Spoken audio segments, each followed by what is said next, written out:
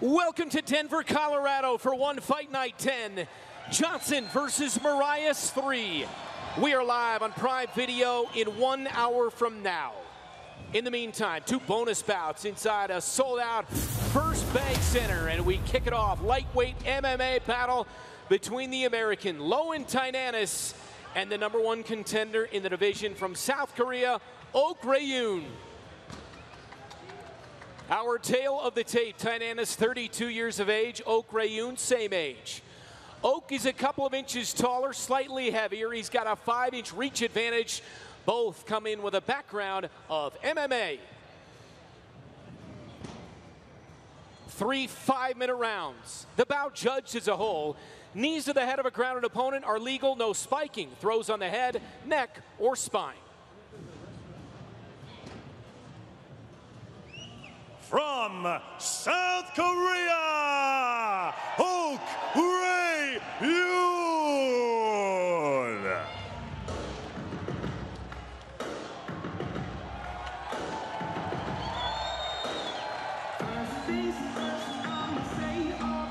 What a way to kick off tonight. This guy, an absolute banger. A record of 16 and 4 on the rebound from a loss to Christian Lee last August, but he has beaten three world champions in one. He was the fighter of the year and became a world champ himself back in 2021. Oh, Ray Yoon, that meteoric rise, was tremendous. He is a very skilled mixed martial artist. But Rich, what does he need do to capture the W over the beast that is Lowen Tynanes. Yeah, Lowen Tynanes has this rhythm in the circle where he lulls you into thinking that he's just doing this kind of feeling out process, when in fact it actually slows his opponent down to, to this speed, and then he suddenly explodes. Ok Rae Yoon needs to control the rhythm tonight. He can't allow Lowen Tynanes to do that to him. Obviously, Lowen is going to be looking for the takedown. This is a striker versus grappler classic matchup, so he's going to have to stop that takedown.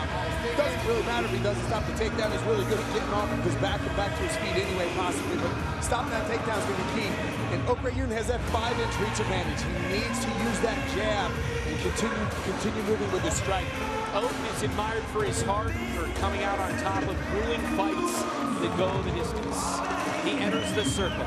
Brent Stover alongside former one fighter, the Dragon Mitch Chilson, and the Hall of Famer, Rich Ace Franklin. It's one fight night 10 as we arrive in the U.S.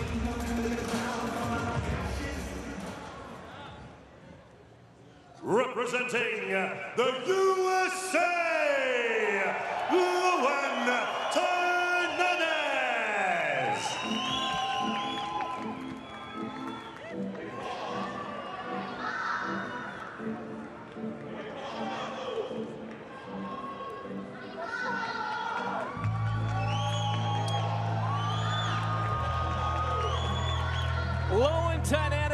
From Hawaii.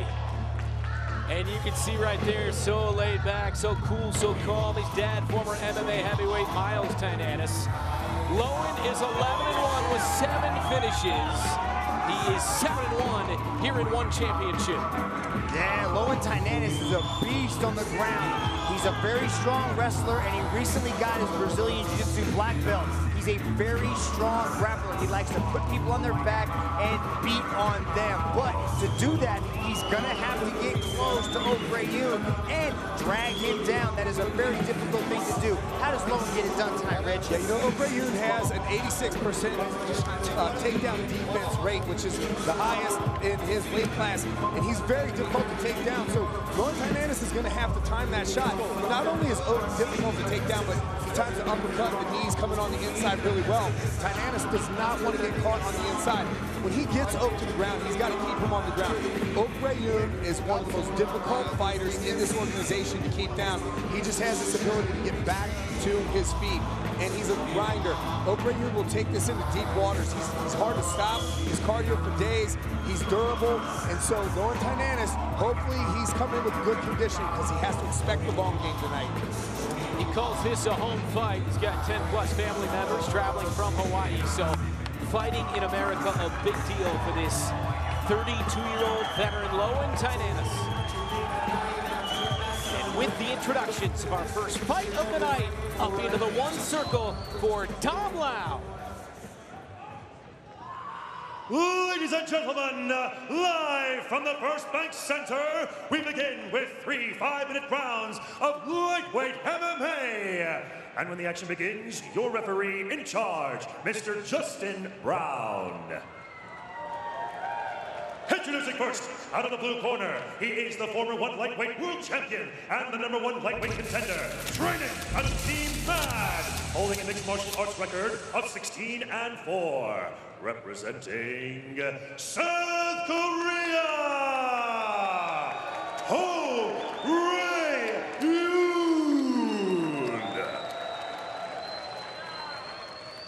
And introducing his opponent out of the red corner, training out of Hawaii Elite MMA, holding a mixed martial arts record of 11 and 1, representing the United States of America, Lowen Tynanes.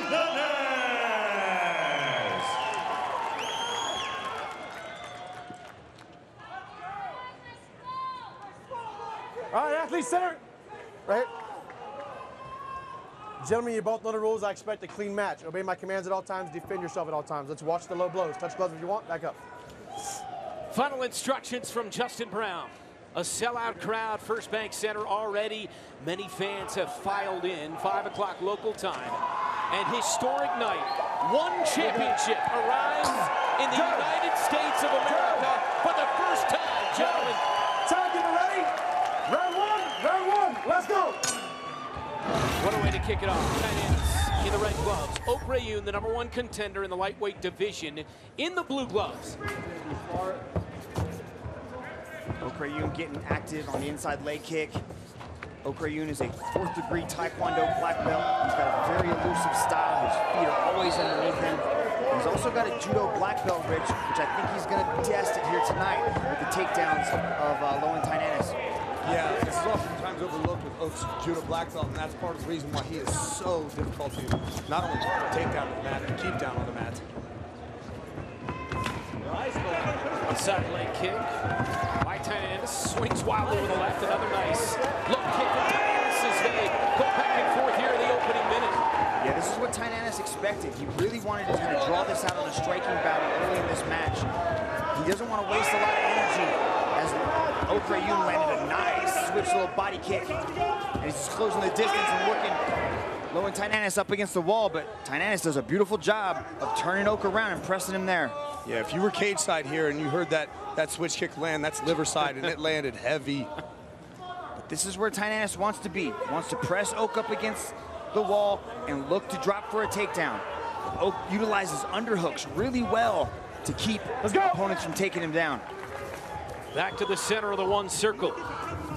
Three and a half to go in round one. And again, the bout judged in one championship in MMA, the bout judged as a whole. We've yet to see we've yet to see Tynanes actually take a shot here. He continues moving backwards. This is, this is part of some of that footwork that he does, kind of lulling his opponent into this. So it'd be interesting to see if this is part of his strategy or if Oak's footwork here is just giving him trouble. Oak doubles up on the jab after a nice one-two, and then another stiff jab from the South Korean Ok Rae Yoon. That jab is money, along with that leg kick. Ok Rae Yoon's starting to find his range and understand the distance. Beautiful little check hook there thrown as Lowen Tynanes is trying to close that distance. Yeah, you can see the Oak just negated that distance closure by backward movement, and Tynanes missed both those shots there, so he's going to have to make some adjustments. Several times he's missed. Ooh, oh. open up combination. Firing Came right back, though. shots. Tynanes on the exit and the right hook, but he's in a bit of trouble and now into the clinch with Tynanes. He's back against the fence.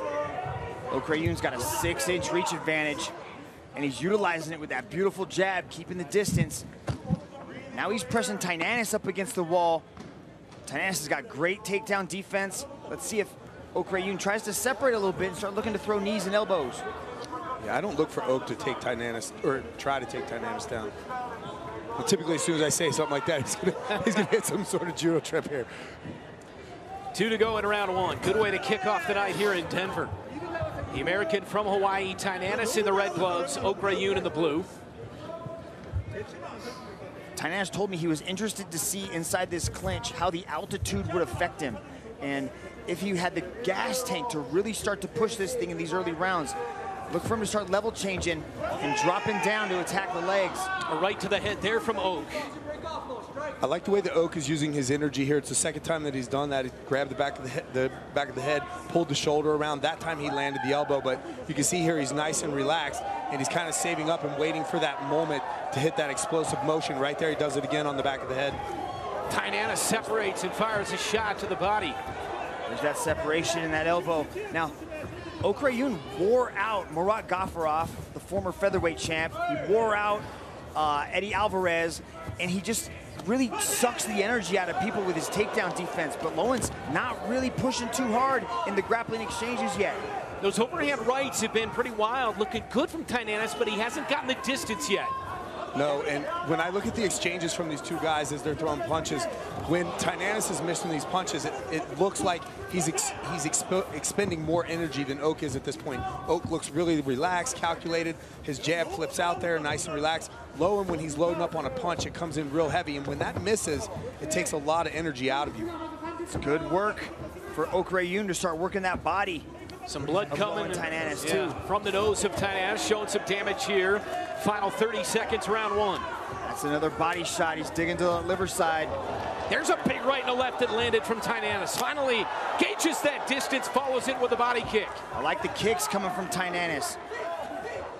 There's that jab again as he goes to the liver, goes up top. 10 seconds. Final 10 seconds, round one.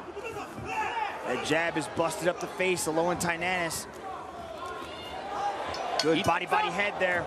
Dug to the body, Tynanes did to close out the first round. Good stuff to start the night here in Denver. Tynanes had that last shot to the body there, but I think the body shots from Ok Rae Yoon are paying dividends. One fight night 10, Johnson versus Moraes 3. Demetrious Johnson, pound for pound, greatest fighter of all time.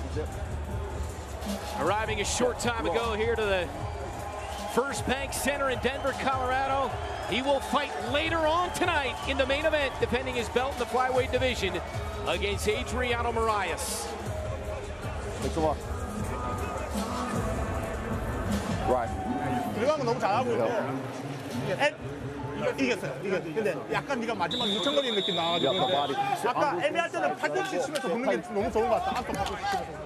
In the corner of Ok Rae Yoon, one round in, pretty entertaining stuff to start the night. Yeah, that was a great start for Ok Rae Yoon, utilizing the jab well, controlling the distance. Lowen Tynanes had his moments. He needs to start putting combinations together, utilize the hand combinations with the kicks. Start trying to take some a little bit bigger risks here with Ok Rae Yoon because you don't want to allow him to get comfortable here on the feet. He's got beautiful range management, distance control, and then he starts closing the distance, looking for that jab. We've seen, we've seen Lowen in the past use, use his striking to offset the timing. This is what I was talking about in his, one of his keys to victory, offset the timing of his opponent. We have not seen him yet take one shot. He's got a beautiful blast double. He needs to he needs to draw Oak into a combination and come under that combination and earn that takedown. But instead, he's getting caught up in these exchanges. And Oak is winning these exchanges, and you talked about that stiff jab early on in the fight. Very effective for the South Korean.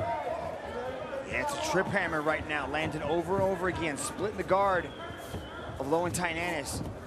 You're right, Rich, but Ok Rae Yoon doesn't really overcommit. There it is. Tynanes to the first takedown of the fight in the opening minute of the second. And when Tynanes hits a takedown like that, I don't care what kind of takedown defense you have, Ok Rae Yoon against the cage, it's a much different story. But what I said before on his keys to victory is he's got to not only get the takedown, he's got to keep Oak on the mat, and you're going to see how Oak works to get back to his feet here. Tynanes has terrifying ground and pound. That is part of his resume. Grappling could be the path to victory here, and he gets first takedown. You see the blood now on the right arm of Oak. That's the blood coming from the, the nose of Lowen Tynanes. Beautiful blast double from Lowen Tynanes puts Ok Rae Yoon on the mat. Oak immediately gets butterfly hooks with his legs on the inside of Lowen Tynanes's. Lowen Tynanes is going to try to step over, look to pass guard, get past those legs, and look to advance his position. Watch the back of the head, huh? Yeah, he's trying to come around and clear these feet. He gets one, and he's cleared now. Good guard pass by Lowen. Good guard pass, but Oaks giving up his back now, works his way back up to his feet. He's okay to give up his back just for a shot to get to that wall, to work his way back up. Tynanes trying to drag him back into the mud here with three minutes to go in round two. Some elbows from Oak to the head of Lowen. It's hard to hold on to Oak Yoon. I like the way that Lowen is using his feet there to lace the legs from underneath behind the hamstrings because he's pushing Oak's legs out rather than trying to come and put the hooks in over top of the thighs, which we normally see. He's pushing those hooks out, which is pushing Oak Yoon's base away from him and keeping him from getting back to his feet. Great back work there by Lowen Tynanes. Watch your toes. Can't have the toes in the fence to help gain an advantage. Justin Brown calling that out from Oak. Oak's trying to wall walk, work his way over onto the side, get past those legs. Tynanes flexing that newly received Brazilian Jiu-Jitsu black belt, Island BJJ over there in Hawaii. Ok Rae Yoon's doing a good job of negating the hooks, Rich, but Tynanes has got that grip on that body. He's got that silk seatbelt lock, and it enables him to get one hook in. Yeah, when, when Lowen Tynanes works, works onto the back like that, he likes working with one hook in that way coming around. This is a great control position for him. Good control for Lowen Tynanes. Riding the pack here of Oak Yoon, the number one contender in this lightweight division. Tynanes climbing the back of Yoon like a violent little koala bear. Oh, yeah. It's part of his makeup. Lowen Tynanes coming off the win over Daesun Park, trying to put together, string a few together and get a title run in this division. Oh, look at Yoon, back to Rich's point. Oak is so hard to hold down, and fighters waste so much energy trying to keep him down. Good test initially for Lowen Tynanes' gas tank as he continues to press Oak up against the wall. Final minute, round two. Opening fight of the night here at the First Bank Center in Denver, a sellout crowd. You look at you look at the situation of the round here for Lowen Tynanes. We're at the end of the second round, so if this match was stopped, say at the end of the second round, or where we would go to scorecards, obviously judging this thing on a whole, Tynanes was able to earn that takedown. He was able to get to the back, so he's advancing position with grappling superiority. But what true offense, aside from that, did he make on the ground compared to some of the damage we've seen with the elbows with Oak? So going into the corner here at the end of the second round, there should be a sense of urgency in the Lowen Tynanes corner to Final. figuring out another game plan. Last 10 seconds, Tainanis trying to deliver some shots here in the clinch. They separate, take it on the body is Oak, and then a straight right, and a good combination to close it out for Oak Yoon. Good tight boxing there from Loewen at the end, but No, Oak 거의 was 다 able to 이겼어, find 지금. some shots. We're almost winning right now. 기다려, 기다려, 기다려, 기다려. 내가 거의 다 하겠어. 이번 라운드 정했는데 지금 We might have lost this round, but we just need to keep doing what we've been training for. 지금 때린 건더 많거든 지금. You've made. Watch this. Look at Oak. Splitting the guard the, with the jab over and over. That busted up the nose of Lowen Tynanes. He did good work, but then Oak got a little bit overzealous throwing the hand combinations, and that allowed Lowen to duck under, get that body lock, and then this is where we spent most of the time. Good dirty boxing here. This is at the end of the round. 잘하고 있다. 어, 거기 한번.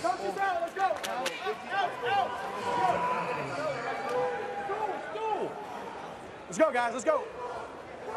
Third and final round to kick off the night here in Got your the mouthpiece? You got your mouthpiece? lightweight MMA division, Rich. Yeah, I just got to say that, you know, I heard Last round, Oak's turn around, corner let's go. say to him, you lost that round. And it's, this is a mistake that I hear the athletes in this organization make in their corners is that you don't lose rounds here. Nope. And, and this is one of those things that you have to keep in mind. Like, we're judging this on the entirety. So it's he may have not performed well in those second five minutes, but can keep in mind what it is that he had done in the first five minutes. Judged as a whole here in one championship in the MMA.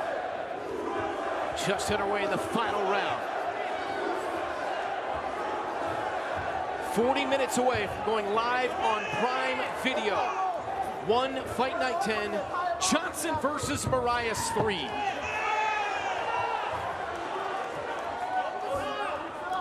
Lowen Tynanes needs to figure out a solution to that jab. He's now cut over the right eye. The blood is right there on, right underneath the eyebrow. You can see that it's coming down. Lowen has, has wiped his eye several times, so the blood is probably kind of trickling down in there. I'm sure Justin Brown is keeping an eye on that. He's doing a good job parrying the jab, but it's just there's just too many shots coming his way, and he gets caught up in the off-speed timing of Oak. He's able to adjust his rhythm, create a feint, and then find slip through the guard. Yeah, you know, he's doing a good job of parrying the jabs, but boxing, if you're, you're, you're, boxing here, fighting is a lot like a conversation. Someone talks to you, you got to talk back. And, and Lowen is just doing the parrying right now, and he's got to counter with something, something that Ok Rae Yoon respects so they can't just keep firing that jab out there at will. So he's trying to work his way into distance, right? He's trying to parry and then get a little closer, but Oak will step off, create the angle just like that, back up. But now Lowen's got him up against the wall. Taking to the body, Lowen Tynanes trying to take advantage, but takes a heavy right to the face, and then that jab and a one-two from Oak. Yeah, Lowen's gonna need a takedown here in the final three minutes if he's gonna wanna take home that W. Both men tenderizing their opponent's body here. Three to go in the fight. Peppering the face of Tynanes is Oak here. Oak just looks so comfortable right now. Yeah, this is where he does his best work. When he's at range, when he's not being pressed, you know, when he, when he, doesn't have takedowns coming at him, when he can just relax and utilize the jab, set up his strikes. He does beautiful work. Look at that hand combination. Snapping the head back with a right from Oak and another right. Tynanes responds with a double here, trying to get him down and does for the second time in the fight. That's big. Lowen needed that. Lowen, Lowen needs to do something with it, though. I just think earning this takedown, even if he only improves position to taking the back or side mount, he's going to have to get more done. There's too much damage on his face, in my opinion, to overcompensate for just improving position. Takedowns and takedown defense are one of our lower scoring categories. You have to do damage, and that's what Ok Rae Yoon has been doing all match with that jab and those hands. He will score on on uh, grappling superiority, though, being able to improve position, passing the guard, things of that nature. But damage is higher than that. So, looking at Lowen's face is worse for the wear in this. He's got to overcompensate for that that wear. Good job for Lowen taking the back, though. Slips around. Now he needs to put some work in. Now he needs to go to work. Did he overcommit? He's riding the pack here of Oak. A minute 30 to go. Tynanes must get something done. And now slides off. Oak so tough to hang on to. Such good ability to scramble and just work his way back to his feet time and time again. I will say, though, that Tynanes has now earned two takedowns in this match, and that's more than anybody else has been able to do in this organization against Ok Rae Yoon, and that is a testament to his wrestling ability. Oakie's known for his durability, the monster chin, great stamina. We're seeing it here. The final minute of the final round.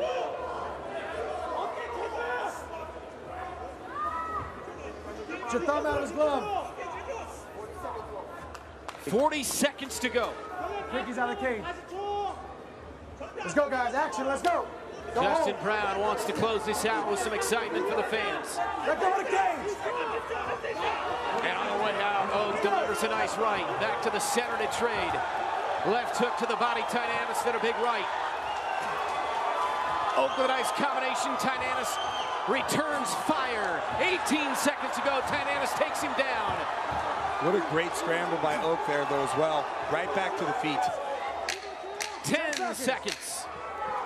Tynanes just got to let it go here. He's got to let it go. One big flurry at the end. A left to the head, but a knee from Oak, and that's the bell, and it's over.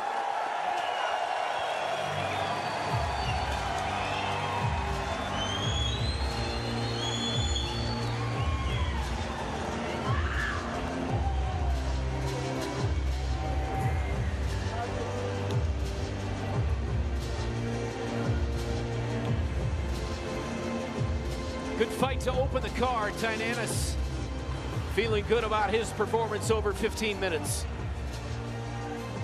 Yeah, Tynanes able to score two points or two takedowns, work his way to the back on you know both occasions, but it was just the damage inflicted. You can see his face. Ok Rae Yoon just lit him up with that jab, that beautiful one-two. It was just an outstanding performance and the striking superiority that came out of Ok Rae Yoon. Lowen Tainan is tough as they come though, Rich. Yeah, not just the striking superiority, but once Oak was able to get him to the ground, or uh, Lowen was able to get Oak to the ground, Oak was still able to get back to his feet. You know, he spent some time on the back in the second round, um, and you know didn't score well in that period of time, but still was able to get back to his feet in most occasions, keep Lowen from making any real advancements on on the ground other than taking the back. And he's just with that kind of damage on his face, he's going to have to do more to get it done than that. I believe.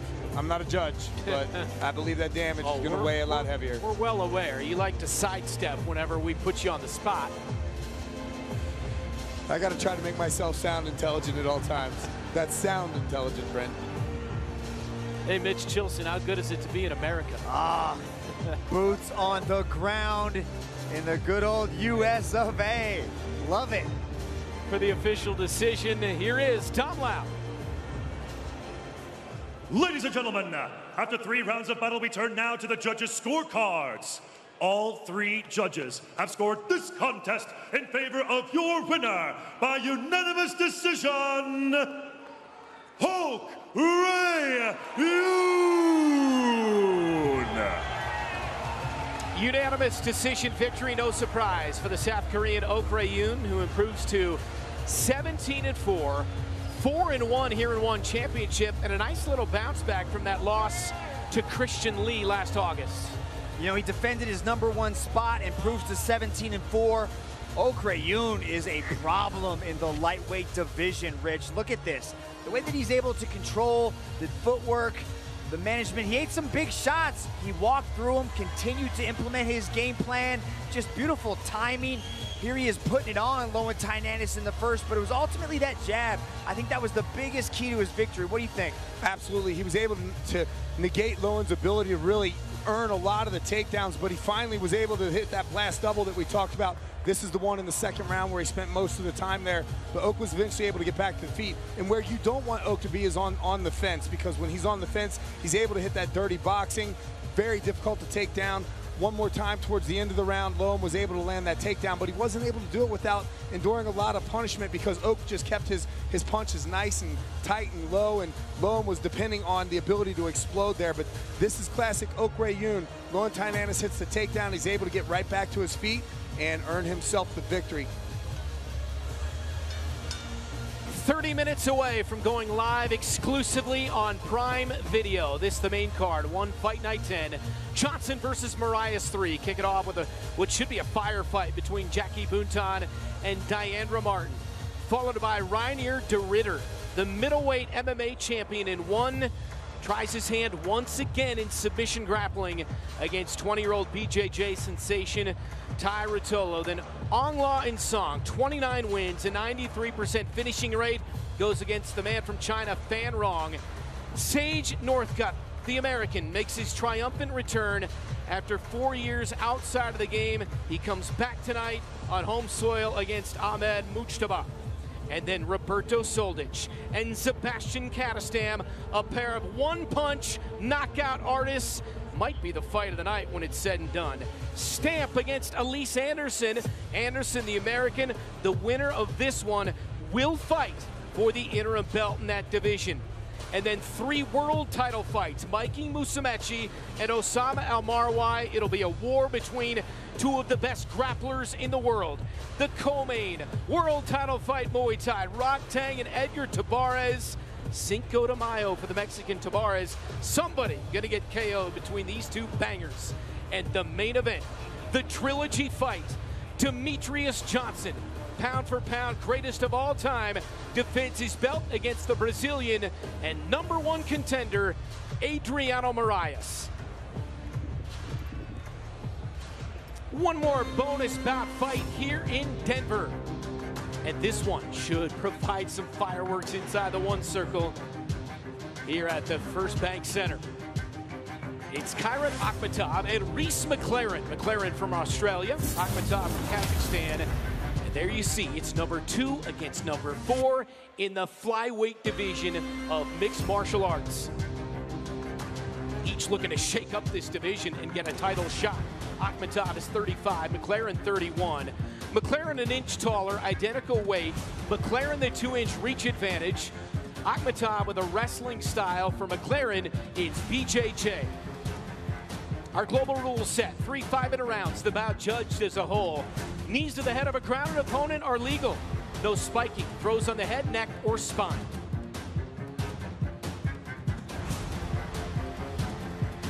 Fighting out of Australia, Reece Lightning McLaren.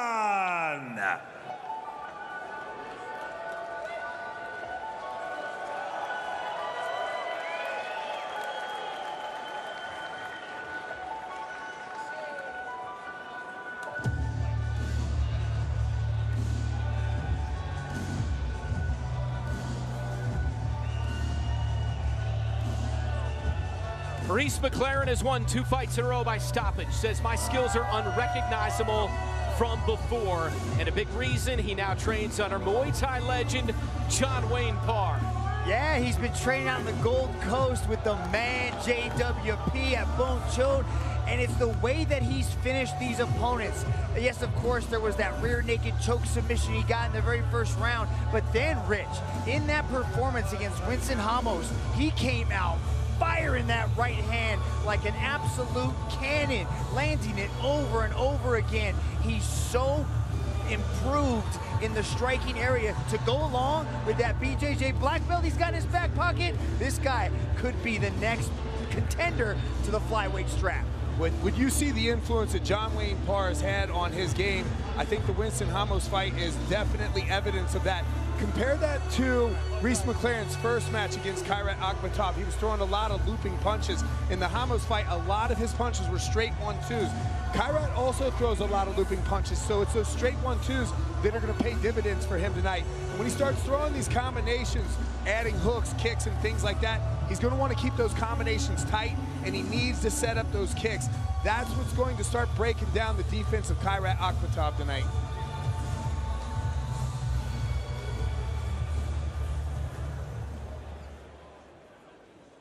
Representing uh, Kazakhstan, Kairat the Kazakh Akhmetov.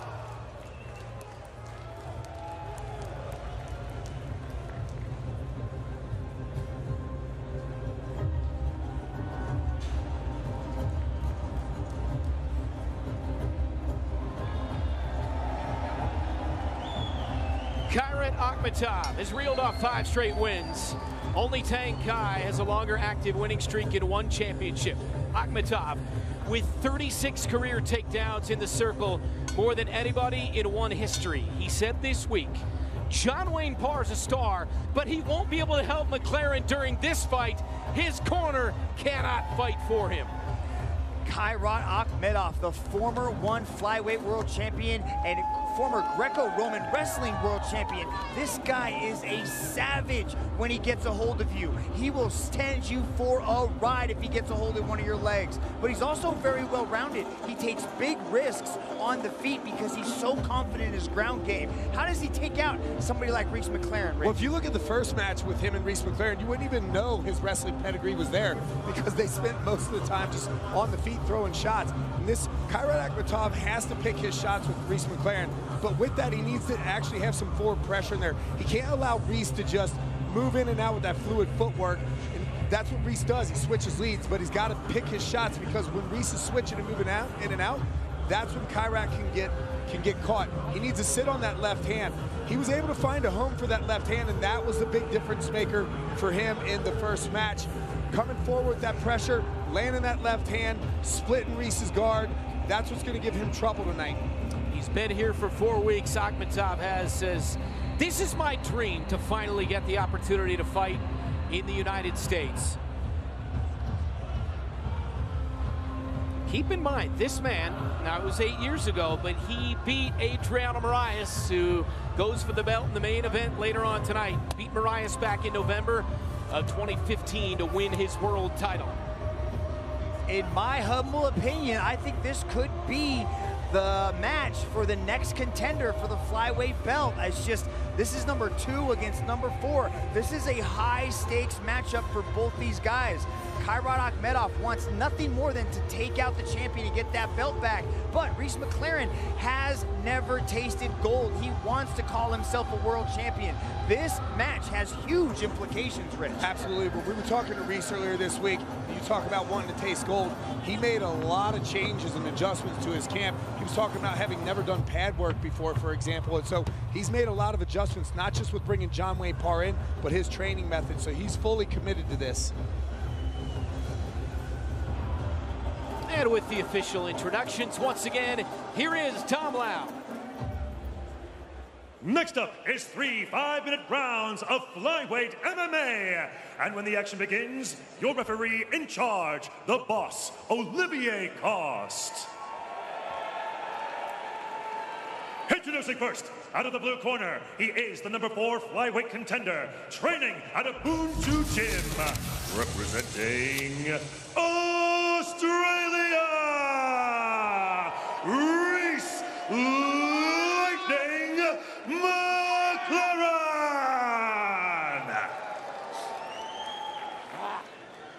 And introducing his opponent out of the red corner, he is the former one flyweight world champion and the number two flyweight contender, training out of Tiger Muay Thai and Fuka Boxing, holding a mixed martial arts record of 29 and 2 with an incredible 18 finishes, representing Kazakhstan, Kairat the Kazakh Akhmetov.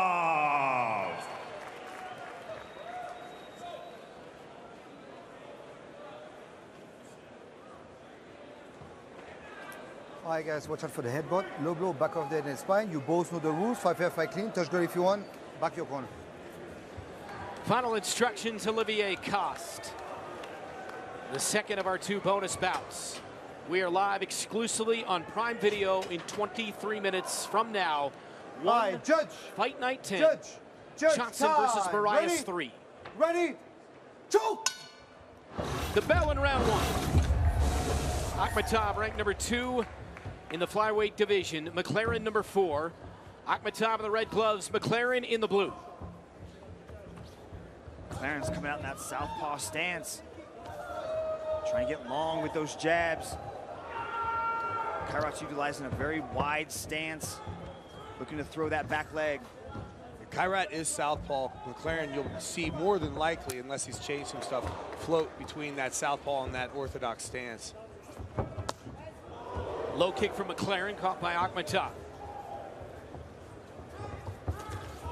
Big shots, Akhmetov, a right and the left hook. You know, we talked to McLaren earlier this week about the antics with him, uh, you know, getting a little cocky in the ring. That's an example of one right there that cost him a, a shot to the chin. Akhmetov is all over these takedowns. Good start in the opening minute for the man from Kazakhstan. I think Akhmetov heard the, the comment that I made about not showing his wrestling pedigree in the first match between these two. Yeah, this is where I figured he wanted to be. He wants to be inside that clinch, grabbing onto legs, picking Reece up and putting him down. He's seen this improved striking from Reece McLaren, and this is a good look right here for Kairat Akhmetov to try to drag this match down to the mat and work on the BJJ black belt. McLaren tight with that body lock, pulling the hips away from the wall, and now working his way past the guard. Mentioned in 2015, the debut of the one circle for Akhmetov got that huge win over Moraes to win the title. Then had to take a couple of years off soon after because of a back injury. He did end up losing to Moraes in 2017, but he's been through a lot throughout his career. But you know, you arrive at a huge night like this, one of the biggest of his career, and he feels like if he gets a Fence, win here tonight, fence. he's going to definitely get another world title shot. Kairat Akhmetov is looking strong. There was an initial guard pass there. Reece has been able to re- re-guard here, but man, you, you know you know how crafty Reece is on the ground, and Kairat Akhmetov just was able to systematically walk through that guard one time. He's looking really strong on the mat, but he's also utilizing a lot of energy, and it's going to be interesting to see how this plays out as this fight continues. Yeah, he's trying to turn McLaren's back off the wall. or he could try to suck the hips away from the wall so Reece isn't able to do this, create the post and work his way back up. But once Kairat has a lock on you, it is so difficult to deal with. I grappled with him once over at Tiger Muay Thai, and he was throwing me around like you would not believe, completely ragdolling me. I'm not surprised. I have like 20 pounds on the kid. He's just so strong. Nice exchange here, now into the full guard. Akhmetov. Good job with Akhmetov right there, hipping out as Reece was working the butterfly guard, trying to get a lift, and Akhmetov essentially sprawled out on, on those legs, inhibiting him from getting any kind of leverage. Akhmetov fires a right from on top here and left. Yeah, but don't sleep on Reece on bottom. Oh. He will look to elbow. He will look to work his legs up the body of Kairat so he can threaten with submissions. There you go. He needs to make Kairat kind of fear his guard because right now, Kairat has no fear right now walking through this guard and landing big shots. 90 seconds in round one. Again, the bout judged as a whole. A little separation here. Akhmetov fires back in. This is a huge moment for the flyweight division. The Fly guys are on display here tonight in the main event and right now. And this is going to determine quite possibly the next contender to the winner of that belt tonight. So they really, Reece needs to get moving. He needs to try to get create some scrambles because this is not a good way to finish the first. Agree with you there, Mitch, but I'll say this much. When, on Kairat's ground and pound so far, you saw him just try to throw that elbow forward, try to come over top of the fist. But so far, Reece has done a pretty good job of not taking too much damage on the ground. A lot of these strikes are missing. But it's still a bad look for McLaren to be controlled like this on bottom. He's doing a little bit, he's defending well, but defense really isn't part of our scoring category, bro. Absolutely not. He's got he's got to get offensive on the ground here. Oh, big left to the way in from Akhmetov. Back into the full guard of McLaren. 35 seconds, round one. Heavy elbow from Akhmetov from up top. Yeah, and that one landed. Good opening round for Akhmetov. Got some distance to fire right to the left side of the head of McLaren. Good step over there into the half guard. Walk to finish. But Reece McLaren's got really mobile hips. He's gonna look to try to elevate, create a little bit of space, gets the underhook. Oh, he goes underneath for a deep half. Kairat frames off. Oh, drops an elbow. Final seconds, round one. Yeah, Fight Ka- number two on the night. Kairat's a difficult opponent to go to that deep half on because his base, particularly in the first round, was so heavy. That's right, man. It's all good.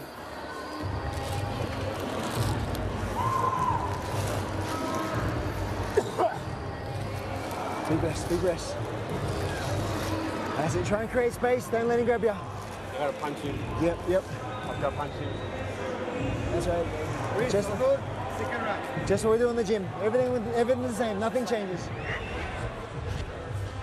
This is Kairat. Once he gets a hold of you, you are going for a ride. Free admission. Picks you up, puts you down, and then he just does a, such a good job of manipulating your position to keep you there. Whether it is ground and pound, looking to pass, dropping elbows in your face, he is a very comfortable on top. Reece needs to have more urgency getting back up to his feet. You know, in the walkout, we talked about Reece spending a lot of time with John Wayne Parr, but you have to wonder if he focused a little too much on the stand-up and not enough on the ground. Good point, good point. Round two, they both come out swinging. You could hear Reece on the uh, when as soon as he sat down say he is strong. I need to punch him in the face. East side of the southpaw stance. Both men fighting out of southpaw to open the second. Right now, Kairat doesn't have any fear taking this to the ground, approaching, trying to look for legs, trying to shoot. You saw Reece just throw that kick there, and Kairat caught it. This was what I was talking about in the in the keys of victory for Reece. Like he's got to keep those combinations tight, get those kicks up there and down. Because when Kairat was able to to land some of the takedowns in the first match, unlike that double he just shot, he was catching the legs and shooting the takedowns off of that. Reece's explosiveness is kind of to his detriment here. The way that he slid in like that, he covered so much distance, he didn't have a time to react to the dig the underhooks or sprawl because of his footwork sliding in, and that's committing heavily on those punches. He's got the overhook on that right side, but Kairat still has that body lock. Steps over to the side, looks to take him one way, and takes him the other. Another takedown. So at this point, listen, Akhmetov is dominating this fight. What can Reece do? he's got to have this, right? Immediately, he has to work his way to the fence and then look to post, push down on the head, and get back up to his feet. He has to relieve the grip, so he has to start creating separation, digging underhooks. He has to have a lot more urgency here in this second round. But more importantly than that, like once he gets up like this, Brent, he's got to get his space. He's got to utilize that jab. He's got to keep Akhmetov at range. Like he can't allow Kairat to close that distance and hit that double the way that he did before. What are you talking about? More importantly, he just did exactly what I said he was supposed to do. But wait until he ends up on the ground again if he doesn't do what I just said. Don't don't hurt your arm, Mitch, patting yourself on the back there. he gets a few right from time to time there, Rich. Yeah, you know, broken clock is right twice a day. As they Oh, He's, bum, bum, bum. he's back in the country where he grew up. He's feeling it here in America. First time ever, one championship comes to the U.S. And again, top of the hour, 14 minutes from now, we go exclusively live on Prime Video for the main card. You can see Akhmetov is trying to reach for those legs. I would abandon the leg kicks if I was Reece and just strictly throw hands at this point. I'm, I'm afraid to say this, but we were actually kind of thinking the same thing at this point in time, Mitch. Midway through the fight, Akhmetov ranked number two, McLaren number four in the flyweight division. Winner most likely gets a title shot. And again, our main event is for that flyweight world title later tonight. Demetrious Johnson and Adriano Moraes. Reece trying to get heavy with the overhooks. He manages to swim one arm in. Now they're in a 50-50 position. These clinch positions, Rich, are so hard to deal with with Kairat. Great job for McLaren to turn off the cage. Yeah, you can see the struggle that McLaren has just, just getting off the cage. Kairat is so strong in this match. Now they're going to stand and trade here. Nothing doing there. Some jab and a low kick from McLaren. Body kick Akhmetov. McLaren returns fire. This is exactly where McLaren needs to keep the match. I'd like to see him get that straight jab back out there and not keep throwing those hooks, though. Low kick there, caught by Akhmetov. That was that, that was that low kick catch left hand that I talked about before the match as well. He nailed it. 80 seconds to go, second round. Playing this point game with Kairat is so difficult. He's had nine decisions in a row, seven victories. He knows the one scoring system and exactly what you need to do to score points. And this guy is just a strategist, a strategist. He just loves to go out there and pick you apart with these not only shots, but takedowns and grappling. He's always one step ahead of his opponents. McLaren working the low leg kicks in this second, going in for the takedown again is Akhmetov. That was nice too. Beautiful left hand to get under the hips of McLaren. Now he's gonna try to pull him away from the wall so he's not able to pop back up. Yeah, he landed that left hand as he systematically walked his back to the cage, knew exactly when he was throwing it and when to shoot that takedown and put him down. Good job by McLaren to get back up to his feet, but he has to deal with the body lock. Right, he's getting back up, but he's still giving Kairat the ability to keep those hands locked. He has to separate that grip and then get away. Yeah, even though even though Reece is able to get back to his feet here, Kairat's never actually That's losing control of the fight. He's he's pushing against the cage. He's being the aggressor. Reece is not able to land any real strikes on the way out, so he's not doing any damage, accumulating any any real points in the striking category. Two rounds in the books here in the second of our two bonus bouts.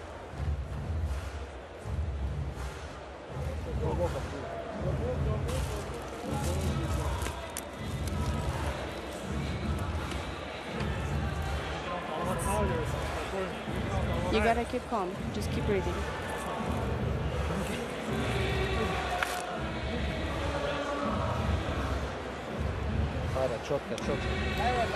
Hard to hear. One more round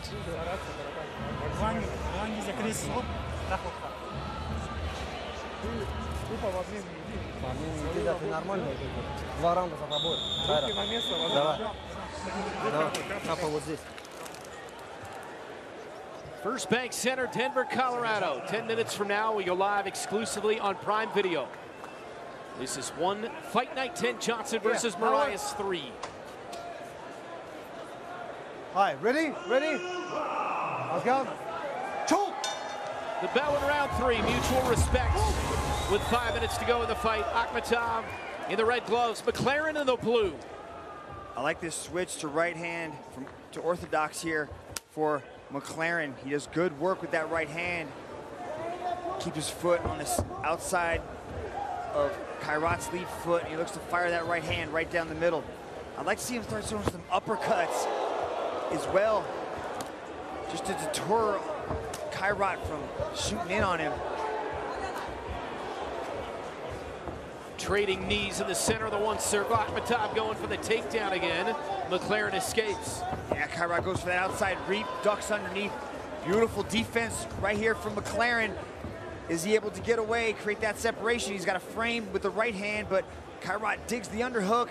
Reece is trying to pummel back inside. Can he get away from the Kazakh? I was talking earlier about Reece's footwork and how it was giving Akhmetov uh, trouble in the first match, but tonight it's Akhmetov's footwork that's giving Reece trouble. He's had trouble finding the proper range for landing punches, the proper range for landing kicks. Kairat has been able to close the distance, land these takedowns. His footwork tonight has been beautiful. Lacing the legs, trying to go 0-2 here against McLaren. McLaren's taking some big, heavy breaths. Doesn't want to punch the back of the head. I think that's what Olivier Coste is warning. Akhmetov McLaren been able to control this fight here with 3.20 to go. McLaren looking up at the clock. Well, you just wonder what he's got in the tank. He's got a lot in the tank, but he's just not able to show any of it. He can't do anything because of this, this pressure that comes from Akhmetov. The way that he was able to cut through that guard, end up in side control now, has Reece flattened out. Reece tries to wall walk. Akhmetov said, I'm going to show everything, a striking, wrestling, use all my weapons. And we've seen that here tonight from Kairat Akhmetov of Kazakhstan. That was slick grappling right there. Reece had the single leg, and he was going to try to use it to turn into something, but Kairat so heavy on the hips, his sprawl forced Reece to separate. I would imagine Reece was looking at the clock before, not because he was as tired as he was, that he knows that he's got to get stuff done. Nice right on the way in from Akhmetov as he shoots again. Good sprawl from McLaren with his back against the fence and two and a half to go. This shot was set up by another kick that Reece threw that Akhmetov was able to actually catch and pursue the takedown or at least the clinch against the cage. Akhmetov in on this single leg, transition to a high crotch. Reece has got to stay heavy on those hips. Akhmetov goes to a, a double leg, good defense. He's got the underhooks, able to pry Akhmetov up towards the upper body, but again, Kairat, level changes, Fires a knee in there. Back to the center of the circle with two to go. McLaren needs something big in the final two minutes, you would think here. And he's got it in that right hand. There's there's a lot of power. A little bit dormant right now in that right hand. It hasn't really been landing. Guys, more action, more action. Choke! Admonished here by Olivier Coste. He wants them both to, to close the show here. Heavy right by Akhmetov on the way in. Let's go. Wait for the takedown, escaping McLaren back to the center of the circle. Body kick from Akhmetov. Akhmetov landing that body kick. This is what I'm talking about. Reece was the one that was able to control the range and, and confuse Akhmetov with the footwork, but he's been able to freely land that left, the, the left cross, as well as the, the rear left leg several times in this match. Low kick, Akhmetov changing levels here. final minute of this final bonus bout with the main card coming up in six minutes, live exclusively on Prime Video. Double leg attempt there from Akhmetov, but a beautiful sprawl from McLaren, but that's too little too late. Oh, nice hand combinations into the single. Let's see if he can finish here. Send McLaren for a ride and put the final touches on a masterful performance from Kairat Akhmetov. Great head placement there by Kairat. This just shows how strong he is in the clinch. That's how he was able to land that combination that pushed McLaren up against the cage when they were breaking away. He took McLaren's balance just like he did right there. McLaren's always on the back foot every time they break away. Final 10 seconds. Straight right, McLaren went in again. Akhmetov able to duck down below it and return fire and a spinning kick to end the fight from Akhmetov. Valiant effort from Reece McLaren, but he knows, he knows the score.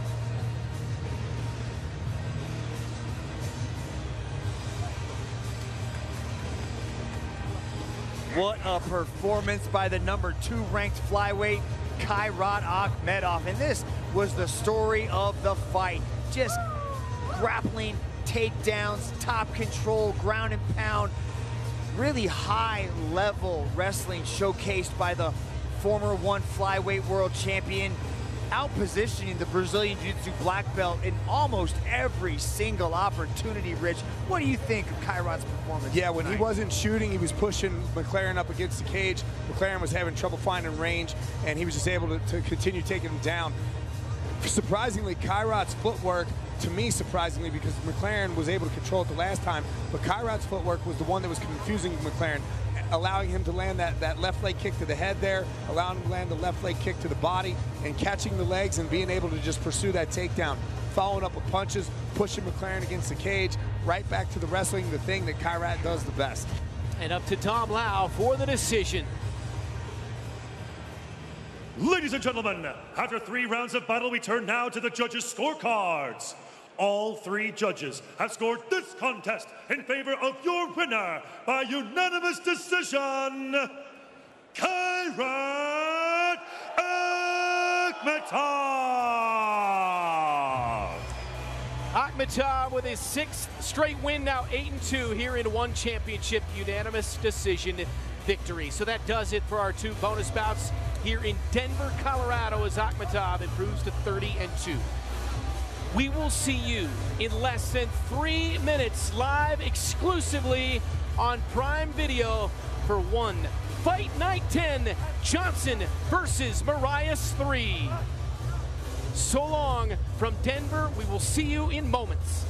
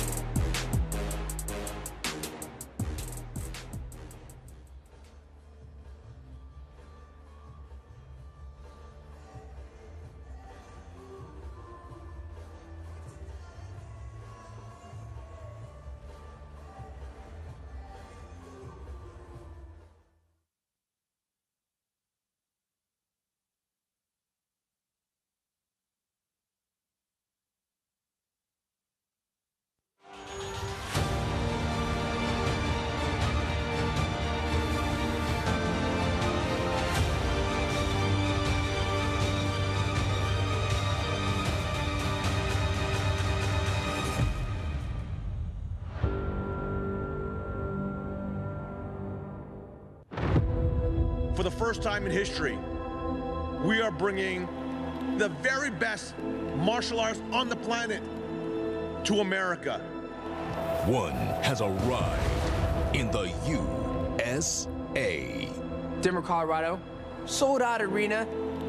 I'm super excited to headline One Championship's US debut. หนูทนรอแฟนๆชาวอเมริกันมาดูหนูไม่ไหวแล้วค่ะ Being an American on the global stage at One Championship in the US, it's just amazing. To see everything that we dream for, One Championship here in America, is a fantastic moment. Where one principle defines the American way life, liberty, and the pursuit of greatness. The greatest of all time. The GOAT. 13 time flyweight world champ. I don't think there'll ever be an athlete like me. DJ's hurt! Adriano Moraes defeats Demetrious Johnson! Demetrious Johnson gets revenge on Adriano Moraes. DJ defends his belt against the former champion Adriano Moraes. The stage is set. The trilogy is finally upon us. As a rivalry, it's mean everything. I just need to take the belt back. Now we're at this pinnacle moment, the biggest fight of my One Championship career. Every journey begins with a single step. One step closer to fulfilling a dream.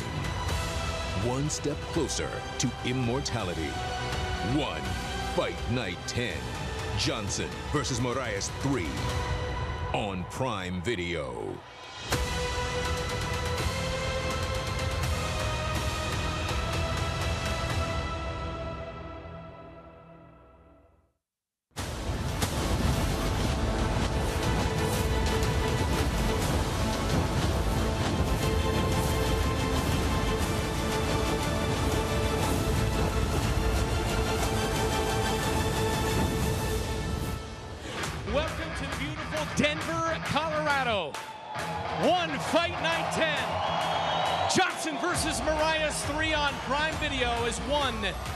In the U.S. This by far the biggest thing to happen in combat sports in many years for American fans. Hi, buddy. Glad you're along. Circle side. Brent Stover alongside the Dragon. Former one fighter Mitch Chilson. And the Hall of Famer needs no introduction. Rich Ace Franklin. This the most anticipated card in the history of one championship. We are in America, bitch. Oh, Brent, I am so excited. I fought on the very first one card, but this is truly something special to be here in Denver, Colorado with you guys with this fight card, the trilogy. Let's go! This is where mixed martial arts started, right here in Denver, Colorado. This is a long time in the making for one championship. A lot of hard work, and we are excited to be here tonight. Three world title fights across three different disciplines here in one championship tonight, starting with a man who hails from New Jersey, a BJJ star. It is Mikey Musumeci. Mikey Musumeci is a grappling genius. He makes impossible seem simple. He is something special when things hit the mat. He goes after limbs like he is trying to take them back home to Singapore. He is a vicious attacker. You never know what he's gonna do. He's so innovative and so hard to keep up with. And the pace, if he gets a hold of one of your legs, he is trying to remove it from your body. Mikey Musumeci is special, but his opponent, Osamah Almarwai, is ready for the challenge and to step up and take that belt back to Florida. All right, the second world title fight in our co-main event, Rodtang on display. 25 years of age, already a living legend with 270 career wins, takes on the Mexican fighter Edgar Tabares. Absolutely. You know, uh, Rodtang already has a lot of fans here in the U.S., and when you think of Rodtang, there's one thing you think of, and that's destruction. That lead hook to the body, whether he's closing distance with that and coming in with it, or he's catching a leg and coming off with that leg. Rodtang, they call him the Iron Man for a reason because this is a guy who not only hits like he has iron in his fists, but when you try to test that chin, he'll just keep coming forward with it like that. Tabares said that he wanted to test the chin, and he also wanted to get his chin tested by Rodtang. I'm not sure that that's the guy you want to do it with. All right, the main event. It's the trilogy fight. We've had it circled on our calendars for the last several months. the greatest pound for pound fighter of all time, Demetrious Mighty Mouse Johnson defends his title against the Brazilian and number one contender, and the only man ever to knock him out, and that's Adriano Moraes. Absolutely. These guys are now at the trilogy. And when you look at this first match with Demetrious Johnson and Adriano Moraes, Adriano was able to use his footwork and work backwards here. This created situations where Demetrious Johnson had to try to commit heavier and heavier. Adriano, you see him taking him down here with this leg sweep and then working to submission. He wasn't able to actually get anything done, but he was able to get those reversals, ultimately ending up on top. And what that did for Adriano was in that position, we've seen it before, that photo finish where he landed that knee and actually be the first man to knock out Demetrious Johnson. But that second fight, that second fight between the two of these two, Mitch, Oh, it was a special moment. Rarely does the sequel live up to the original, but it delivered. In those first three rounds, Adriano Moraes looked spectacular. His fluid movement, and a lot of analysts actually had him up in those first three rounds. But DJ, being the true warrior that he was and the cerebral mastermind, was able to figure out the puzzle that Adriano presented and continually look for his one shot that he needed. And when he found it, he was able able to close the show, finding a beautiful flying knee finish and taking the belt home. So that'll be our main event, the trilogy fight. For the third and final time, those two go at it. But how about this card? Nine big fights. Kicking off with what should be a firefight between Jackie Buntan and Diandra Martin. Then Reinier de Ridder the middleweight MMA champion goes back and takes another shot at submission grappling against 20-year-old BJJ sensation Tye Ruotolo. Aung La N Sang, 29 wins, a 93% finishing rate. He gets Fan Rong. Then Sage Northcutt. After four years, he is finally back inside the one circle on home soil against Ahmed Mujtaba. And then Roberto Soldic and Zebaztian Kadestam, a pair of one punch knockout artists, followed by Stamp and Alyse Anderson. The winner will fight for the interim belt. And then three world titles on the line Mikey Musumeci and Osamah Almarwai. It'll be a war between two of the best grapplers in the world followed by Rodtang and Edgar Tabares, co-main event. Cinco de Mayo for Tabares. Somebody's getting KO'd between these two bangers. And the main event, Demetrious Johnson defends his belt against Adriano Moraes in the trilogy fight. And now we send it for tonight's opening ceremonies. Here is Tom Lau.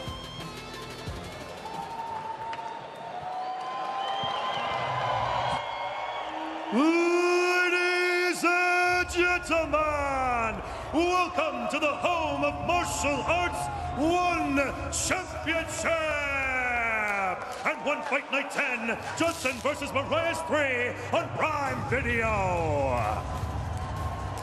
Here are tonight's warriors.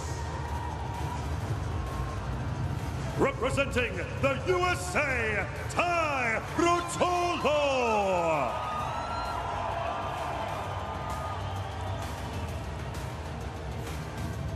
From the Netherlands, Reinier de Ridder.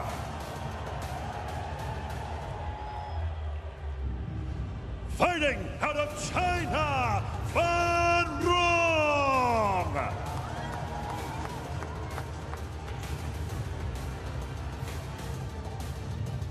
Representing Myanmar, Ola Unsang.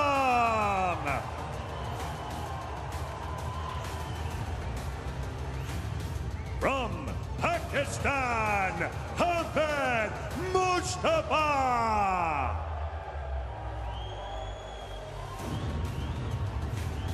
Fighting out of the USA, Sage Northcutt.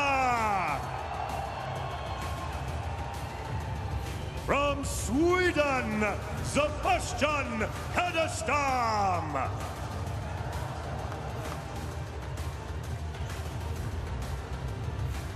Representing Croatia, Roberto Soldic. From the USA, Alyse Anderson.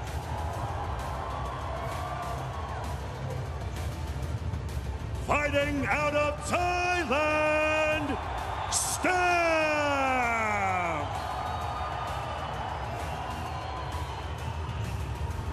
For the one flyweight submission grappling world championship. Representing Yemen, the challenger, Osama Al Merwai. From the USA, the undisputed one flyweight submission grappling champion of the world, Mikey Musumeci. For the one flyweight Muay Thai World Championship. Fighting out of Mexico, the challenger, Edgar Tabares. From Thailand, the undisputed one flyweight Muay Thai champion of the world, Rodtang.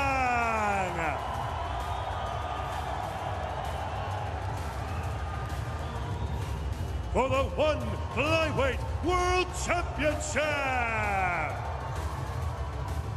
Representing Brazil, the challenger, Adriano Moraes.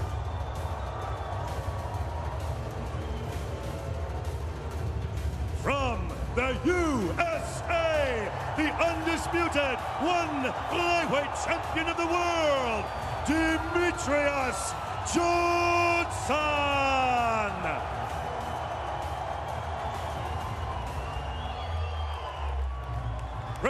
To witness the greatest world champion martial artists on the face of the planet.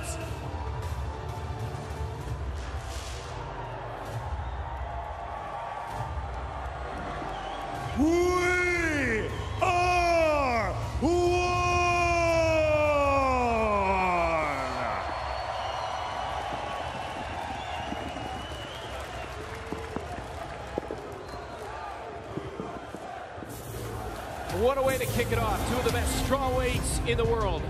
American Jackie Buntan out of Southern California. And from Australia, Diandra Martin. He comes in with 11 wins and five knockouts. Our tale of the tape. Buntan is 25, Martin 27. Martin four inches taller. Buntan five pounds heavier. It's a catch weight bout. Neither made weight. Martin has the four inch reach advantage. Our global rule set here in Muay Thai. Three three-minute rounds, 10-point must system. Three knockdowns in a round is a TKO. No throws or grappling.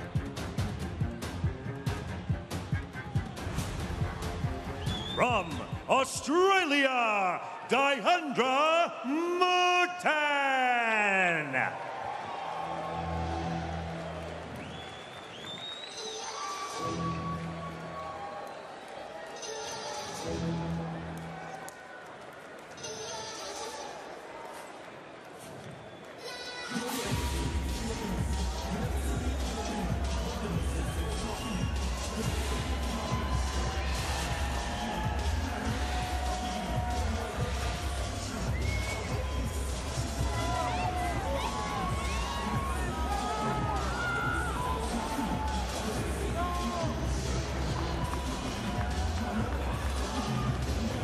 With amazingly long legs, good with the knees in the clinch, a phenomenal technician.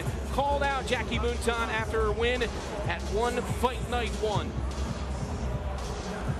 You know, Martin tonight, she's going to have to keep that guard tight against Jackie Buntan. Jackie Buntan, she Buntan moves in and out really well with that fluid footwork, comes in with those nice one-twos.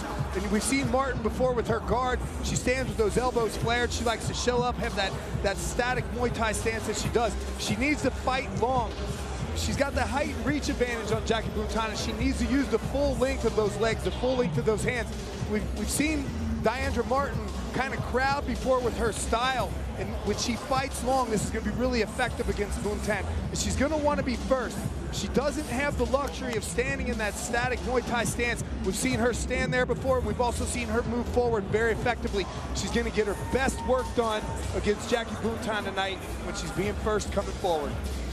Yeah, Diandra Martin is a long-range sniper. She's got beautiful straight punches, she's got a wonderful switch kick, and she's got volume and pressure. She moves forward trying to hunt for a knockout like she's looking for dinner.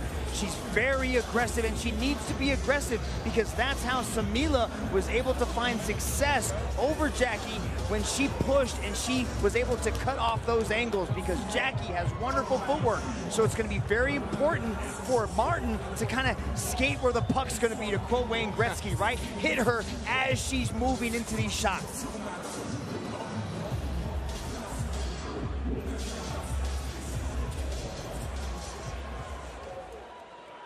Representing the USA, Jackie Buntan.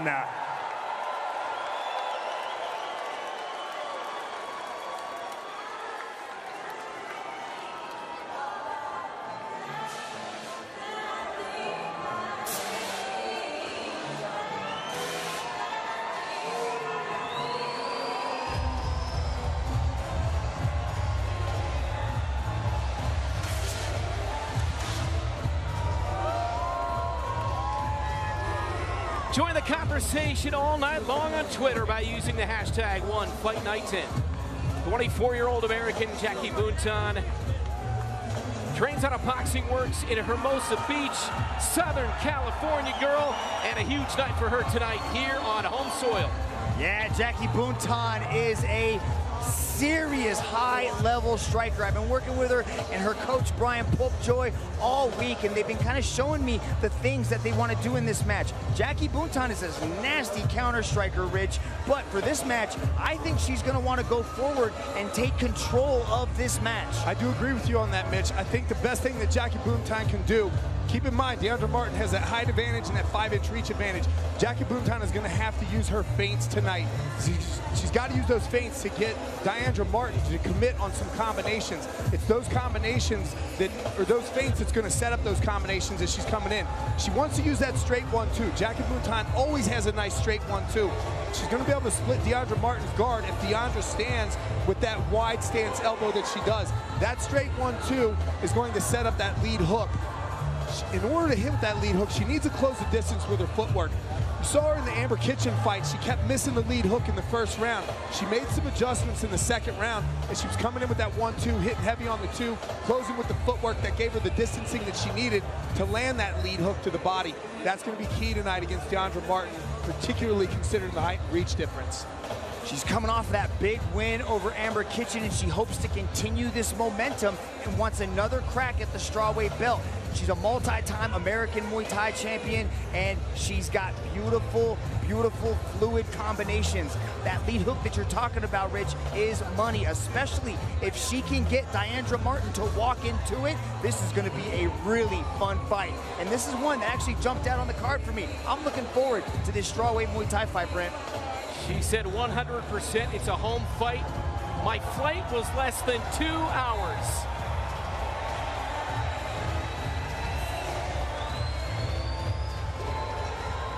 And with the official introductions, here is Dom Lau. Ladies and gentlemen, welcome to the home of martial arts one championship. Live from Denver, Colorado, this is One Fight Night 10, Johnson versus Moraes 3 on Prime Video. Tonight's bouts are all sanctioned by the Colorado Office of Combat Sports with the Honorable Tony Cummings. And as the action begins, your referee in charge, Mr. Justin Brown. Introducing first, out of the blue corner, training out of Muay Thai, holding a Muay Thai and kickboxing record of 11 and 3. Representing Australia, Diandra Martin.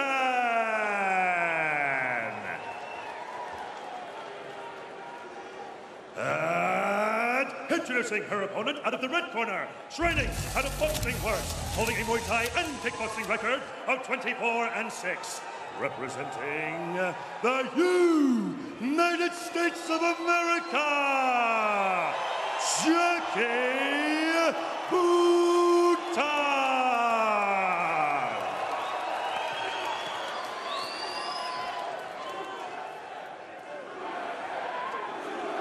Ladies, center.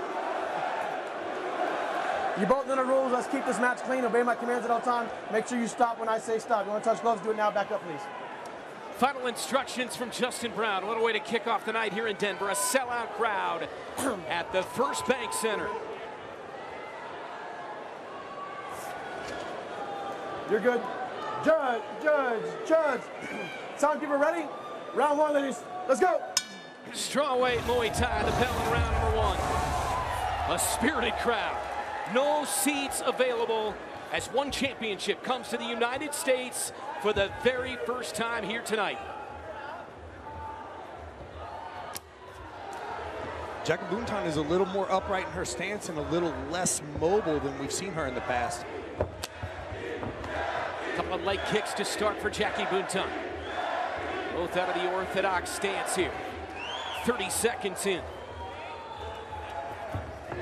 Nice little combination from Buntan on the way in. Yeah, pay attention to Buntan's footwork. She loves to take two steps forward and then slide back. Or when she's counter-striking, she'll take two steps backward and then step to the left. It's a beautiful footwork combination that puts her in perfect placement for her right hand. Yeah, we talked to Buntan earlier this week talking about that footwork, the two steps forward, one step back. She actually talked about the importance in this match of not just stepping one step back, but stepping one step off an angle so that she had the counter available to her rather than having to work herself back in. Buntan in the red gloves, Diandra Martin of Australia in the blue as they trade shots to the head here. There's that lead hook again as she steps off to her left. The footwork is really important in this matchup. Martin needs to get some things going, assert control, take control of the center. She doesn't want to counter strike here. Another beautiful left hook landed from Buntan. I think I think Diandra was expecting Buntan to come in and out with her footwork more, and she's not giving her the read that she was expecting in this match. Buntan and Martin trading leather in the center of the one circle here. First fight of nine on this main card, three world title fights to come. Jackie says she wants to chop the legs, utilize that low kick, and then utilize hands to the body and the head of Diandra Martin. Diandra's having a hard time getting things going, though. She needs to assert some control. She's kind of like got that deer in the headlights moment right now, Rich. That's what, I, and I believe that she has that because Jackie has not given her the look that she's expecting. This is the flat, the most flat-footed I've ever seen Jackie ever in a match. And Diandra, I think, was expecting her to come in with these big commitments. They talked about working the elbows with her on the inside, and Jackie's just not giving her that, that read. Damage from Buntan. You see it on the face, and oh, down Neutral, goes neutral. Diane Green. And she's in deep in trouble here. I don't think she's getting up. Eight. And that's all. Jackie Buntan with a first round knockout here in America. Wow, what a statement made by the American Buntan. First round KO, Rich Franklin. Wow, she systematically, I mean, she, she made some micro adjustments to the game, and we talked this week, and the, the game plan that her and Brian Popejoy put together, you know, she talked about never watching film, that she lets her coach worry about all that stuff. Well, I'll tell you what, the film that they were watching, they had Diandra Martin broken down exactly the way that she needed to be broken down because that was a systematic dismantling of her opponent right there. I'm not sure that Jackie Buntan ever got hit flush one time. What a way to fire this crowd up to open the show. Jackie Buntan of Hermosa Beach, training partner of one atomweight kickboxing world champ, Janet Todd. She did Todd proud with that performance. Yeah, Jackie Buntan coming in here. She went to the body with the left hook. I talked about her being able to close her distance and then came over top with the right hand, and this is the right hand that just put Diandra Martin down. That body shot set it up. It was not the first time she landed the body shot, and it wasn't the first time that she landed the overhand, the overhand right in this match either. But Diandra was just against the fence, never really got herself moving, and was just a static target for Jackie Buntan to land, Buntan to land that combination.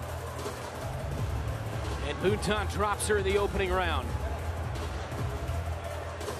For the particulars, here's Tom Lau.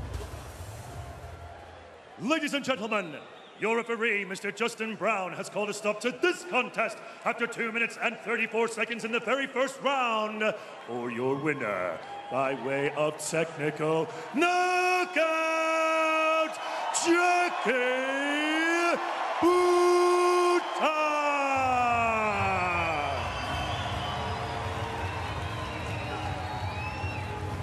She said it was a home fight. And this crowd 100% behind the 24-year-old Jackie Buntan. First round TKO. In a catchweight bout as she beats Diandra Martin. Yeah, I think Diandra Martin is going to go home on this one and be a little disappointed herself. She's capable of better than that, and she knows it. Dragon, Mitch Chilson, standing by with the winner. Jackie Buntan coming out with the first round KO in your home in the United States. How you feeling? Uh, oh my God, I'm ecstatic right now. I mean, I knew people knew who I was in the Muay Thai community, but just hearing everybody cheer and feeling the energy in here, it's surreal. It's insane. Now, in the pre-fight meeting, you told us that you wanted to chop the legs, go to the body, and get that knockout shot in the head. And that's exactly what happened. What kind of game plan did you and Mr. Brian Popejoy come up with to put on a performance like that? It was exactly what you said. You know, I'm always a shorter fighter, so game plan was take my time first round, find my range. Once I found that range, that's when I could, you know, pick my shots, pick her apart, and kind of found that middle of the round, I think. Well, after a performance like that, what do you want next? I know you're coming off of a victory over Amber Kitchen. You got a victory here over and- Diandra Martin. What's next for Jackie Buntan? I think this definitely puts me back in the mix to to challenge Smilla again for the Muay Thai belt. But there's a vacant kickboxing belt in our division, and I'd love to try my hand at the kickboxing belt. I'd watch you fight a traffic ticket. Ladies and gentlemen, please make some noise for your winner, Jackie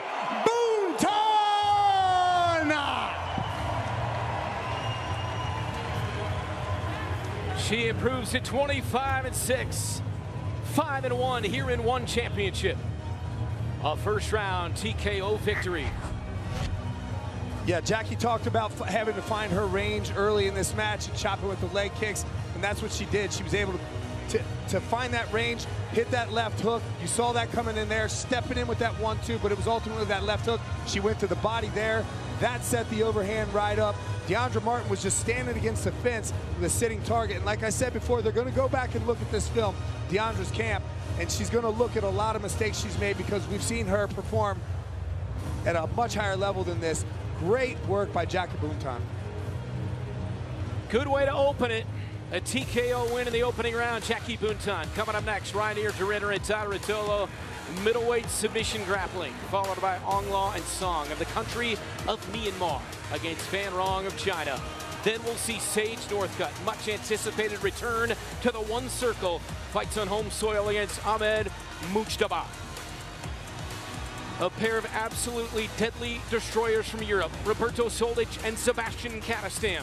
Then the number one contender in the atomweight division, Stamp from Thailand against the American Alyse Anderson. Three world title fights after that, Mikey Musumeci and Osamah Almarwai. Coleman, the champ Rodtang, flyweight Muay Thai World Championship on the line against Edgar Tabares here on Cinco de Mayo. And the main event, the champion Demetrious Johnson and the number one contender Adriano Moraes in their trilogy fight.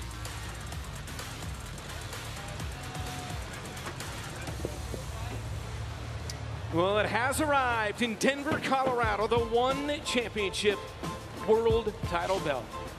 Inside that Tumi designed carry case, they bring it out, carry it into the First Bank Center here in Denver.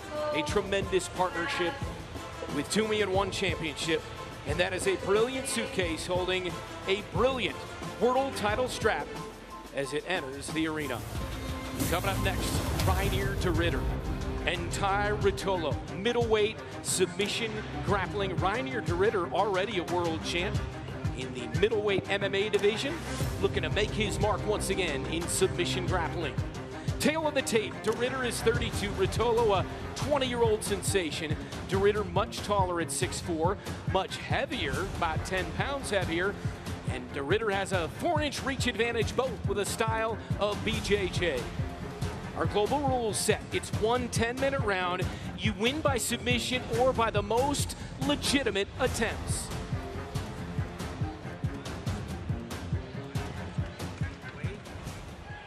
Fighting out of the USA, Tye Ruotolo.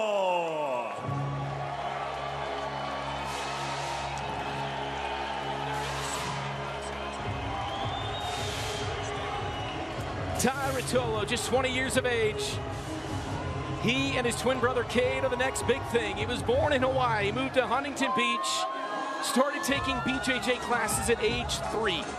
He is 2-0 here in one championship with a pair of $50,000 bonuses. And for the first time tonight, we bring in BJJ legend here, circle side. It's Tom DeBlass. And Tom, what does Tye Ruotolo, this American from Southern California, need to do tonight against a much heavier man and a champ in his own right in RDR? Well, thanks for having me. I think Ty basically just needs to keep the match in the center of the cage. RDR has a ton of experience inside that cage, and it's different from the grappling mats. And is usually used to being the longer athlete. Not, he doesn't have that benefit here. However, Ty is a different animal. This kid is next level. He's going to be one of the best to ever do it. He's the youngest ADCC competitor to place at, at fourth place. He's the youngest IBJJF black belt world champion. This kid's just next level, and I definitely believe if he can keep it in the center of the ring, he's going to pull off a submission.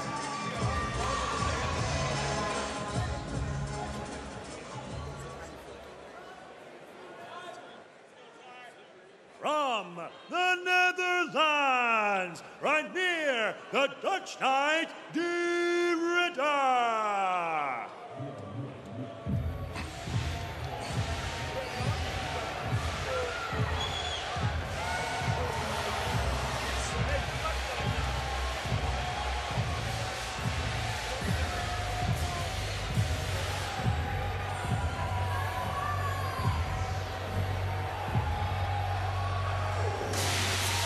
Stagefront.vip, our exclusive VIP experience partner in the United States. RDR, what does he need to do here, Tom? RDR needs to try to make this as much of a fight as he can. He needs to keep Ty up against the cage.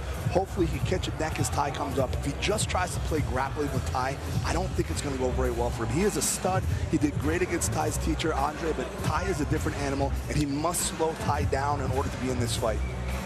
This man is the middleweight champ in MMA, was the light heavyweight champ and lost to Malykhin last time out. So he says this right here is the start of my 2023 redemption tour. Tom, talk to us about the leverage points and how long RDR is.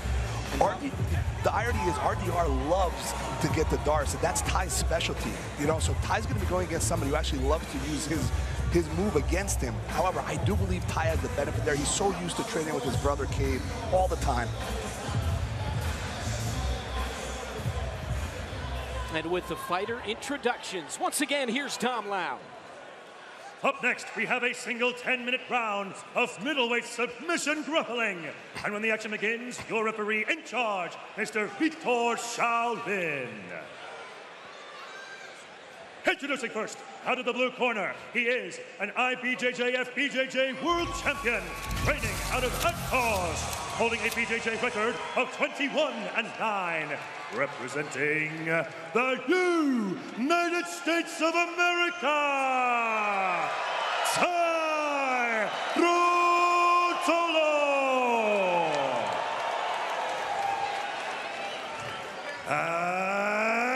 Introducing his opponent out of the red corner, he is the three-time one middleweight world champion and the former one light heavyweight world champion, training out of Combat Brothers, holding a mixed martial arts record of 16 and 1 with an impressive 14 finishes. Representing the Netherlands, Reinier the Dutch Knight, De Ridder.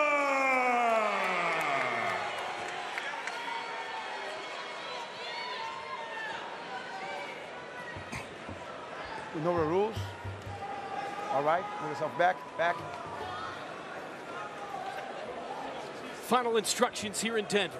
One 10-minute round of submission grappling in the middleweight division. Tye Ruotolo and the man from the Netherlands, Reinier de Ridder. Check. Let's fight. Second fight of the night, and here we go.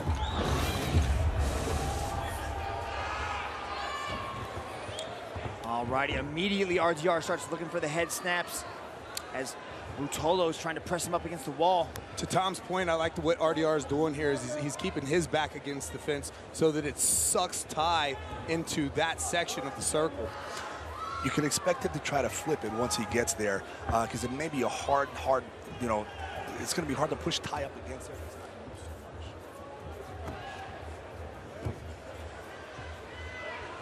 I think Ty should pick up the pace a little bit, really make RDR work, level changes. The RDR talked a lot this week about strategy, about that first five minutes. Remember, Mitch? Yep. And about how he wanted to use that to kind of wear his opponent down or set a pace. And it was the second five minutes that was really going to determine the, the outcome of the match on this. And that getting top position was going to be key. Ty's a very good wrestler. He just really needs to watch shooting with RDR's long arms because he get caught in his own deadly weapon, the darts. He has a nice two-on-one here, the Russian. Looks beautiful. Tom, what do you think of this size difference? I mean, Ty's known for fighting absolute divisions and really anybody, but here this size difference on the former light heavyweight champion, current middleweight champion is drastic. There's a huge size difference, but Ty is really used to training with Andre, Kynan, his brother. You know, his brother's not as big as RDR, but he, he trained with some really big athletes, and Ty is just a gamer. And I don't think you're going to wear Ty out. He's used to such tough training. Oh, oh, Ty almost gets to the back. And talking about training partners, for this fight, RDR went and trained in Austin, worked with John Danaher, Gordon Ryan, had a lot of good looks with some lot of really tough training partners here as they're engaging in a lot of hand fighting and head snaps and looking to try to get some sort of advantage in this submission grappling matchup. You see, Ty's very physical, too. He's not backing down one bit from RDR's physicality. And look, he's looking to try to take the back from a drag. But does it look to you, Tom, that, that Ty is expending a lot more energy in these exchanges. Is this playing into what could possibly be the strategy of RDR in this first five minutes? I think so, yes. And I think being under the bright lights in a cage in a one event is much different than being on the grappling mat, and RDR definitely has the experience there. But right now, I think Ty is the one pushing the pace. He doesn't seem to affect RDR with any of his foot sweeps. RDR is just a very strong guy. Yeah, RDR's got a judo black belt. He loves to get inside that clinch, utilize overhooks and underhooks, and ultimately hip tosses. And he said he would be the stronger man inside the clinch, but it's Ty actually pressing him up against the wall and really initiating a lot of these exchanges. Ty is a dog. Atos is known for being physical. He's been doing this since he's been a baby. Uh, you're not going to shock him with physicality, that's for sure. How important is this first takedown? I think it's going to be very important. I think if Ty gets on top, I think it could be over. I really do. I think Ty could work himself out from the bottom against RDR. I don't know if RDR could do that against Ty. Yeah, it'll be difficult for RDR from the bottom to actually catch Ty in something as well. Extremely hard, and his feet are going to be out there. Ty has very good leg locks. Ty, Ty's pace is immensely fast for most people. His, his leg drags are just unbelievable. So he does get on top. Watch him to stand and pass a guard, step on the ankle, drag the leg across, and look for the back take. Yeah, I will say, though, Ty went for kind of a, a, leg drag ankle pick there, and RDR didn't even react to it, like, as if he didn't even respect it. A lot of times MMA guys don't respect jiu-jitsu guys. You know, they're used to getting punched in the face, you know. Grappling is a much different, more laid-back atmosphere than MMA. Trust me. Tom, talk to us a little bit about the intricacies that are going on right here because folks at home might not understand exactly just how difficult this initial uh, takedown attempt is for these athletes. You know, they're both jockeying for, it. oh, he got a nice single. Atos is known for that. If you could uh, see, RDR did well with bringing his back up against the cage to balance himself. They're just fighting for inside control. I would like to see Ty do more level changes. Uh, they're just fighting for inside control, looking to take angles to get to the inside. And you see Ty's trying to bring that leg across his body to get to RDR's back, but RDR's doing a good job of not allowing it to happen. I like the way that Ty is using his head when he enters into in, into the uh, the clinch work there. He's got good head positioning coming in.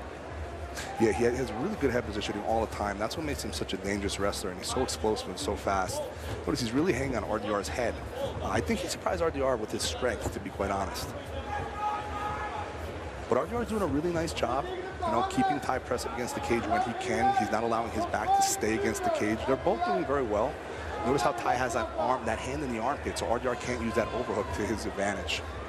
You know, Ty came in on the tail of the tape. We saw his weight was 195. That's the most we've seen him weigh in a while. How do you think that's going to affect him as this continues to go on for the next five minutes of this match, carrying a lot of that extra weight? That's a question. People don't realize how long 10 minutes against a high-level athlete could be. It's like an eternity. I don't think we're going to see Ty slow down. I don't think his heart will allow that to happen. But if we are going to see him slow down, it'll be against a guy like RDR, who is extremely bigger and ties extremely heavier than he usually is. So now we're kind of running into that time where this is where RDR said he was going to be able to take control of this match. Rich, now I know we're judged off of submissions, obviously, but then we're also judged off submission attempts, and then lastly, aggression. What happens if this thing never hits the ground? I, up to this point in time, would I look at these two, the way that they've been going back and forth, if I was a judge, and we've clearly established that I'm not. You just pretend to be one on TV, man. Absolutely, but if I was a judge, I would be looking at Ty as being the aggressor at this point in time, at up to this point in the match. Now, I will say, around around the 430 minute mark, that was the first time that RDR put Ty's back on the cage and held him there for a second. So this could be part of the strategy. But Ty is the one that's walking forward. He's being the aggressor, so that's got to account oh, for This could be very dangerous right here. See Ty climb up his back, one hook in at a time. You also see him loop his right leg through and bring it to the far leg of RDR. He does that often. RDR's trying to hand fight, create some separation on the grip, turns into it, trying to go for the Uchimata. Beautiful defense from Tye as he presses I gotta watch his head. de Ridder right up tight to that wall, man. These guys are, oh, this is so grueling on the body, too. These types of grappling exchanges are so exhausting as well. It's probably the most exciting stand-up grappling, submission grappling match that I've ever seen because these guys are not slowing up at all. No, you see a lot of grappling matches. They're, they're hand fighting, but they're not disengaged. A lot of micro techniques that are going on, the way that they're pummeling in, swimming out, wrist control, arm drag right there, switch of position, looks for a knee pick as he's coming across, and uh, just a lot going on. See how quickly Ty reacted to that front head position against RDR. He's not taking any chances. Notice how RDR is keeping his left hand high so Ty can't drop down for the single as well when he has the underhook. I mean, before RDR ran into Anatoly Malykhin he was undefeated, 16-0, Rich. He had 11 submissions, all sorts of triangles, and Darce chokes, and he's a nasty finisher. And we're seeing just how good of a grappler RDR is against one of the best in the world, Tye Ruotolo. Yeah, he did, he did just get warned there for, I don't know if you would call that disengaging, but he needs to have more activity. So clearly the referee is seeing that RDR is the aggressor as well. I'm sure that the judges around the circle are, are probably coming to the same. Oh, oh. That was beautiful. Almost. Beautiful drive, great takedown defense by RDR. And the cage saved him right there. See, that's what's different than the open mat. RDR has beautiful balance. I mean, it's just those years of judo that he's leaning on right here and really shutting down a lot of the attempts coming from Tye Ruotolo, but most of the attempts are coming from Ruotolo. Yes, they are. I'll tell you, if I was a student here watching this, the one thing I've learned about this match is that any any micro movement where you make a mistake could po quite possibly cost you this entire match. But it really can. But RDR is taking risks with the takedowns, and in so he's turning his hips to the side, but he's giving up his back, which is a dangerous, you know, game plan against somebody like Ruotolo. But Ridder, de Ridder is very confident. I'd like to see Ty look for a leg from the cage you know, just to make something happen. And I think it's doable as well. He's got to bring his left leg to the inside of RDR's knee. And the corner just said the They exactly the same, same thing. thing. I think you should really take a look for it right now. Less than a minute to go. Action. Yeah, and to your, your point at the beginning of this match, Tom, and what I said is RDR has pulled this thing into the circle wall. You know, Ty can't can't avoid it because he's been playing there the whole time, keeping his back there, and then able to switch it around. Exactly. He uses the cage as such a good takedown defense. Guys who are really good against the cage how to rest against the cage. It's a different world. Eyes in on a single. Could he finish it? Could he sit it? Oh, and he finishes the takedown. Oh, and he gets on top position. That's huge. That is huge. That's the first offensive position that actually happened. Now he has the neck, and Ty is dangerous from this position. He could finish anyone from this position. Yeah, I wonder how that's going to score, though, because the reason why they hit the ground is RDR technically dropped. He had in a, a, a choke of his own, and, and Tye was actually scrambling to get out of that choke. They were able to... Oh, he looks for the leg, looks for the scissor. What a match. Phenomenal work, boys. Wow. And I think Tye Ruotolo was actually bleeding in the nose. That was a rough one. That was a rough one. Well, we talked about his transition to MMA earlier this week, and uh, I guess he's kind of halfway there. He's already bleeding, taking shots to the face, and uh, taking on former or current middleweight champ of, of the MMA division in, in the organization. So, you know, his transition's coming faster than he thought it would it's a different feeling there. You know, it's so it's so great that he could get this experience with one inside of the cage under the bright lights and then transition to MMA from there. He has a huge advantage when he goes to MMA now. I will say I believe Ty will get the nod. I think RDR did a phenomenal job, however.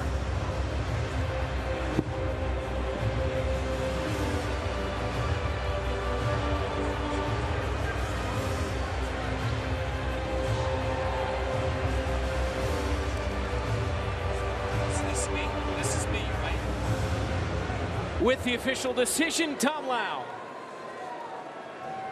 Ladies and gentlemen, after 10 minutes of battle, we turn now to the judges' scorecards. All three judges have scored this contest in favor of your winner by unanimous decision, You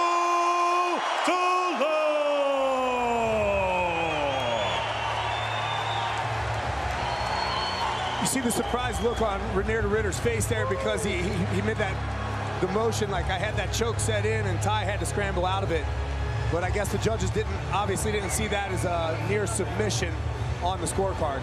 I think as well, Ty was much smaller, so I think automatically that gives him the advantage. Being the smaller guy, being in there in the grit, in the grind with the bigger guy and doing as well as he did. Let's take a look at the highlight of this match. And to your point, Tom, man, that was entertaining stuff, especially for a fight that stayed on the feet for almost the entire way. Yeah, it was unbelievable. It was probably the most entertaining match I've seen on the feet in a submission grappling match in my life, and I'm, I'm dead serious about that. It was amazing. We'll get the highlights in a moment. Here's Mitch with the winner. All right, Tye Ruotolo, an epic matchup. Tom DeBlasted, that was one of the most entertaining grappling matches he has ever seen. You were going up against a giant of a man in Reinier de Ridder. Did anything surprise you out here tonight? Man, first of all, thanks to Reinier for taking the match. I called him out and he accepted it right away. You know, he's a, a sick, decorated double champion. You know, he's a good family guy. I got a lot of respect for this guy. So thanks for taking the match. And, uh, you know, he did surprise me. A little bit taller than I thought. Reaching to his head was a bit of a challenge, you know, but uh, yeah, you know, no excuses. I should have been able to finish the fight, and I didn't. You know, that's what I came here to do. So my next match here, I want to finish no matter what. Okay, talking about that next match, the next time you're inside the circle, who do you want to be standing across from? Man, I want to keep taking out the big guys. I know that he trained with DDS, you know, Meregali, all those type of guys, so I want to work my way up the ladder. You know, Meregali's next. He's a bit bigger than Reinier even, but I want his head, so Meregali's next. You're a savage taking on all comers. I love it. Ladies and gentlemen, please make some noise for your winner, Ty Ru To Lo!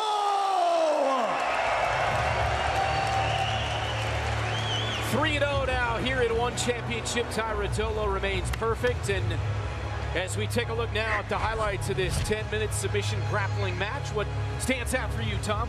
I think just the hand fighting that Tye had against being so much. Look at that foot position he had, always chasing the back, always active. His four limbs are always working together. His feet and his hands are working together. It was a beautiful job snatching that single. Just really hard to finish it when RDR is up against the cage. How about you, Rich? Yeah, Tye, Tye, the reason why Ty got the nod on this one, he was the aggressor. You know, RDR here was actually making the attempt to hit the hip throw, being offensive. but Ty capitalized on that, was able to come around the back. Good shot here. And like Tom DeBlass talked about in during the match is that what saved RDR from that takedown was the fence itself.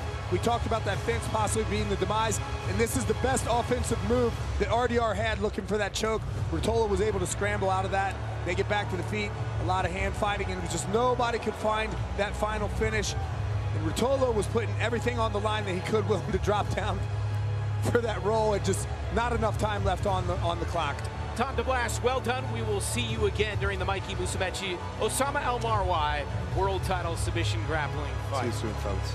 Jackie Buntan kicked it off with a first win, T first round TKO victory over Martin. Then just now, a unanimous decision win for Ty Ruotolo. Entertaining stuff. Coming up next, Aung La N Sang will battle Fan Rong.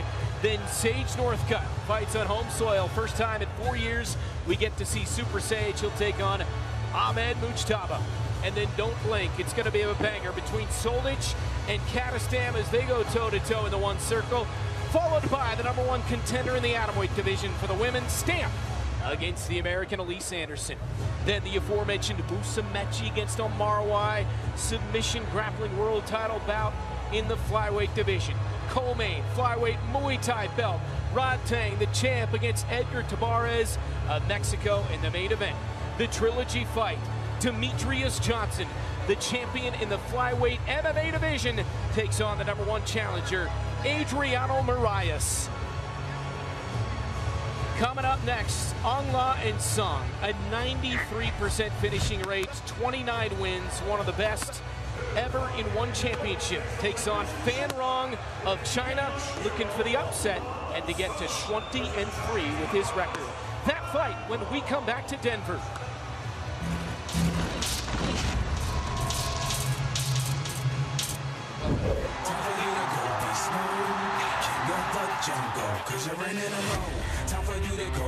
Demetrious Mighty Mouse Johnson, one of the legends in the sport. There is nothing in MMA that Demetrious Johnson cannot do.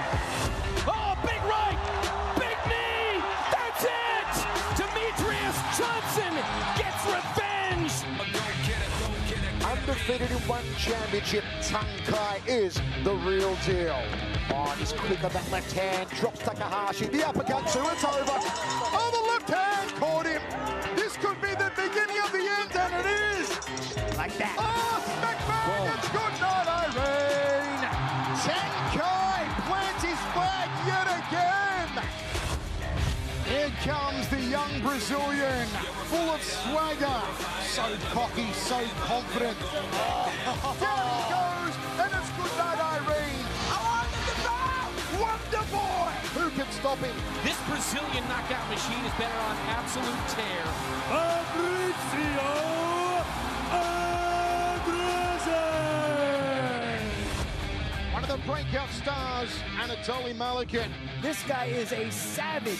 He legit has that one punch, put you out power. Oh! oh. oh. That's it. Oh, He's full. The new world champ in the light heavyweight division. Christian Lee has practically cleared out the one lightweight division. The most wins in one history, the most finishes in one history. He is the best lightweight on the planet. Blood all over the canvas, and that's it. Christian oh, Lee is a two-division world champion. What a comeback.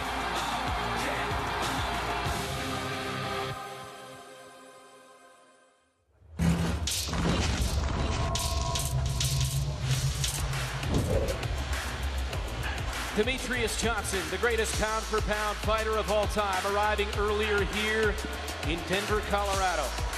A 13 time MMA world champ, tied for the most world title defenses in MMA history. Defends his belt against that man, Adriano Moraes, eight time one flyweight world champ. Well, the journey continues with Tumi. It's the biggest, best, most prestigious, most gold belt in the world. The belt represents the journey, the entire lifetime journey of the very best of the best martial arts in the world. It's a journey filled with thousands of hours of training, of heartbreak, of passion, of excellence, of grit. One women's our belt is a symbol, a symbol of true meaning of martial arts, values of integrity, humility, honor, respect, courage, discipline, compassion. Sometimes you battle through adversity in life, but you just have to keep on pushing through it. It takes a, whole army to build a champion. With you, I have courage, I have strength, I have what it takes to win a world title. The belt genuinely is not only a stunning piece of art, but it's a labor of love and design. And ultimately, it's reserved for only the very, very best, the best, the best in the world.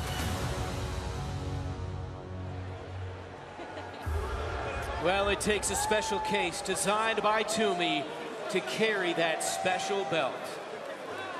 Tumi spent weeks developing this special case, and you're about to see a beautiful golden belt, the one championship world title belt here in Denver, Colorado.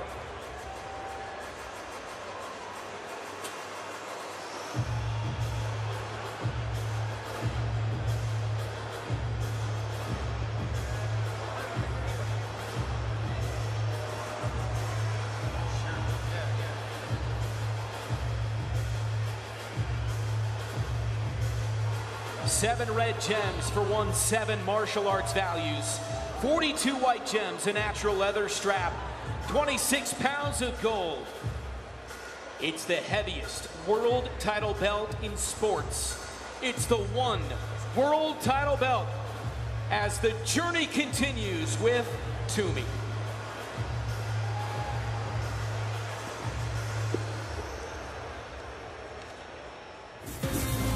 Our next fight, middleweight MMA. Aung La N Sang takes on Fan Rong of China. Ong La, a former two-division world champion, prepares to enter the circle, carrying the hopes of a nation on his shoulders.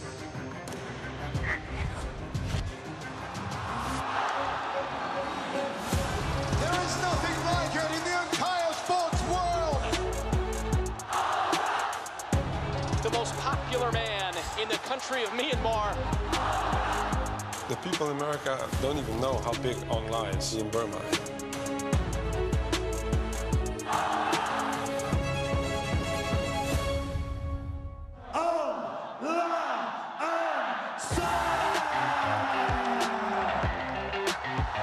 An entire nation behind him. I'm more than just, you know, an MMA fighter. I'm a role model for the next generation and for the men and women of Myanmar. I'm not talented, I'm not good, I'm not fast. But with you, I have courage, I have strength. I cannot do this without you, Myanmar.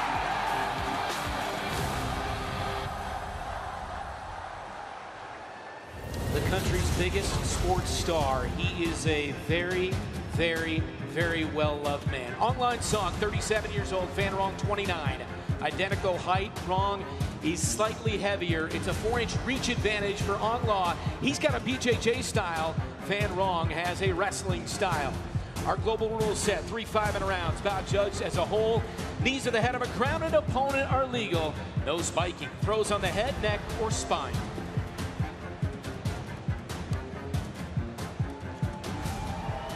Fighting out of China, King Kong Warrior, Fan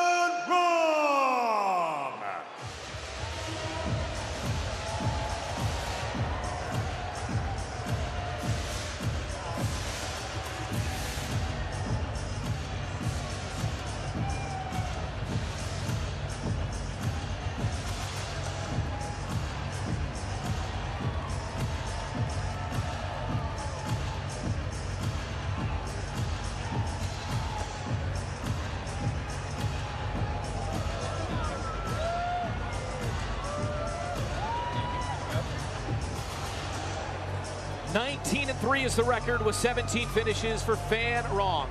Has only lost here in one championship to Vitaly Bigdash and Reinier de Ridder, a big, strong grappler, that type of guy that sometimes gives on loss fits. Yeah, Fan Rong is legit. He's well-rounded. He's got big power in that right hand. His wrestling, I think, is gonna be what he has to lean on in this match. The path to beating Aung La N Sang has been laid out by RDR, and that is to grab him, drag him into deep water onto the mat. But getting there is gonna be a tall order considering just how much time Aung La N Sang has spent ironing that out. Rich, what do you think Fan Rong needs to do to move towards the title? Yeah, the wrestling is his advantage, but look, both of these guys have very well-rounded mixed martial arts skill sets. And this is one of those fights that if you said, hey, this ended up with the two of them just striking each other, or this ended up being just a grappling match, I could see it going either way. And with a, a skill set like that, Fan Rong needs to impose his will. He needs he needs to make sure that he establishes that skill set over Aung La. He's got to commit on his power shots. You see Fan Rong sometimes where he leaves that back foot behind when he's throwing that left hand, and sometimes when he steps in heavy with it. Ultimately, he needs to win on transitions. This is where Aung La does a great job, and Fan Rong needs to make sure that he's winning on those transitions so that Aung La doesn't pull ahead with this match.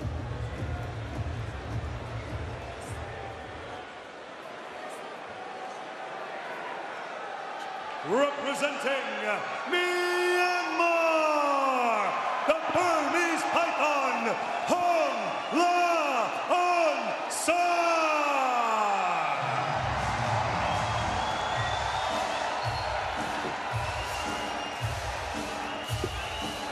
Join the conversation on Twitter by using the hashtag one fight OneFightNight10. Aung La N Sang, 93% finishing rate. His last eight wins have come by knockout. Was the longest reigning middleweight champ when he had the belt. Aung La N Sang, eight straight wins by knockout. One of the greatest walkouts in all of one championship. Aung La N Sang, the former two Division One world champion, is truly a special athlete. His toughness and heart are powered by the country of Myanmar, and there is no bigger star in that beautiful country than this man right here. We know he has dynamite in both those hands, Rich, but where else is this guy special? Well, I'll tell you what, what I really like about Aung La's style is his ability to just fight relaxed. He fights like a true veteran, and he'll wait for those openings. You watch him in the Okami matchup. He was just timing that shot, waiting for Okami to take that shot, looking for that uppercut or that knee as he was coming in, and he caught Okami coming in. The last two things, I don't know if they're keys as much as they are strengths. Aung La does a really good job of making adjustments in the fight. When things aren't going his way or a certain game plan wasn't unfolding the way that he thought it would, he'll make an adjustment and go to a plan B. This is what I was talking about, both these guys being well-rounded. Aung La, if he's planning on keeping this fight standing and it's not going his way, he'll look for the takedown. He'll win the match there. And the one thing that you know about Aung La is he has grit. This guy has a chin of granite. He doesn't stop. He's got cardio for days. He will fight to his last breath if need be.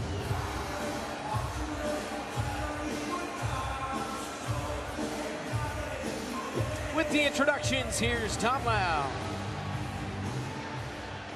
And now, this next match is three five-minute rounds of middleweight MMA, presented to you by Monster Energy.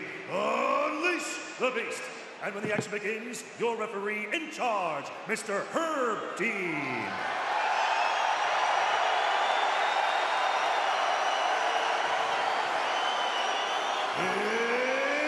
Out of the blue corner, training out of Longyear MMA, holding a mixed martial arts record of 19 and 3 with 17 highlight reel finishes.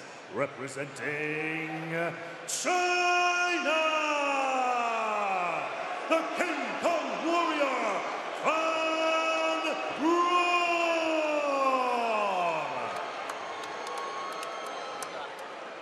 And ah. introducing his opponent out of the red corner, he is a former two Division One World Champion, holding a mixed martial arts record of 29 and 13 with an incredible 27 finishes. Representing Myanmar, the Burmese Python,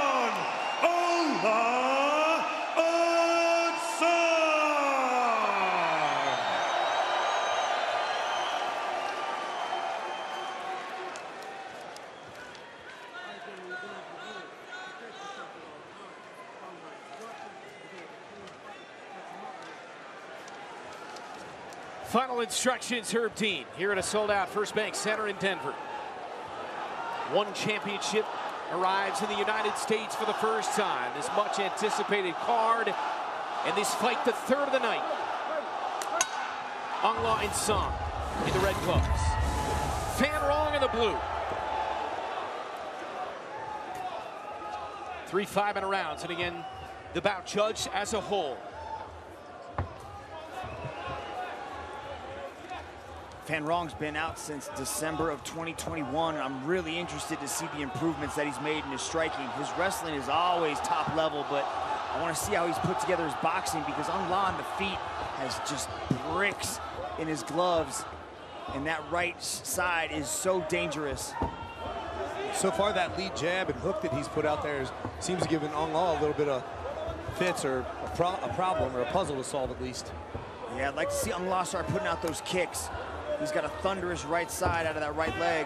I'd like to see him start using it, especially start chopping down the legs of Fan Rong, which is going to affect his shot later in the fight. Big right looping right hand landed by Aung La. Former two Division One World Champ, Aung La N Sang, trying to get back on top. Says even if I don't, man, I'm just going to keep fighting the best, and I'm going to keep beating them. We mentioned his last eight wins by knockout, and good exchange there between the two in the second minute of round one. Fan Rong landed a nice little combination with that finishing uppercut. Left hook there from Aung La. He's doing a good job with the footwork there. Aung La's in the southpaw stance. Fan Rong is orthodox, and he's winning that front foot battle, getting to the outside. That's what set up that uppercut that you mentioned, Mitch. That lead hook keeps coming over, over top of the guard of Aung La, giving him, giving him trouble. Body kick from Aung La. A straight left from Aung La. And another. Trying to split the guard of Fan here. Aung La fanning there on a body kick. Fan Rong did a good job right there with the footwork, managing distance. Aung La came in with that left. Just missed. It was a big commitment by Aung. It took him off balance. He didn't have to pay the price for it. Fan Rong's doing a good job of circling to the non-dominant side of Aung La. Stay out of the way of that left side. Aung back to right. Let's see if Fan Rong starts moving to the other, and he does. Good footwork control from Fan Rong. Yeah, Aung La switched it up with a straight right that time. Herb Dean steps in, stops the fight midway round one, and back to action as they trade with a right. They both fired a right, and Fan landed his. That uppercut is very deceiving from Aung La. He throws it like he's throwing a straight right, but then he curls it under at the last moment and comes through your guard. Very tricky with that right uppercut, but a beautiful combination right there from Fan Rong to go to the body. Yeah, dig into the body, Fan, the man from China. I'm not sure if you guys have noticed or not, but Aung La has now switched to conventional. He's back to southpaw. But he was in conventional for quite some time. It wasn't just a momentary switch. He had, he had stayed in that stance for a good minute, minute and a half. Yeah, he's playing almost a time thing, right? Every couple of minutes or a minute or so, he switches the stance. And it's hard to get a read on it, but Fan Rong's doing a good job of controlling his footwork and continually circling to whatever side Fan Rong's, uh, sorry, Aung La is dominant in. Blood coming from the left eye, streaming down the left side of the face of Fan Rong, who said this would be a 50-50 match. There are no advantages for either fighter in any area. That was Fan's take on this fight going in. Fan Rong's definitely showing some improved stand-up, Rich. For sure, and, and all this is coming down to the footwork. This is new footwork that we haven't haven't seen from him before. The ability to negate that distance. Normally, he would allow his opponent to come in and then kind of negate that with his wrestling, but this time he's managing it with range. Right hook and a left up top from Aung and Fan returns fire. Minute to go, round one. Again, the bout judged as a whole. Aung La in the red gloves, Fan Rong in the blue gloves. That was a nice counter right hand landed by Fan Rong to slide out of the way and then come right back with it. It's another example, Fan Rong using that footwork. Aung La committing big to the body shot there, committing big to that last one, and that's what allowed Fan Rong to, to land that counter. So here's the deal. Fan Mitch is showing the damage, but he seems to be winning this first round. Well, he's scoring successfully, and a lot of it's coming off that lead hand. Like you talked about in your keys to victory, the feints, right? Like he's pawing at that lead hand just to give Aung La N Sang just a little bit of a distraction. Nice little lead uppercut there as Aung La starts to smile at him and move forward. Yes, this, this is this lead hand is coming in as a straight jab. It's coming in as a, a little punching uppercut. Oh, he's rocked. Two huge lefts from Aung La. Can Fan survive the round? Looks to have his wits about him here in the final 10 seconds. Aung La is usually a lot more kick heavy. I'm wondering why he's choosing just to box with Fan Rong. Uppercut from Aung La, and there's the bell. Agree with you on that. And there was a time before in this round where I thought Aung should throw his left kick, and he did, and it landed. Each time he's thrown that left kick, it's landed really well, been effective. Prime Video is talking sports Monday to Friday live from 8 a.m. to 8 p.m. on Sports Talk. Tune in for new and diverse hosts talking about the biggest sports stories of the day. All sports, all day, only on Prime Video. Let's take a look at that first round. Here's this right hand that comes right down the middle.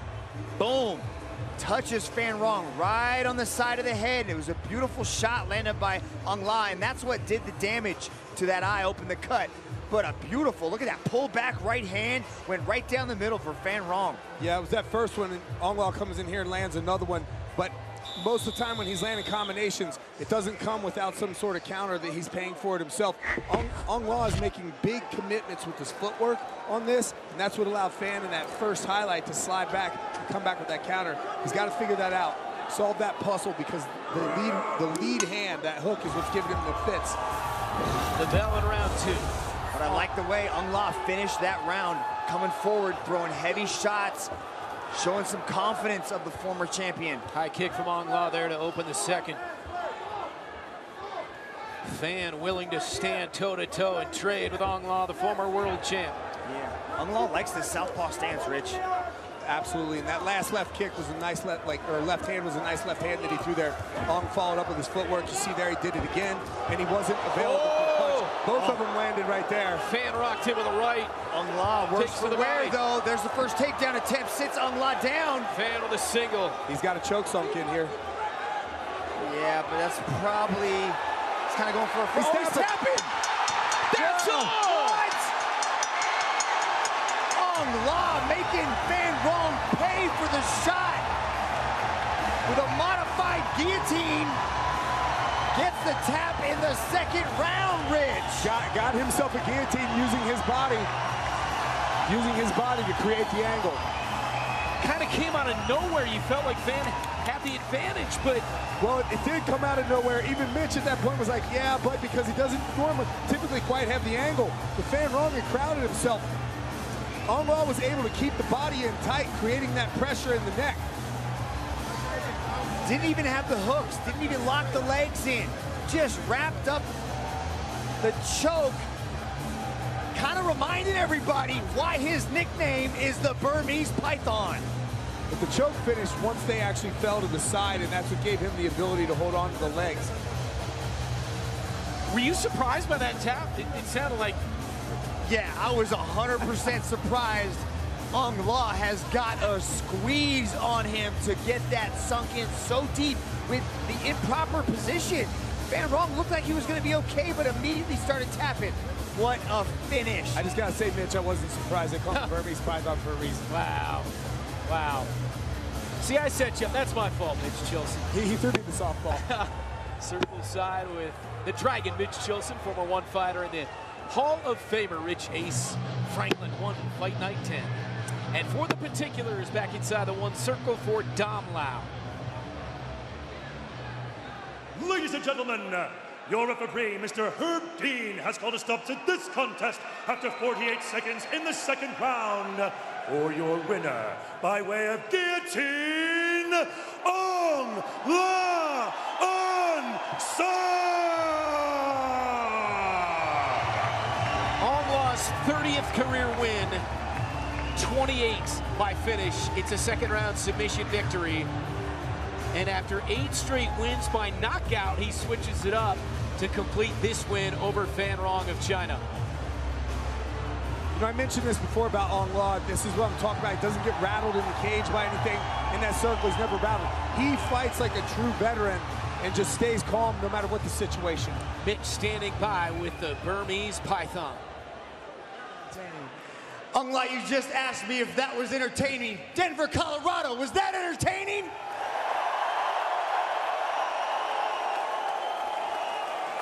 Now, it didn't look like you had the proper position, but once you got that choke in, he was only in there for moments before you got the finish. Was that tight?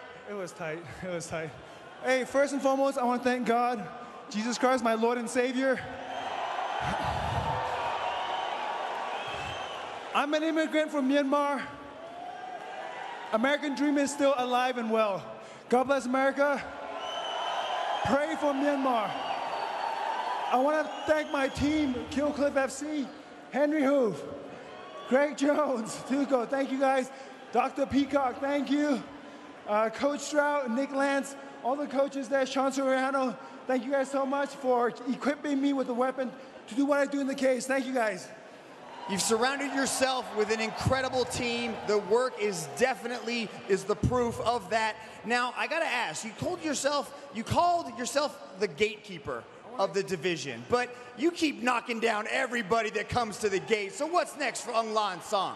I want to finish everybody as a gatekeeper until Chatri One Championship gives me that title shot. And I don't care. I just want to stay active. I just want to fight.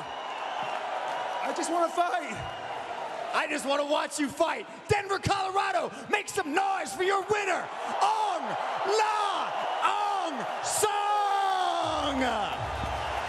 In the country of Myanmar, that man, Aung La N Sang, is the country's biggest sports star. There is a statue of him, gets mobbed by fans everywhere he goes. Yeah, you know, Ong Lan fan came out in the, the beginning of this match, and he was having issues with that lead hand of, of Fan Rong trying to find the, the range that he needed. And Fan Rong was able to land some of these these other shots, the, the the uppercut, the right cross there, being able to slide in and out with the footwork. But eventually, Aung was able to find him, cut him open with the right hand of his own. And this was the beginning of the end. Aung made some adjustments in this match, being able to solve that puzzle. But ultimately, when they finally came out in that second round, this is where the change began to, began to occur. Both of these guys landed a lead hook right there, wobbled Aung La, but I think that was more about him being off balance. He let Fan Rong just take the shot, immediately went to this modified guillotine with the choke on the back of the neck right there.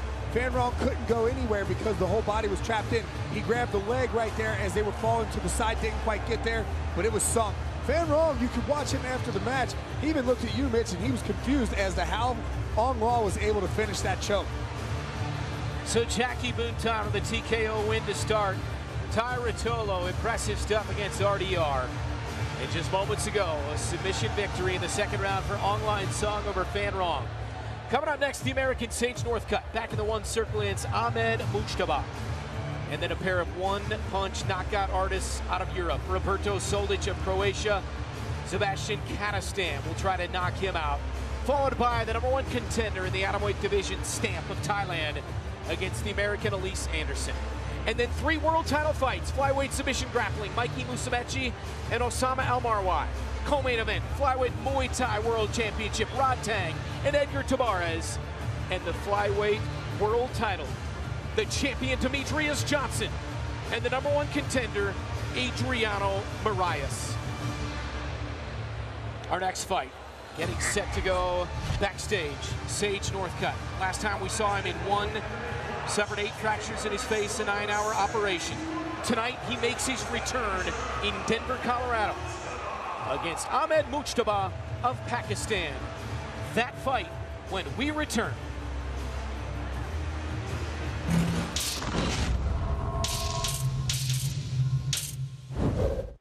We on fire, smelling in the burnt metal. Absurd levels, that's how they know I'm clutch like the third pedal. the most dominant Muay Thai fighter in the world. Rodtang is the most entertaining fighter in one history. He's a box office blockbuster. Here comes Rodtang! Look at this monster! Look at this battle tank! Rodtang! Rodtang! You are amazing! Two sport world champions, Regian Eersel. Once he figures you out, there is no stopping the immortal. There's the right hand, smack bang to the kisser, and Chopani goes down. Regian demolishes another opponent.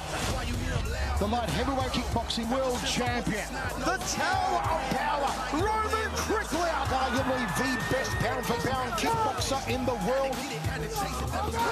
Oh, he dropped it. It's over, it's over, it's over. Roman Kryklia is just too good.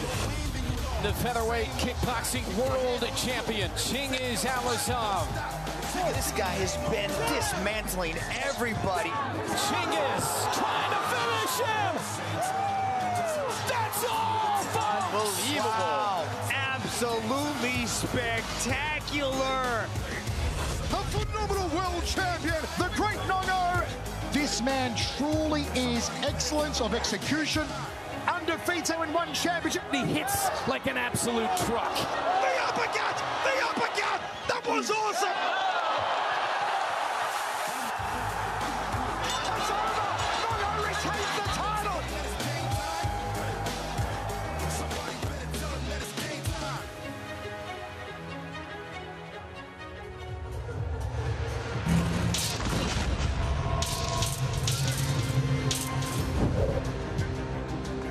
Back in Denver, a sellout crowd. Lightweight division of MMA, the American Sage Northcutt against Ahmed Mujtaba. After four long, grueling years of rehab, Super Sage returns to the circle, looking to complete an heroic comeback. He has youth, enormous skill level, determination. Sage Northcutt has it all. It's the one debut of Super Sage Northcutt.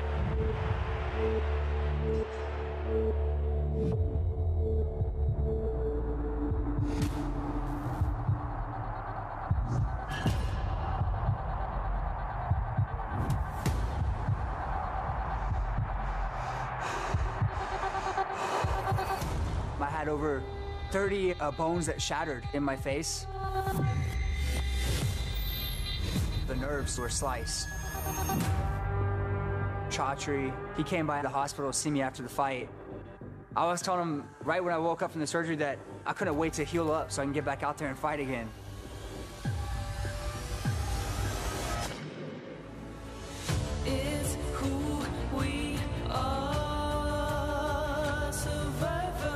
I think being a fighter, our first instinct is just to get back out there, but sometimes you do have to sit there and wait.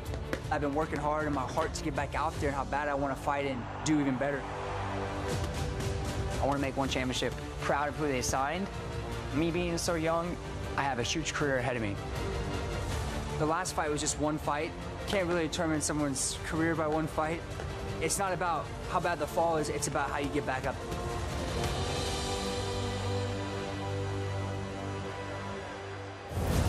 Sage Northcutt, Katy, Texas, lives outside of Lake Tahoe, 27 years of age now.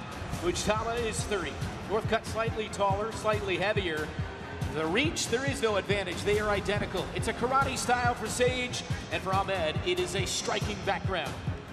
Our global rules set, three five-minute rounds, the bout judged as a whole. Knees to the head of a crowned opponent are legal. No spiking, throws on the head, neck, or spine.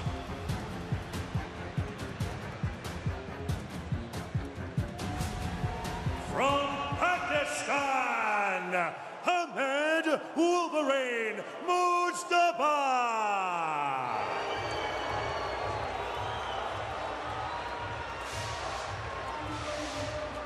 Ahmed Mujtaba has come out of the wilderness to score the biggest wins of his career. Back-to-back first-round finishes have put him in the lightweight contention. About 10 years ago, Brent, a Pakistani named Bashir Ahmad made his debut and is now passing the torch to the next Pakistani superstar, Ahmed Mujtaba, who is coming off of that incredible submission finish over a BJJ black belt, Rich Franklin. This match is gonna be fun. Yeah, Ahmed Mustafa, obviously, this has been touted as the uh, karate stand-up artist versus the takedown guy. And Ahmed Mustafa, ultimately, he wants to get that takedown and to make this the path of least resistance. He's looked great on the ground. He had that, what you call triangle. He's had a calf slicer before. And so that's where he's going to get it done. He, not only does he need to earn the takedown, but he's got to set the takedowns up. Sage has great footwork, able to move in and out with that footwork. Once he earns that takedown, he's got to maintain that top side pressure. Sage will be able to scramble out of positions and create those scrambles. But Mustafa, once he gets on that top side, he's got to utilize that top side pressure that he has. And he's going to want to keep his foot, feet underneath him. You know, Sage Sage's ability to move in and out will create a situation where Mustafa, if he throws that overhand right, Sage has talked about having to be keep that thing in check, but he wants to keep his feet underneath him when he does that because Sage will have the ability with his footwork to move away and then come back in and counter off of that. So keeping that footwork underneath him is going to be key, especially if he decides to throw that overhand right. During Ramadan, Mujtaba was training all day without eating or drinking. He said it was obviously very challenging. From 5.30 a.m. to 7.40 p.m., no food, no water, yet he trained through it. Here he is tonight inside the one circle.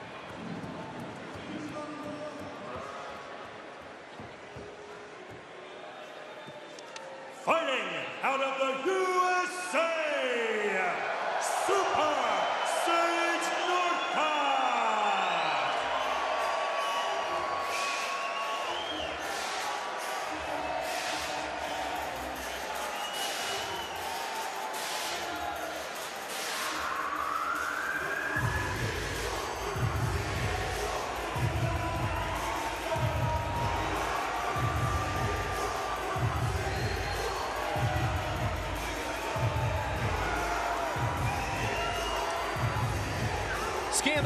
code to get this limited edition Johnson versus Moraes tee and more. Only available for 48 hours on Amazon.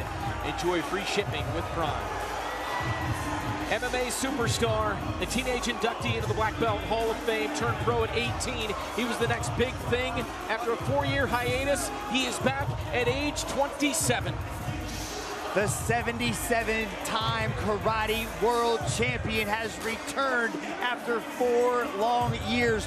What kind of animal are you expecting to see out of Sage North? Well, I'll tell you, Sage is one of them. He is a gentleman, true and true, but he's coming out amped tonight. This guy talked about the dangers that Mustafa brings to the cage, not just his grappling, but that heavy overhand right. And he talked about how he has to look out for that and getting his head offline will be key. We don't have a whole lot to go on in the last four years, obviously, since the Cosmo loss, but that was key in the Cosmo loss. Keeping that defense tight. Sage has that karate influence background, so sometimes he'll let those hands drop. But we've seen him with his pad work recently, keeping those hands up. That's going to be key with him, with Mujtaba. And uh, ultimately, this could, for me, come down to conditioning. Now, I'll just say this. We know that Mujtaba is going to look, or we believe that Mujtaba is going to look to take this fight down, so keeping this fight standing is key, but keeping it up there, this is a conditioning thing. Sage has been living and training in Tahoe, Mujtaba in Pakistan. Both of these guys have been in elevation, so I don't think that's going to be a factor here. With the introductions, here's Dom Lau. Coming up, we have three five-minute rounds of lightweight MMA. And when the action begins, your referee in charge, the boss, Olivier Coste. Introducing first, out of the blue corner, training out of AKA and KAKS, holding a mixed martial arts record of 10 and 2, with an impressive eight finishes. Representing Pakistan, Ahmed the Wolverine Mujtaba.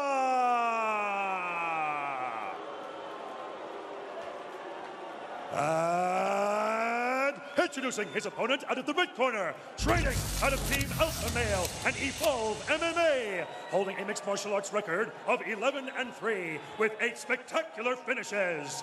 Representing uh, the United States of America, Super Sage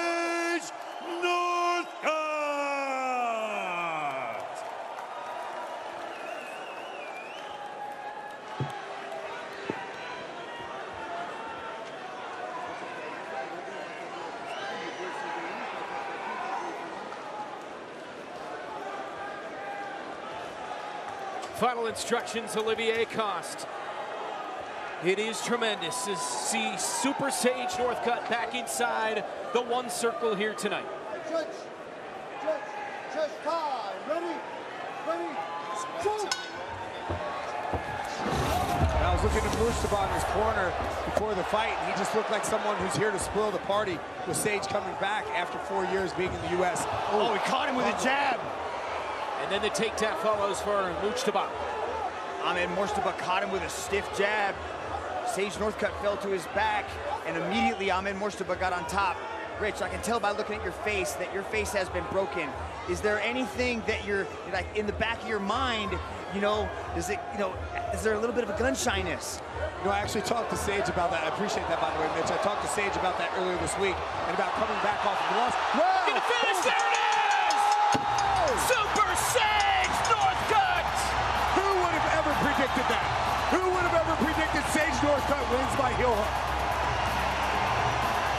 Has this guy added weapons to his arsenal or not?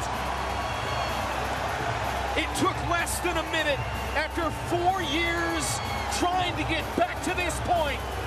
Super Sage on American soil with a massive first round finish. Wow! Super Sage was clipped, was hurt with the jab, fell to his back. Ahmed Mujtaba jumped on top. Sage fell to a leg lock, locked in the heel hook, got the tap. Anybody who's ever questioned whether or not Sage was capable of coming back from an injury like that and whether or not he could take a punch or continue moving forward, I think he just answered all the critics right there. Never would have seen Sage winning this by heel hook. With the particulars of this sudden ending, once again, Dom Lau. Ladies and gentlemen, your referee, Mr. Olivier Coste, has called a stop to this contest after 39 seconds in the very first round. For your winner, by way of heel hook, Sage Northcutt!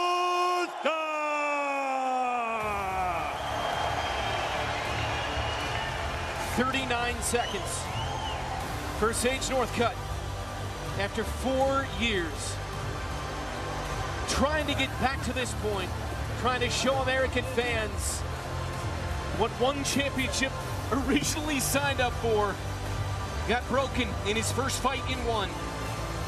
And all this time later, his second fight. How impressive is that? He's standing by with Mitch. Super Sage Northcutt, first round heel hook submission. Who would have ever thought? How much work have you been putting on the mat in your time off, brother? Man, my wrestling's improved a lot. I've been training with an incredible team. Uriah Faber right here, Fabio. my wrestling jitsu, it's improved drastically, so I feel like a, a complete fighter now. Excited to be back out here. Thank you all. I know it's been four years. I just want to say, over the past four years, I've been through quite a bit of stuff. And I know people get down what seems as a setback. I just want to let you know that Jesus Christ loves you and that what, no matter what you're going through, no matter what it is, no matter how hard it is, I want to let you know that God has plans for your future. I'm back out here.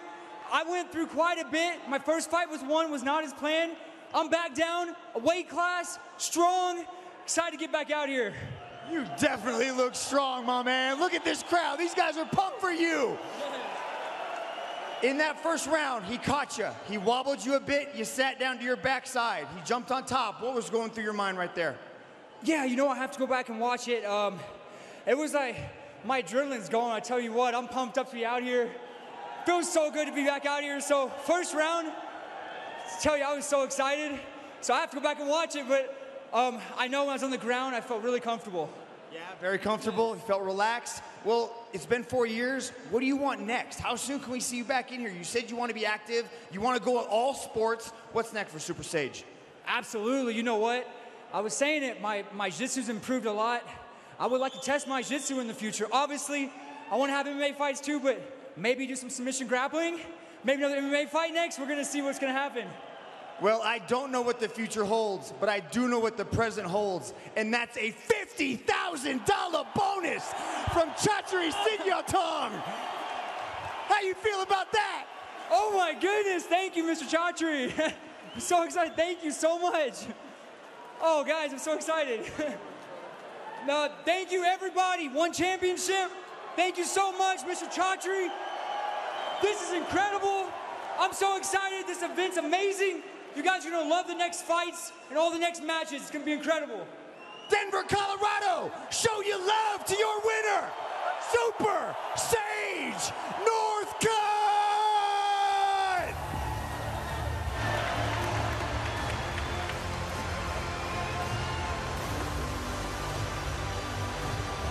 Some stories, Rich, sometimes seem too good to be true.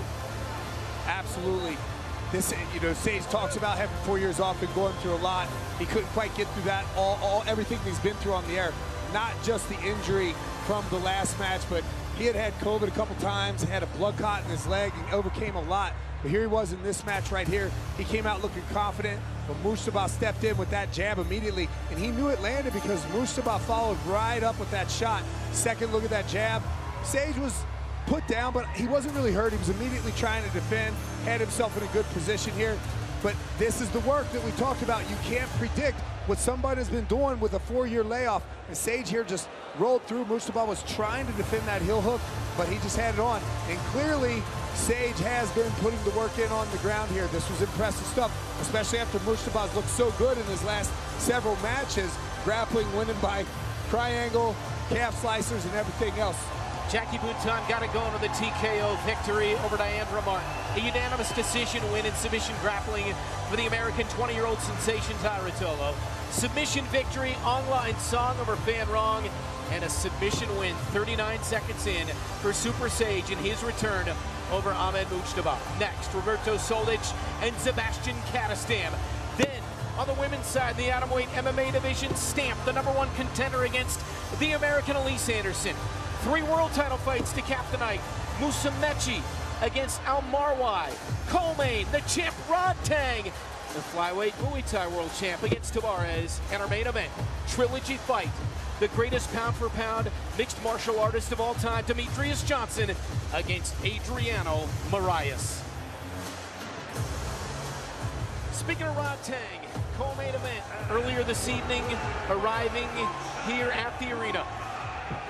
The champion, flyweight Muay Thai belt, he puts it on the line tonight. 270 career wins, one of the great showmen in all of sports. And here on Cinco de Mayo, bringing his child and his wife along as well, the Mexican fighter, Edgar Tabares. If this is a David versus Goliath matchup, he is certainly David, the 29-year-old with the biggest night of his life trying to pull off one of the greatest upsets ever in martial arts. Coming up next, a couple of damaging heavy hitters. Roberto Soldic, Robocop from Croatia, goes toe-to-toe -to, -toe to trade leather in the one circle with the man from Sweden, Zebaztian Kadestam. That banger on the other side of this break.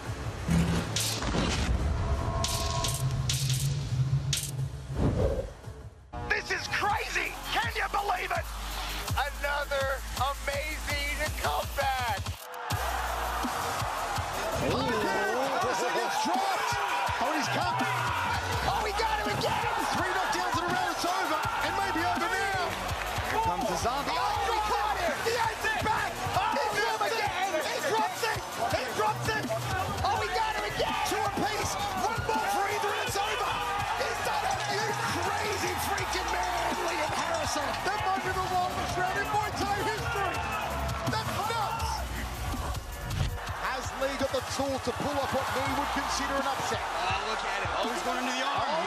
Oh, is it over for Christian Lee? But he escaped. He escaped. Oh, he tags him with the left hand. Aoki goes down. Oh, yes. It's the shot. It's the upset. It's the phenom. It's Christian Lee. Christian Lee brings the house down in Singapore. The reach on Roman quickly and the unorthodox stylings of Aziz Bohr. He's dropped him! He's dropped him! Overhead right from Triclia! Here we go, toe to toe! Lee! Left hand! Oh, he dropped it down! Robert is down! Oh, here they go again! Oh, Robert's feeling it! Jumps on him! It's over! It's over! It's over! It's over! Can you believe it? Another amazing comeback!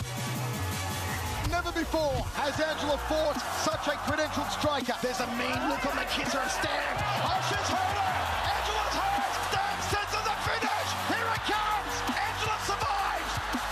Mount. It's good night, Irene. The queen reigns supreme.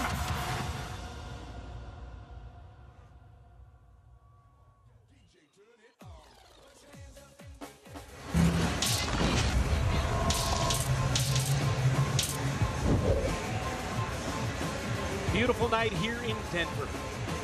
In recognizing AAPI Heritage and Mental Health Awareness Month, this week One Championship announced a partnership with the Bruce Lee Foundation on the 50th anniversary of the great martial artist's passing.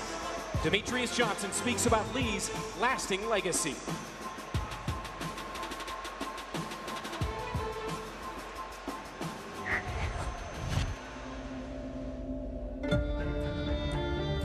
Believe what made Bruce Lee great was he had a mindset where he was very open to all forms of martial arts. I said, empty your mind, be formless, shapeless. I see Bruce Lee's influence in modern MMA back to the very beginning be like water. You put water into a cup, it becomes the cup. Now water can flow or it can crash. Be water, my friend. DJ A lot of us in martial arts try to use that same mindset, and that's one of the things that I try to model my skill set behind. Water is the softest substance in the world, but yet it can penetrate the hardest rock or anything.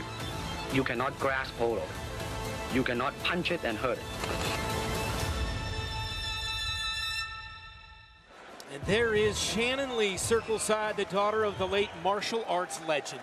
Shannon Lee, the board chair of the Bruce Lee Foundation. Bruce Lee did so much for the sport of martial arts and modern day martial arts as it is. To have somebody of this lineage here, Brent, is truly a special moment.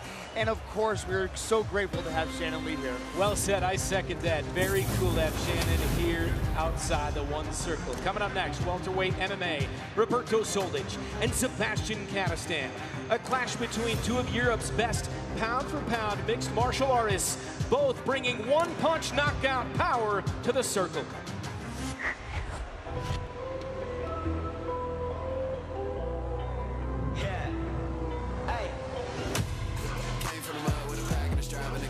He was the hottest free agent in MMA. Roberto Soldic from Croatia. Finally, I find my home. My home is one championship, and I'm coming for this goal. A knockout artist in every sense of the word. I try to make my own legacy. I choose the toughest place. That's why I'm here in One Championship. The experience was dreams come true. I'm on the world stage. For US debut, I can write some history because in my country, nobody goes in US and fight in front of the US fans. I'm really motivated for this one. I'm huge name in MMA world now. The hype is for the reason.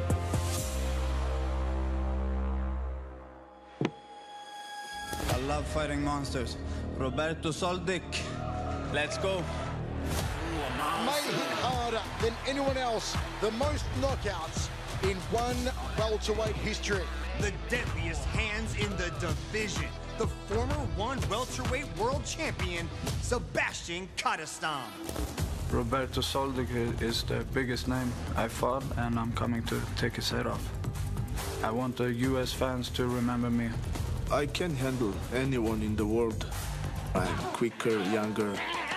This will be different for him, and when the cage closes, he will know it. He came to one and had all this hype behind him, and he didn't get to deliver. When I stepped in the one circle, I've been a world champion, and I'm coming for it again. The world has not seen someone like me. I always put people down with the one punch. I break people, break opponents. Beating someone like Roberto Soldic is gonna put me right up there at the top, and I'm coming back for my title. I can write history for my country, for my friends, family, fans. This will be historic moment for me. Kadestam said earlier this week, one of us is going to sleep. Soldic is 28, Kadestam 32, identical height, identical weight, three-inch reach advantage for Soldic. His style is MMA. For Kadestam, it's pankration. Our global rules set, three five-minute rounds, the bout judged as a whole. Knees to the head of a crowned opponent are legal. No spiking, throws on the head, neck, or spine.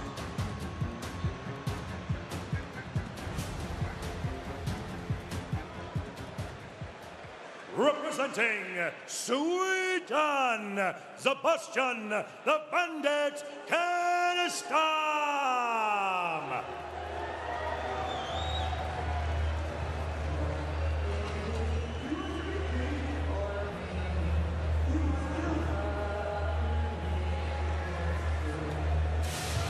Zebaztian Kadestam is one menacing man. 13 of his 14 wins by finish. 12 knockouts. Former one welterweight world champion 2018. Coming off of two straight highlight reel KOs. This is a bad, bad man entering the one circle at Denver tonight. Yeah, Brent, and both those KOs happened in less than 90 seconds. Zebaztian Kadestam has the deadliest hands in the welterweight division.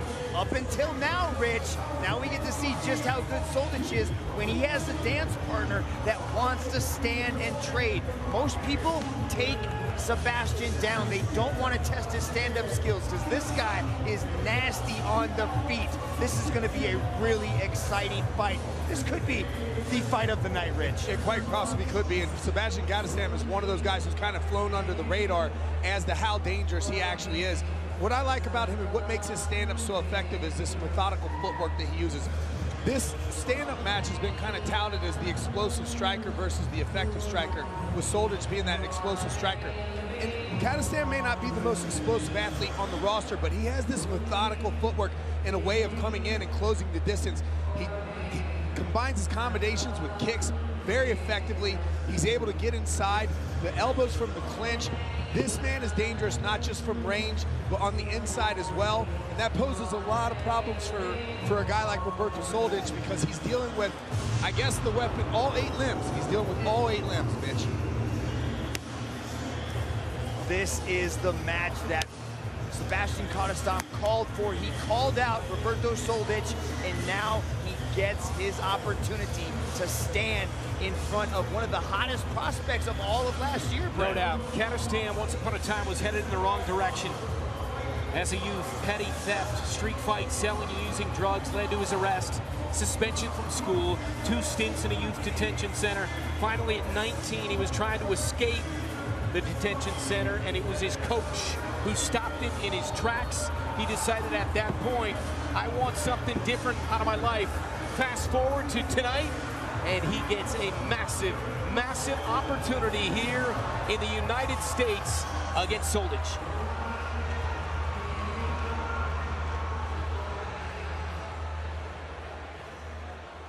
Fighting out of Croatia, Roberto Robocop Soldic.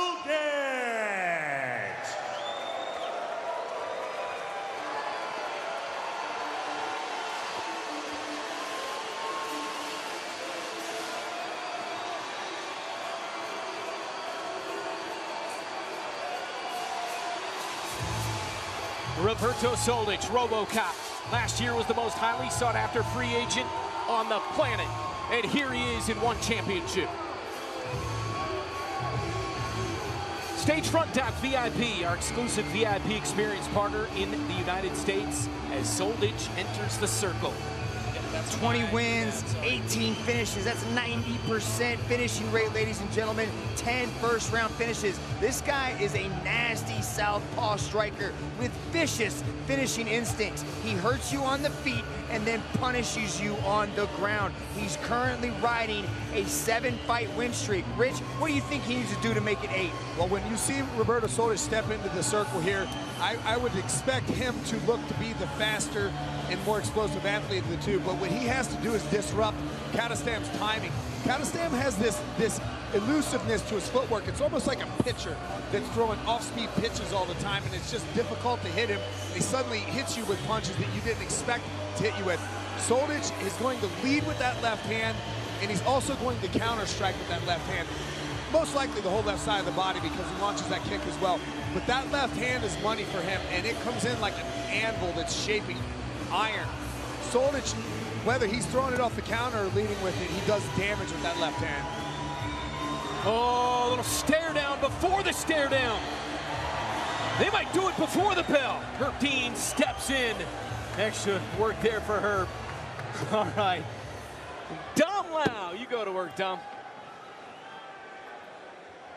Next is three five-minute rounds of welterweight MMA. And when the action begins, your referee in charge, Mr. Herb Dean. Introducing first, out of the blue corner, he is the former one welterweight world champion, training out of Angray Gym and Legacy Gym, representing Sweden, Sebastian the Bandit Kadestam.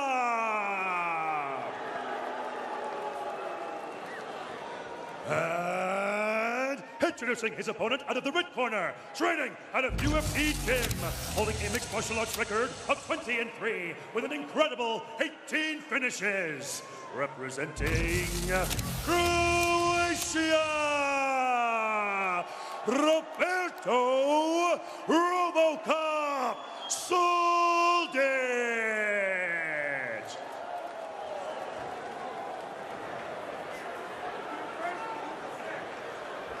Come on. Set up. All right, gentlemen, we've been over the rules. Protect yourself at all times. Follow my instructions. We're gonna keep it clean. Touch gloves, let's do it. Cool, I just don't want to miss any action. Do not blink. Kadestam said somebody's going to go. He said, I don't know who. So he's giving Soldic credit. Somebody's going to sleep. The bell in round one. Soldic and Kadestam. One punch, knockout artists in the one circle here in Denver tonight. Sebastian starts immediately getting on that elusive footwork you talked about, Rich. Yeah, you can see Soldic, though, starting to line up for that left hand right there. He's looking for it already. And there comes the first one. He led with it. Swing and a miss with the left to start for Soldic, gauging that range. Soldic likes to lead with the left. He likes to finish with the left. Everything is about that left hand. I want to see what kind of tools he's added to his toolbox here against Sebastian. Ball, big shot to the head with a left from Soldic that you talked about, Mitch. Throwing heat early in this match. Sebastian needs to get moving. Not just with the footwork, but to put something out there. Start putting some hands in front of the face of Roberto. Oh, another big left. Good combination from Soldic, trying to do some damage early. Yeah, this footwork is giving Soldic something to think about, but it's not giving him enough to think about. Kick like that will give him a little bit more to think about. High kick from Kadestam. Second minute of the fight. No way it's going the distance, right, Mitch? I would think the judges could take a bathroom break right now. oh, good exchange, and then another heavy left from Soldic, losing his balance. Kadestam momentarily takes another left to the head, and then a high kick from Kadestam. Roberto's starting to bite on some of the feints, throwing with throwing those kicks from Sebastian. I like to see him start setting up that high kick a little bit, start working the body, working the legs. But when he does go to the legs or the body, he puts himself in line for that left hand. So by throwing the left high kick, he negates the counter coming back from Roberto. Perhaps a low blow there. Walking it off was Kadestam and back to the action. As they trade leather, toe-to-toe in the center of the one circle. Going to be careful about reaching with that push kick right there. You saw how quickly Soldic was able to close the distance. Kadestam had to back off really quickly, line up for that left hand. That can get him out of position. Another head kick from Kadestam. He's utilized that early and often. Big left from Kadestam. Kadestam's game plan is to continue throwing that right leg. I like that because the more he throws it, Soldic has to keep his defense there, and he can't throw that right, he can't throw the left hand if Kadestam just keeps launching the leg into it. Two and a half to go in round one. Again, the bout judged as a whole, but as Mitch said, maybe the judges can take a bathroom break. A smile there from Kadestam after the head kick from Soldic. Soldic is getting under siege at the moment. Another straight left. Dig into the body of Soldic. Kadestam trying to return fire. That's four unanswered lefts. Sebastian needs to pick up on this left hand and utilize some sort of counter against it, Rich. I like how he keeps moving to Soldic's right side just to shut down that power, and he keeps firing that left kick out there. Do some damage to the arm of Roberto Soldic. Soldic cutting off the circle here. Trying to walk him down with a minute 50 in the first. That kick right there, that's the, that's the kick that Kadestam needs to be throwing up to that left arm. I don't like the low kick, him throwing that as much because that gives Soldic the ability to, to step in heavy on that left hand. Soldic again on the left to the head, and then the body and back to the head from Roberto Soldic. Robocop from Croatia. Split the guard there. Again to the body and up top. Showboating coming from Kadestam. With a wry smile for the man from Sweden. But he's doing a good job with defense. He's not taking a lot of these shots clean. His gloves are always up. He's got tight defense. I wouldn't mind seeing Soldic start throwing something else. A minute to go in the opening round. Has Soldic actually thrown the right hand yet tonight? He's kind of using it just as kind of a distraction so he can load up and throw that. Now he's got him in trouble again momentarily. Kadestam survives it. But what I saw from a lot of Soldic's fights in Europe is he his footwork is able to pull people in like that, right? But Sebastian's keeping his guard nice and tight with his right hand, so he's deflecting a lot of the shots with the double forearms guard. Very intelligent defense coming from Kadestam. Yeah, right there you saw Soldic with the, with the elbow as well. That elbow couldn't sneak through because Kadestam has his hands tight on his head and face. So even the stuff coming straight down the center isn't landing flush. Kadestam with blood coming down the right side of his face from that right eye. 15 seconds of the round. Ripping to the body again. Good flurry there. And then up top from Soldic. Sebastian's looking to time that elbow off the counter. He's letting Roberto go just so he can land an elbow, a little bit of damage coming from Sebastian Kadestam. I don't want to say it's a moral victory to get out of the first round, but there's Superlek. All the stars out tonight. The one flyweight kickboxing world champion Superlek taking it in, liking what he's seeing so far here in the United States.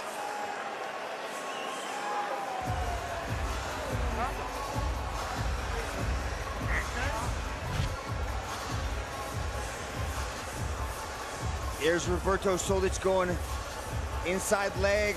Zebaztian Kadestam caught him a little bit on the kick, a little bit on the cut, but there's Soldic going right down the middle, snapping the head back of Kadestam. And that punch right there forced Kadestam to get on his bike and start moving to that side. Yeah, that one did break through, but even still, Kadestam's, Kadestam's guard still caught part of that punch. So keeping, I mean, Soldic has hits like a hammer, and so if he's taking that, if he's taking that that left punch full on, be really problematic for him. Herb Dean telling Kadestam coming off the stool, he's got to engage more in this round. Talked about his tough upbringing. And for Robocop, a tough childhood of his own in the aftermath of the Bosnian War, was raised with his brother and sister in a small house in a village. Ooh, stiff jab, slice through the guard of Kadestam, followed up with a body shot. Yeah, body thunderous kick. kick to the body. You got it. Left hook to the body, and then the kick from Soldic in the red gloves. Kadestam in the blue.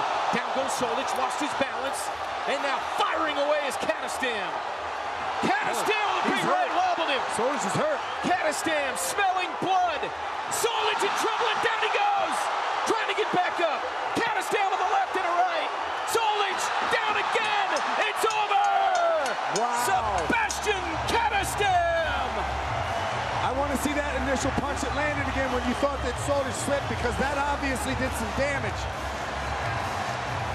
Zebaztian Kadestam just shook up the world. There was a lot of hype coming in with Roberto Soldic, and I think Kadestam may have just put himself in title contention in this weight class. How could you not? He asked for Soldic. He starched Soldic.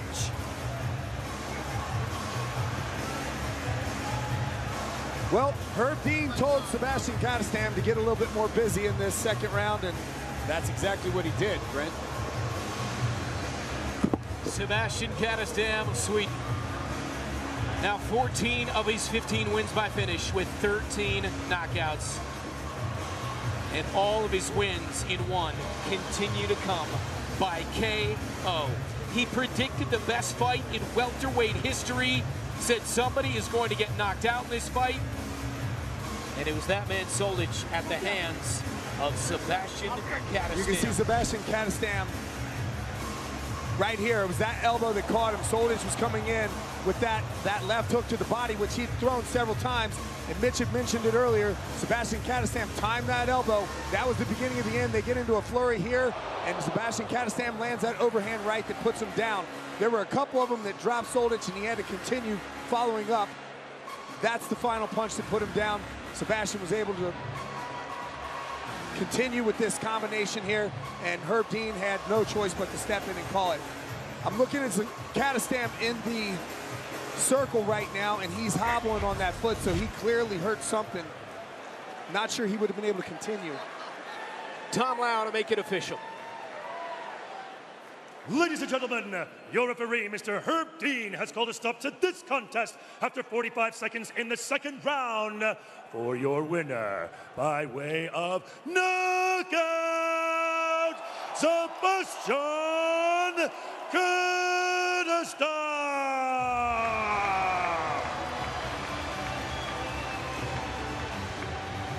Soldic was the hottest free agent in the world, as I documented.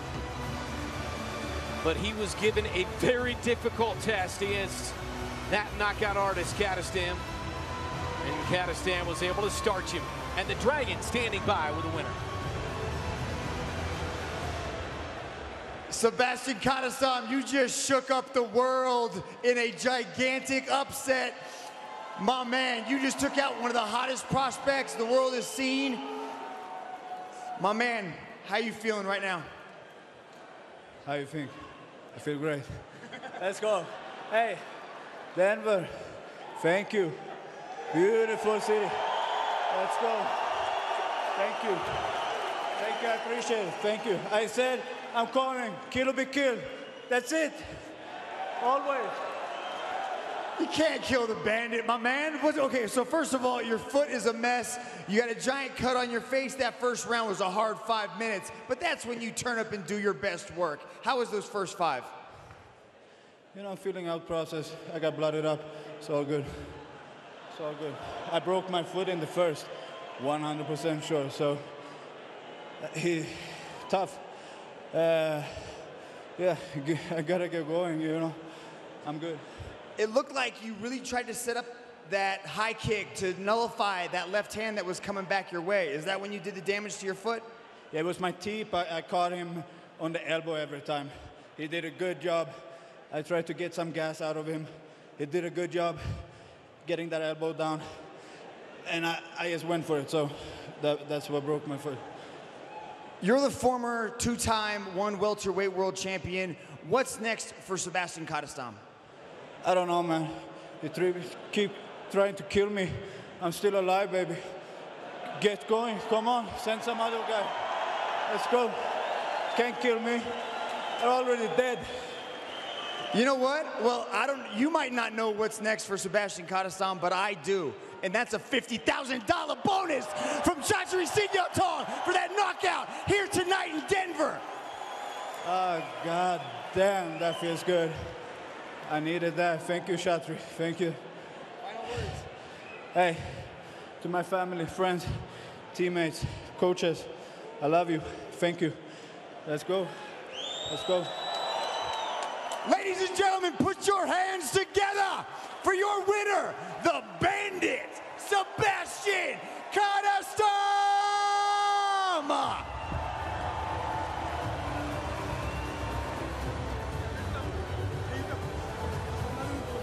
in Denver at the First Bank Center. And that fight was as advertised. A second round knockout for Sweden's own Zebaztian Kadestam. Yeah, you know, these guys, they came out. This was actually before the face-off when Roberto Soldic came into the circle. You know, they talked about the fight actually starting before the fight, but I think he's like, hey, let's put on a good show here. And this was exactly, this is the tail of the entire fight right here. Soldic was hunting down Kadestam with that left hand. So, it, you know, this is one of those push kicks where Kadestam may have actually damaged the foot, but as Soldic was coming with that left hand to the body, Kadestam was able to land that elbow. And this is the flurry. Once he had him in trouble, he wasn't going to let up. I was I was impressed that Soldic was able to get up in the first place, but he survives that one and continues again before Herb steps in on the second right that dro- the second hook that drops him right there. Herb Dean has to step in and call this one. I said this before the match. Flew, has flown under the radar. He said you can't kill him. Buntan kicked it off with a TKO victory. We should have known in that fight that this was going to be that kind of night. Unanimous decision win for Tye Ruotolo. Then a submission victory from La Song over Fan Rong, followed by Super Sage making his triumphant return. And what a heroic night it was. He wins by submission, shockingly, over Ahmed Mujtaba. Knockout win, Zebaztian Kadestam in the second round over the great Roberto Soldic. And coming up next, atomweight MMA for the women number one contender stamp against the American Alyse Anderson. World title fights after that, Musumeci and Almarwai, followed by the champ Rodtang and Muay Thai flyweight division battle against Edgar Tabares. And our main event, the trilogy fight, Demetrious Johnson defends his belt against Adriano Moraes. Celebrate this historic moment with the Johnson versus Moraes limited edition Fight Night tee and other One Championship merch. Scan the QR code on your screens right now to get exclusive access. Available for 48 hours only on Amazon.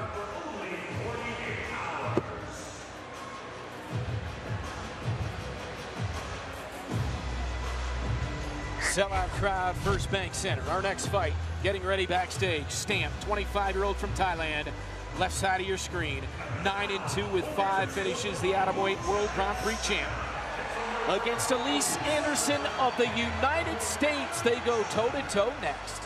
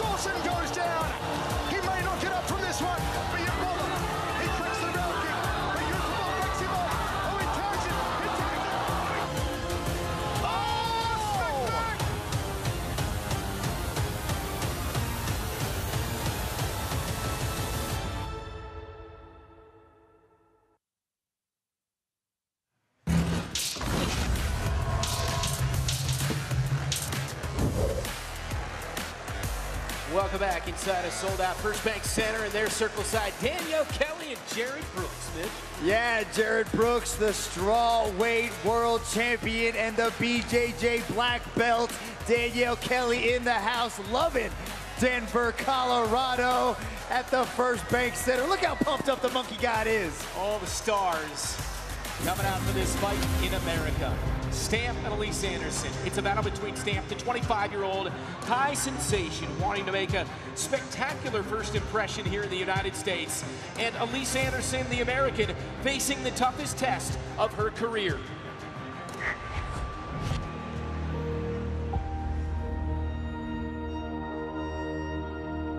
ซึ่งไฟนี้เป็นไฟที่ วันจัดในอเมริกาเป็นครั้งแรก แล้วก็เป็นครั้งแรกของหนูที่จะได้ชกใน US เหมือนกัน สวัสดีค่ะ หนูชื่อน้องสแตม Representing Thailand! This two-sport queen, the former Muay Thai and kickboxing world champion. She will break you apart.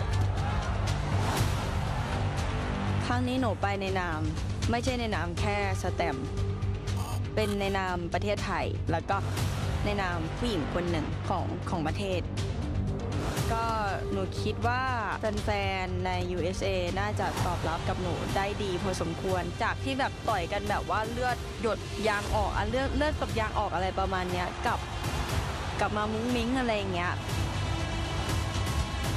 แค่เป็นหนูที่เขา อยากให้เขารักหนูที่เป็นหนูมากกว่า อยากโชว์แบบสวยๆให้เขาแบบติดตาค่ะ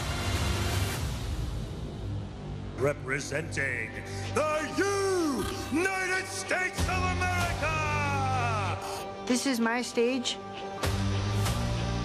This will be my win. One of the best female mixed martial artists out of the United States of America. It's been a dream to fight in my home country, and there's no better place to be stamped than here in the U.S. This is my moment, and I have the whole country with me. หนูน่าจะมีแฟนแฟนเป็นแฟนมากพอสมควร เวลาเราออกอาวุธหรือเวลาเราทำอะไรอะพอมันมีการตอบรับมา มันจะทำให้เราแบบมี energy ในการทำสิ่งนั้น แล้วก็มีพลังในการทำสิ่งนั้นด้วย It's not a popularity contest. All that matters is who brings their best game tonight.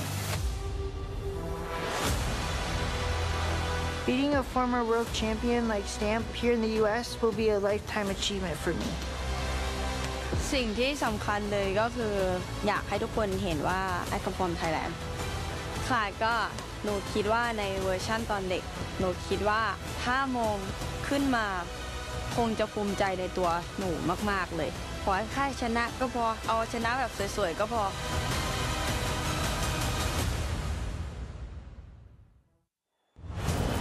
wait! This sellout crowd is going to be in for a treat. Stamp, 25 years old. Anderson, 28. Anderson, three inches taller, slightly heavier. Anderson, a five-inch reach advantage. It's a Muay Thai style for Stamp, MMA for Alyse Anderson. Our global rule set, three five-minute rounds, the bout judged as a whole. Knees to the head of a crowded opponent are legal. No spiking, throws on the head, neck, or spine.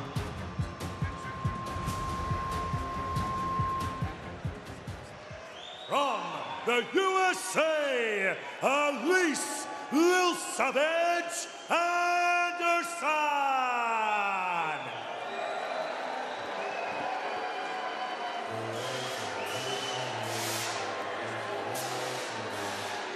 Alyse Anderson, her dad owned a karate school when she was born, earned her black belt at age 14, moved to Miami to train full time for the first time in 2021 after a nice career as an EMT nurse who worked on a COVID ward during the height of the pandemic. We invite you to join the conversation on Twitter by using the hashtag OneFightNight10. Alyse Anderson trying to really put herself on the map by taking out the former one kickboxing and Muay Thai world champion in Stamp Fairtex. Alyse Anderson is good everywhere. She's very well-rounded, rich. She's got a long-range striking style, aggressive gap, grappling. She's got a gigantic gas tank. She can take this match everywhere. But where's she gonna win this thing? Yeah, she can take this match anywhere she wanted to, but I don't think she wants to actually continue standing with, with Stamp Fairtex. I believe she wants to get the takedown. But threatening the takedown, if she does decide to stand, is what's going to make her stand up at least effective there. If she is able to actually earn earn the takedown once she's to the ground, she needs to pre be prepared to scramble. Stamp does an amazing job in positions of working her way out of things, surviving things. She did a great job with Angela Lee when she was in that twister, being able to just get back to her feet against certain fighters. And then ultimately, if she ends up on bottom of any kind of these scrambles that she's into, she wants to control Stamp's posture. Make sure that she has control of that head, the spine, and all that. That's what's going to set up those submissions. Otherwise, it will give Stamp the ability to get back to her feet. I like the changes that Alyse made for this camp, Brent. She went out there, she worked with Pat Barry, she worked with Rose Namajunas here in Denver. So she spent a long time at altitude getting ready for this opportunity right now that's in front of her.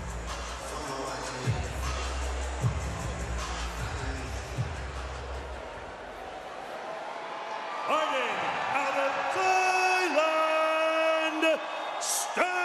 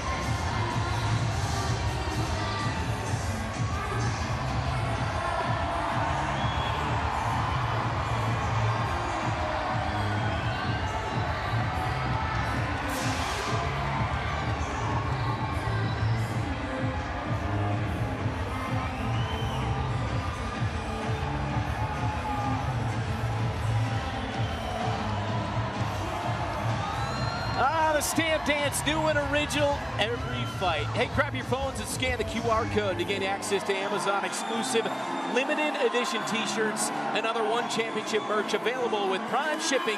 Fastest fingers first. Yeah, don't buy this sweet little act she's got going on here, Rich. She is vicious. I asked her how was she going to stop the takedown. She was like, okay, try to take me down. She hit me with a knee that almost touched my soul. You can check it out on my IG. It was terrible. I'm still feeling it, Rich. You discovered her. You tell the people about her. Yeah, it was the face that she made after she actually hit you with that knee that was the most impressive part. Look, when you think of Stamp, we know all about her Muay Thai skills. She's dangerous, dangerous in the clinch.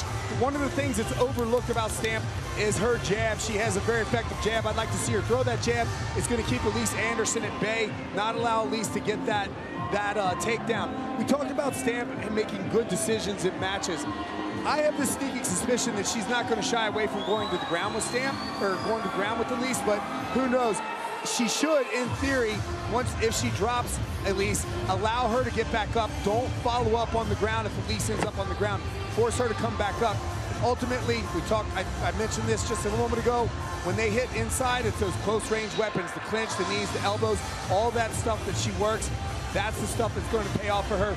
She just needs to make sure that she maintains balance in that clinch so that Alyse is not able to take her down while she's launching a knee.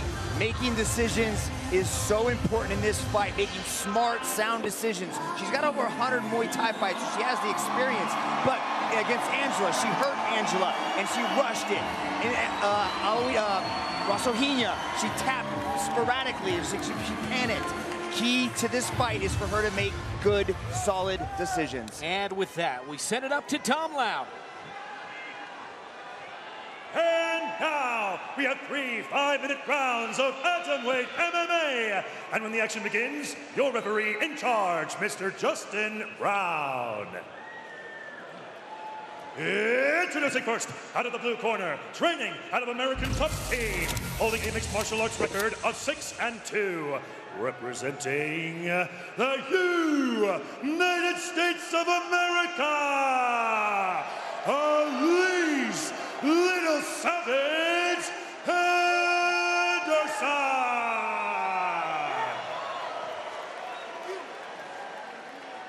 And introducing her opponent out of the red corner, she is a former two-sport one world champion and the number one atomweight contender, training out of Fairtex Gym, holding a mixed martial arts record of nine and two, representing Thailand.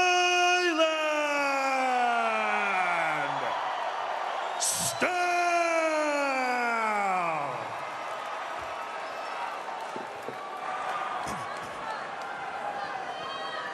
Ladies, center.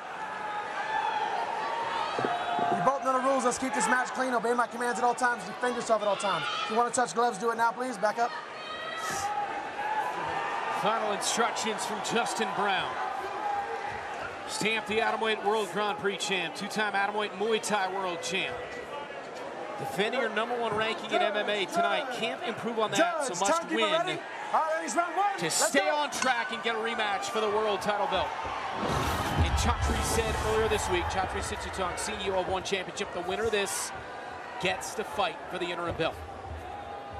Alyse Anderson immediately gets on her bicycle, throwing feints and a lot of footwork. Alyse is coming into this fight in shape. She worked full time with a nutritionist, strength and conditioning coach. She has put in the work for this opportunity. Stamp looks very calm, looking to time that first shot. Orthodox stance for both. Body kick from Stamp. Alyse is throwing a lot of feints and fakes here and a lot of movement, but Stamp, you can see the Stamp has very relaxed movement. She's pretty much seen everything that you could possibly see standing up in a, in a ring circle or cage. Nice right from Anderson, trying to gauge the distance here. Trying to cut off the angle. Couple of leg kicks from Stamp. A lot of forward pressure coming from Anderson as she's trying to work her way into that clinch, I think. I think she wants to get this thing to the ground. I don't know if she wants to play this game of uh, striking with uh, Stamp Fairtex. A lot of lateral movement, Rich. Big shots to the left and right. and Stamp smells blood. Stamp on the move. And into the clinch they go. Good decision by Anderson to kind of stem the tide momentarily. This is where Anderson wants to be. She wants to tie this thing up and drag her to the ground using a, a headlock. But look at Stamp trying to reverse the position and end up on top. These are those scrambles I was talking about with Stamp. Alyse, Alyse had a good takedown there and what looked to be good, should have been good topside position, but Stamp just scrambles. Alyse going for an inverted triangle. Has that position tight. Now the coach, Pat Barry, is in the corner talking Alyse through this.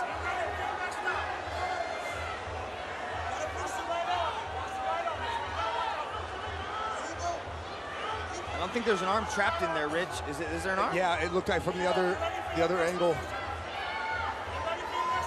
Is the arm trapped inside there? I, no, I thought it was, but I don't think, no, Nah, it's I not. think Her it's head's just head coming out. scissors, yeah.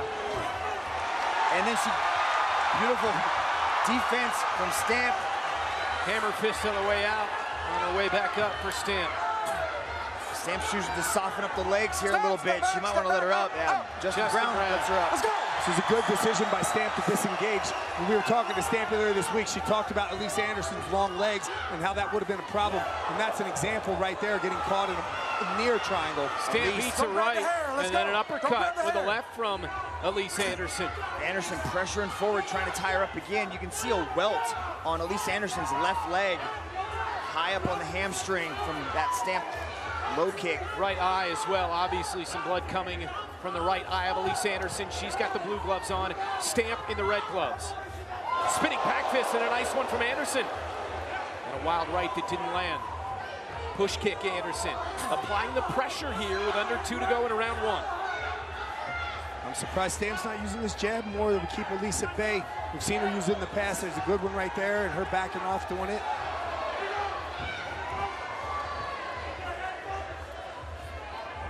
I like the way that Alyse is systematically closing with her footwork there, able able to land the right hand coming off the, the circle wall. Yes, this varied footwork is giving Stamp a lot of different looks. Stamp likes it when opponents kind of show her the same thing over and over again so she can start to time things as Alyse Anderson shoots in for a takedown. Good job by Stamp to dig an underhook and pry Alyse Anderson up to go chest to chest as they start firing knees. Stamp did a good job of defending that shot, but she's got to be careful rolling those elbows over because she's not out of trouble in the clinch there with Alyse. Stamp with a couple of knees on the way out, and then a left from Stamp. 50 seconds, round one. Good stuff from both. Stamp's trying to time elbows on Alyse's entry. Yeah, it's a. See, look at her. She's pointing. She's like, come get it. Come get it. Alyse was like, what do I do with that? I like Alyse applying the pressure for a lot of this first round. Yeah, you don't want Stamp to come forward at you. You, you. you want her on her back foot, and you want her to try to engage in counter striking. She does her best work when she's coming forward and being aggressive. So this is a good strategic move for Anderson to really put this pressure on her. But she's got to keep her feet underneath her when she's throwing these shots. It's interesting, though, when we talked to Alyse earlier this week, she said Stamp likes it when you come at her. And she's been coming at her pretty aggressively in this match. So it's almost whether she's trying to fool us or just contrary to what she said her game plan might be. Good opening round from both women in the atomweight division. Winner gets a shot at the interim belt. All the stars out tonight, circle side. A man we've been chatting with all week long here in Denver, Liam Harrison. The hit man, Liam Harrison, is in the building. One of the most exciting Muay Thai athletes on the planet. Excited to see Liam in the house at the First Bank Center. You know, we saw a couple of weeks ago in Bangkok, Jonathan Haggerty with a massive upset. Liam Harrison wants a shot at Haggerty. How about that first round, though? Everybody wants a shot at Haggerty, but here's Alyse Anderson going for the headlock takedown, but look at Stamp utilizing that scrambling ability that she's got.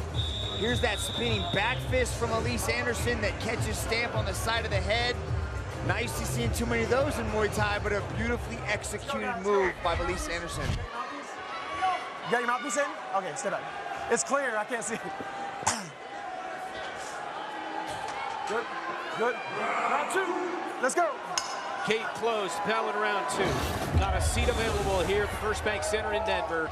One championship, in America for the first ever time on this historic night, and this crowd has been sensational. Brent, you mentioned it at the top that this winner of this match gets a shot at the interim atomweight belt. And for Alyse Anderson, this is a gigantic opportunity, not just to fight the number one contender, but talk about skipping the line and jumping right to the head of the cube. Rich? Yeah, I mean, if she's if she's able to, to pull this victory off against Stamp, that'd be huge. Oh wow! And who would have who would have thought Stamp would be backpacking Alyse Anderson Climb with a seatbelt grip? You got it. Stamp did a beautiful job of taking the back right there, working her way around to secure this position. It was off of the. She threw a kick. Alyse grabbed the kick, caught the kick, and she came off of the catch of the kick to the back. That was beautiful. Alyse is doing a good job of protecting herself by controlling the hands, keeping it tight. Let's You're go, not allowed girls. to Work, grab the gloves, but you can pinch down your arms to secure the hand so they're not able to slide the hand out and start attacking. Yeah, this is a bit of a stalemate here. But there's nothing you can do. Stamp is in an advantageous position, so you have to let him work. So if you're yeah, if you're Justin Brown, what do you what's the thought process? Let's go, I let's hope work. He lets them work. There it is. He lets them work. He has to let them work. Yep. Well, Justin Brown's doing what he can. That's called encouragement right there. I like it. Work. Work and encouragement. Sometimes the same thing. All right. Let's go. A right from Anderson on the exit. Justin Brown said, let's go. Nearing the midpoint of this fight. Can hear the corner of Alyse Anderson saying, throw your hands first. They want hands and then the kick combination to come. Wild uppercut from Stamp. We've seen both at times kind of swing for the fences. Haven't really landed those wilder shots, but if one of them does, look out. Stamp's looking laser focused, trying to time something as Alyse Anderson comes in. Alyse ties her up with a body lock. You see she's trying to take her right leg and slide it into position so she can work possibly an outside trip. Oh, oh huge kick, Stamp! Alyse is out! The body kick! Wow. Shuts her down! Stamp puts her stamp on the United States here tonight. That just looked like your Instagram, Mitch. I feel your pain. I feel your pain, Alyse. Those body shots are something else from Stamp Fairtex. That was beautifully timed off of the exit. Boom! Right kick right to the body. I actually felt that one myself here, circle side. You could hear that just hit. Wow. Oh, welcome to the United States Stamp. That's how you get it done and make your debut in the United States of America. Breaking, breaking off of that clinch like that and just timing a beautiful body shot that way, and it just shut the system down. She's now 10 and 2 with six finishes, only 25 years of age. We'll get an interim title shot next. Here's a replay right here. They come off the clinch, and right there, Stamp launches that right kick as Alyse was backing away. And that's the beauty of coming off that clinch. Stamp, she just has the ability to take someone's weight, and Alyse was not coming back from this. Pushes it, pushes her off. Alyse takes the takes the backward step. Stamp follows in with the right kick. Game over. Boom, right there. And that caught the left side of the body, so it wasn't just the breadbasket, but quite possibly the liver shot too, to shut the body down. If you've never been hit by the liver shot, it just takes one moment and the whole body shuts down. And to make it official, here's Dom Lau. Ladies and gentlemen, uh, your referee, Mr. Justin Brown, has called a stop to this contest after 2 minutes and 27 seconds in the second round. For your winner, by way of knockout, Stamp!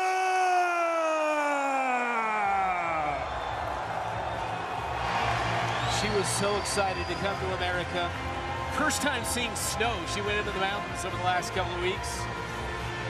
And Stamp, it's amazing when you think about the woman who, on the walkout, doing the dance, looking like the friendliest person in the world. And then fast forward to what we just saw to end that fight, Rich. Oh, let me tell you, this girl is diabolical. Don't be fooled by these smiles, because the moment that she hits you, and Mitch has actually experienced it as he documented. Here he is with Stamp. Stamp. Second round, KO finish, body kick, absolutely beautiful. How are you feeling? I'm so excited and I'm really happy. Thank you, my opponent, Alice Donison. Just, uh, yeah, everyone, everyone know I from uh, Muay Thai. Never fight MMA, but today I, it, I use Muay Thai to finish her. You are Muay Thai. That was a beautiful finish. Was this exactly what you expected to come in here and to have that type of pressure put on you and wait to pick your shot?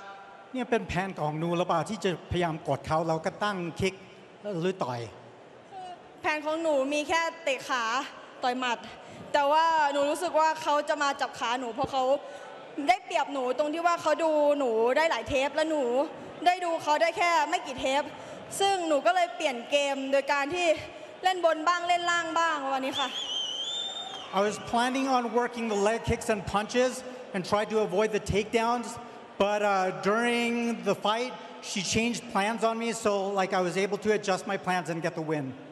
Beautiful adjustment.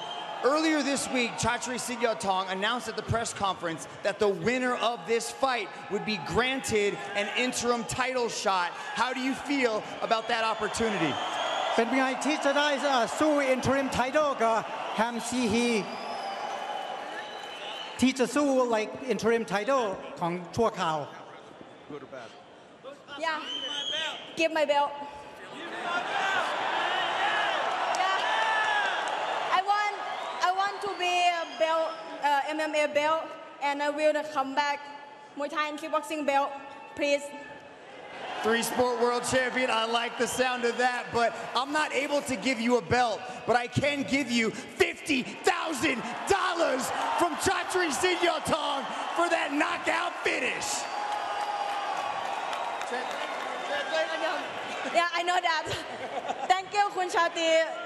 ขอบคุณมากค่ะ แล้วก็หนูจะพัฒนาตัวเองไปเรื่อย ๆ ค่ะ แล้วก็หวังว่าหนูจะได้เป็นแชมป์ในในวันใดวันหนึ่งแล้วหนูก็จะพิสูจน์ตัวเองไปเรื่อยๆ ให้ทุกคนได้เห็นค่ะ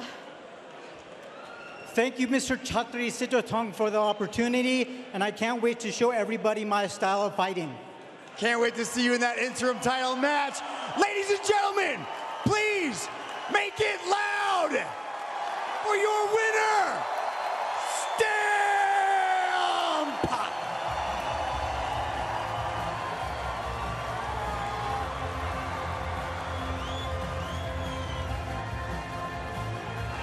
Absolutely a destroyer, Rich. Yeah, you know, Alyse came in with some intensity here. Both these girls, both both these ladies came in with some intensity. And this was a story right here. I talked about Stamp's ability to scramble. Alyse looked like she had a good takedown there, but Stamp was able to turn this around and get topside position. And this is what I talk about in here.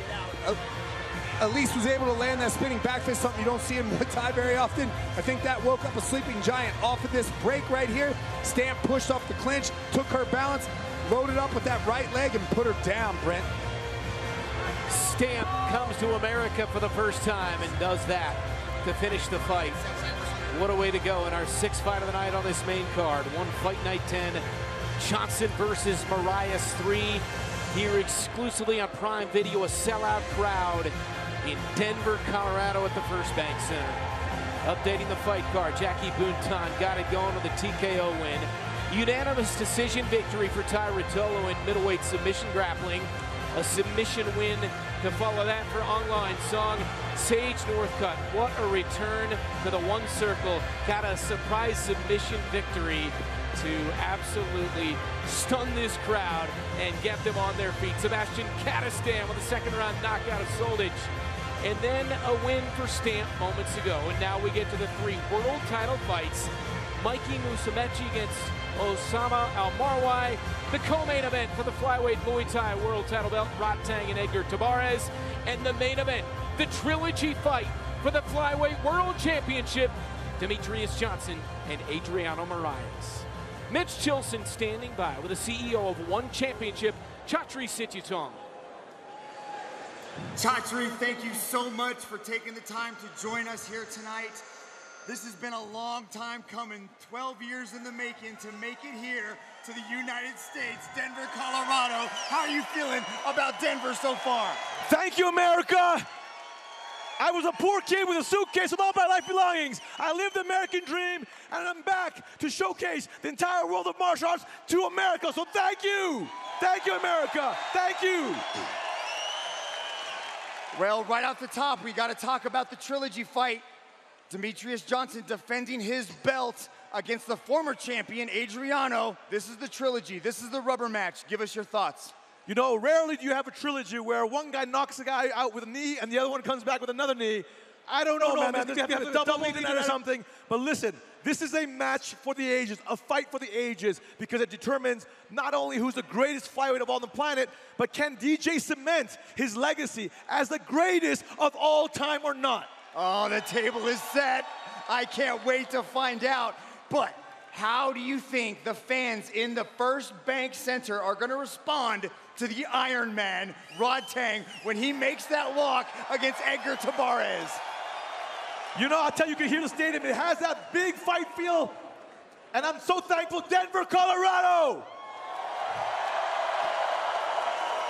Let me tell you, fans at home watching Amazon, you know, when we talk about Floyd Mayweather, that's, he's 50 and 0. Rodtang has 270 professional wins. We are talking world elite, pound for pound, devastating KO striker. I can't wait for Americans to see what elite striking truly is. Oh, and he's got a very willing dance partner in Edgar Tabares. Can't wait for the co-main. But before that, we get to see the genius that is Mikey Musumeci as the submission grappling world champion. You spent a lot of time with Mikey, right? Tell, give us your thoughts on Mikey Musumeci. Mikey is a genius, but you know what? What's so cool is he's a re- in real life. He is a super nerd. He's been that way his whole life, and it's super nerds like Revenge of the Nerds, but in real life, he comes to dominate. He's a, he's an absolute monster and a sweetheart with a heart of gold. Truly an incredible and, and look. He doesn't have any fight. He's fighting against the current no-gi world champion Osama. It's champion versus champion. Just like Rodtang and, and Tabares, it's WBC world champion versus one world champion. This is just going to be unbelievable for fans uh, all over the world, but obviously our Amazon Prime and here in Denver. I will say this, Americans, root for Mikey, root for Osama, because the stakes are so high in this one, and I guarantee this one's going to end in a finish. Oh, I can't wait for that one. Let's bring in the commentator for that matchup, the BJJ legend, Tom DeBlass. Tom, welcome. Thanks for joining us here. Thank you. Now, I understand you guys have a very special initiative that you would like to announce here tonight. Yes, uh, probably about a month and a half ago, I decided to start something. I saw all these bullied kids on social media, and uh, they were very lost. And a lot of parents were reaching out to me like, my kid doesn't know what to do. They're suicidal. They're super depressed. Like, could you help us in any way? And I felt handcuffed. Like I couldn't do much alone. So I said, you know what? Maybe I'll call upon the martial arts world and call all the jiu-jitsu schools around the world and see who's willing to help. And when we get a bullied child in a certain town, a certain city, or a certain state, uh, call that martial arts town upon the people who have schools there and see if they're willing to take that child in. Because a lot of these kids who are bullied don't have money to pay for training. So these kids are getting free training, six months training. Uh, I sponsored like 15 on my own. It's really great. I'm telling you guys, it's time to stop bullying. It's time to stop bullying. Tom launched a program called Buddies Over Bullies. All the martial arts schools around America, but all over the world, uniting. If you know of a child who's getting bullied, put him in a martial arts school under the Bu- Buddies Over Bullies program. Free training for any kid who gets bullied. Just contact Buddies Over Bullies. And let me tell you, this is the beauty and the power of martial arts. Both of us, as lifelong martial artists, this is what it's about. It's about making the world a better place. We are one. Let's help the, let's help every bullied child across America and every bullied child across the world. Thank you. Thank you, Tom. Thank you, brother. Appreciate you so much. Great words. Can't wait to see more from Bullies Over, Buddies Over Bullies. Now, Tom, you're going to join us for the commentary of the next match. Yes, sir. Can't wait for that one inside the booth. Ladies and gentlemen, coming up next is Mikey Musumeci. Do not go anywhere because Mikey Musumeci takes on Osama Almarwai for the undisputed one flyweight submission grappling world championship. I cannot wait for this matchup. We're to take a break real quick, but don't go anywhere. This match is up next.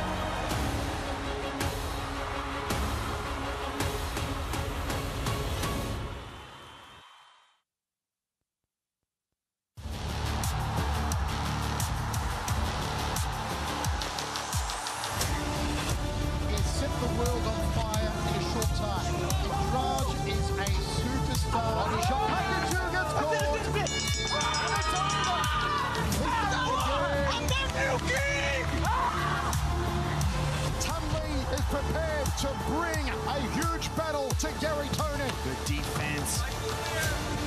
Garry Tonon's got a ice-like grip on that leg. Totally knocks him out. This guy is a savage. He legit has put you out power. Oh, big shot. RDR eating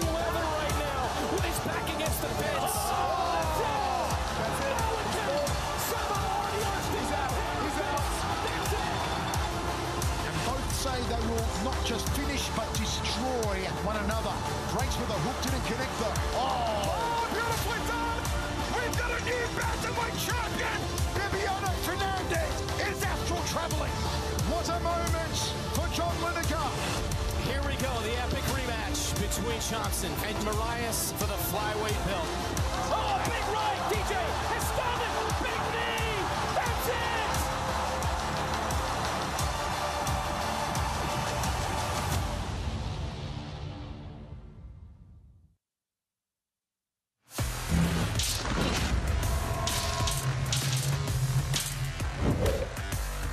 Welcome back. It's a beautiful Friday night in Denver, Colorado. One fight night 10, Johnson versus Moraes 3. Tonight's main event coming up later, the trilogy between Demetrious Johnson and Adriano Moraes for the one flyweight world title. Two men that struggled through childhood only to find direction through mixed martial arts.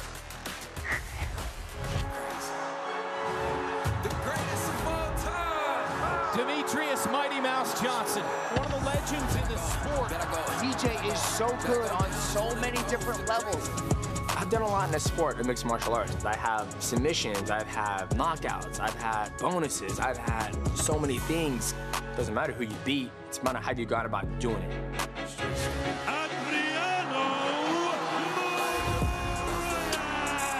The most world title defenses in one flyweight history. The most submission and finishes in one flyweight history. I started my journey of my life from orphanage. I've never imagined I would be a professional fighter. I was adopted when I was four years old. I looked to her, her looked to me, and boom, to change everything. My mom gave me the unconditional love for me to try to live life in the best way. Without her support, I would be here today. I felt like my childhood was like any other childhood, but you don't know anything different. I was raised by a deaf mother, had an abusive stepfather. It shaped me, made me mentally tough, not letting a man break me. I grew up with a lot of questions. I like to fight. In Brazil, it was easy to go for the crime.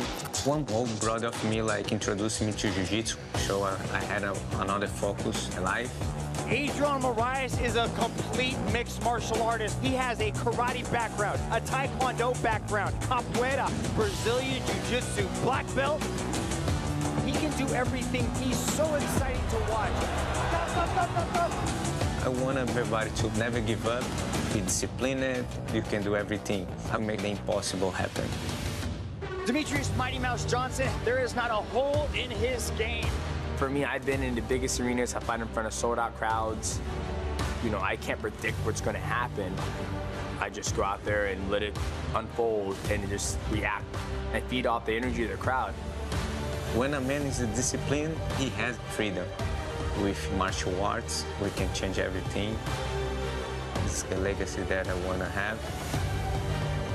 Luckily, I've been able to harness my trauma and be able to funnel it into the person I am today. The best flyweight that's ever been in mixed martial arts. The rubber match, once and for all, to settle the score. The first two very significant because they were the knockouts of the year in 21 and 22. And now we get the trilogy fight in the main event. Both men getting warmed up backstage. Demetrious Johnson and the number one contender, Adriano Moraes. 26 pounds of gold. It's the heaviest belt in the world, and those two men will fight for it tonight. And for the world title belt, there is only one case to carry it. Thanks to our friends at Tumi, the journey continues with Tumi. Three world title fights, beginning with this one tonight. Mikey Musumeci, the American, hails from New Jersey against Osama Al. It's the flyweight submission grappling world championship. Tail of the tape, Musumeci is 26, Almarwai is 31. Musumeci two inches taller, slightly heavier. Almarwai the one inch reach advantage, both with a style of BJJ. Our global rule set, one 10 minute round. You either win by submission or by the most legitimate attempts.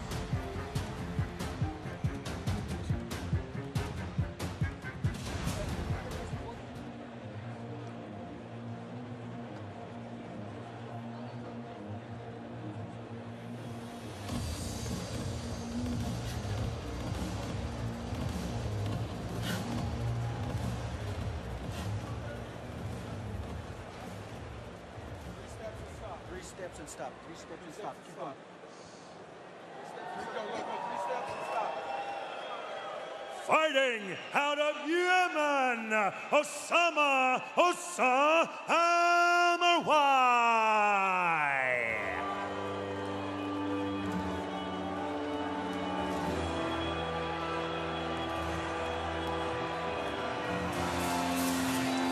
Tom DeBlass, BJJ legend, rejoining us circle side for this one and a world title fight. Representing Yemen, Osama Almarwai.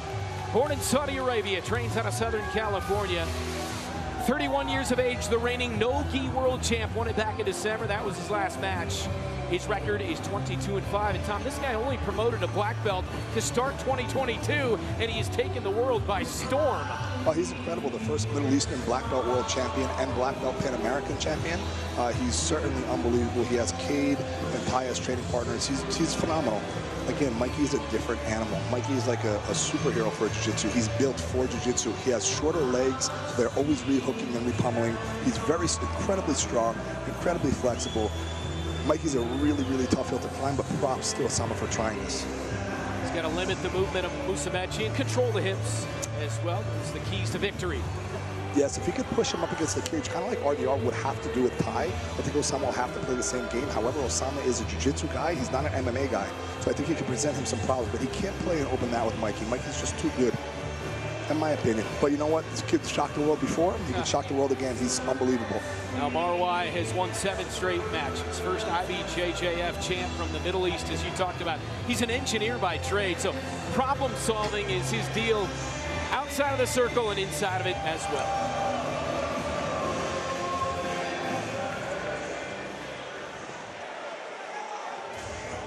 What is, what is the website URL?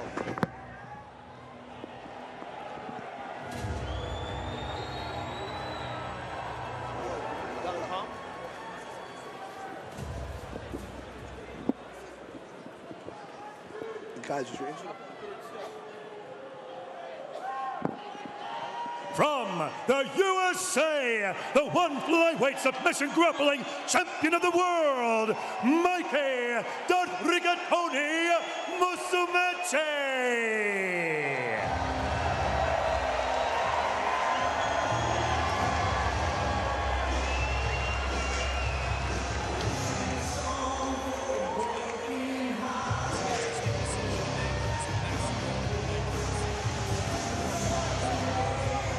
Mikey Musumeci. He is in a hurry to get to the one circle. He said all week he's felt a lot of pressure going into this because he doesn't just want to win, he's got to put on a show for American fans. And here he is as we talk about the keys to victory, Tom, for this American sensation. You know, I think Mikey could actually win from anywhere. And the thing is, Osama likes leg locks a lot. Mikey's exceptionally dangerous with leg locks, and his legs are so short, it's so easy for him to clear his knee line, so it's so hard to submit him.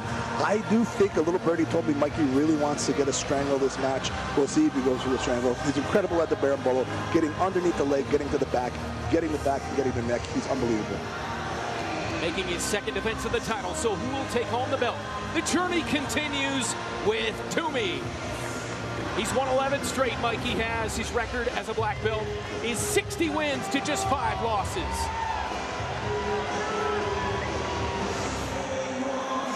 With the introductions for this first of three world title fights, here's Dom Lau. Next, we have a single 10-minute round for the one flyweight submission grappling championship of the world. Presented to you by Tumi, our official premium travel bags partner. And when the action begins, your referee in charge, Mr. Vitor Shaolin. Introducing first, out of the blue corner, he is an IBJJF no-gi world champion, training out of Atos, holding a BJJ record of 22 and 5. Representing uh, Yemen,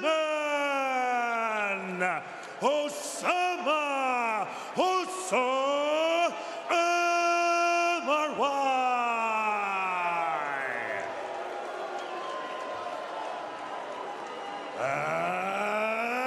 Introducing his opponent out of the mid corner, training out of Evolve MMA, holding a BJJ record of 60 and 5 with 28 impressive submissions.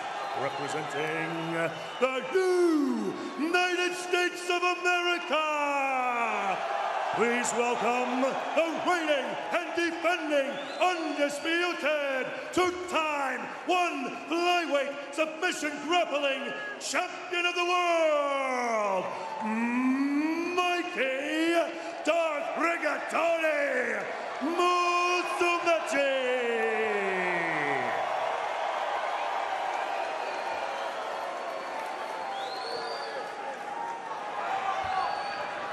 We know the rules. Fight fair, fight forward, shake hands. Move yourself back. Flyweight submission grappling world championship fight. One 10-minute round.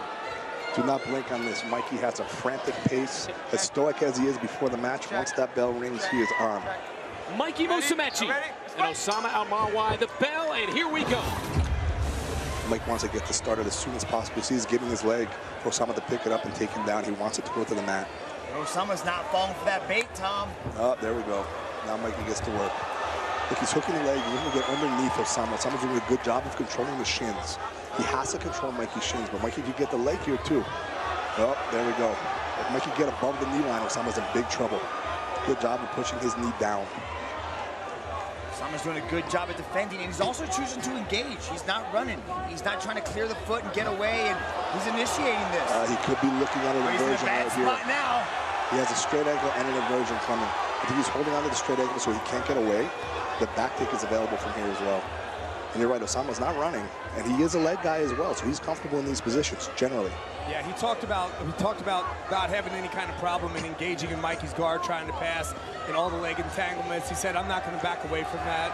Mikey's game with the leg entanglements doesn't bother me. I play the same game." I'm, and he said, "I'm just as good as him." You got to respect that, but the question is, is he just as good as him? We'll see. Go for an Achilles lock here. Referee called a catch here, so that's, I would imagine, scoring as a near submission on the card. Yes, and that short Achilles is very, very painful. It breaks the little bones in the top of the foot. It's not easy to deal with. See Mikey constantly trying to catch that knee line. Once he does that, he can switch to the inversion like we see right here. Now he's going heel hook. There we go. He's got exposure. Osama's got to clear that foot. Please. Oh, man.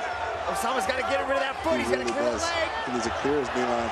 Oh, Oh, wonderful job. job. Wow. That's the second catch called by the referee here. So Mikey now has two near subs. That is not easy to escape. Huge props to Osama. He was caught deep. I see Mikey looking for an inversion, but the back is against the cage. It's hard for him to find his back. It's interesting here, we're talking about the cage.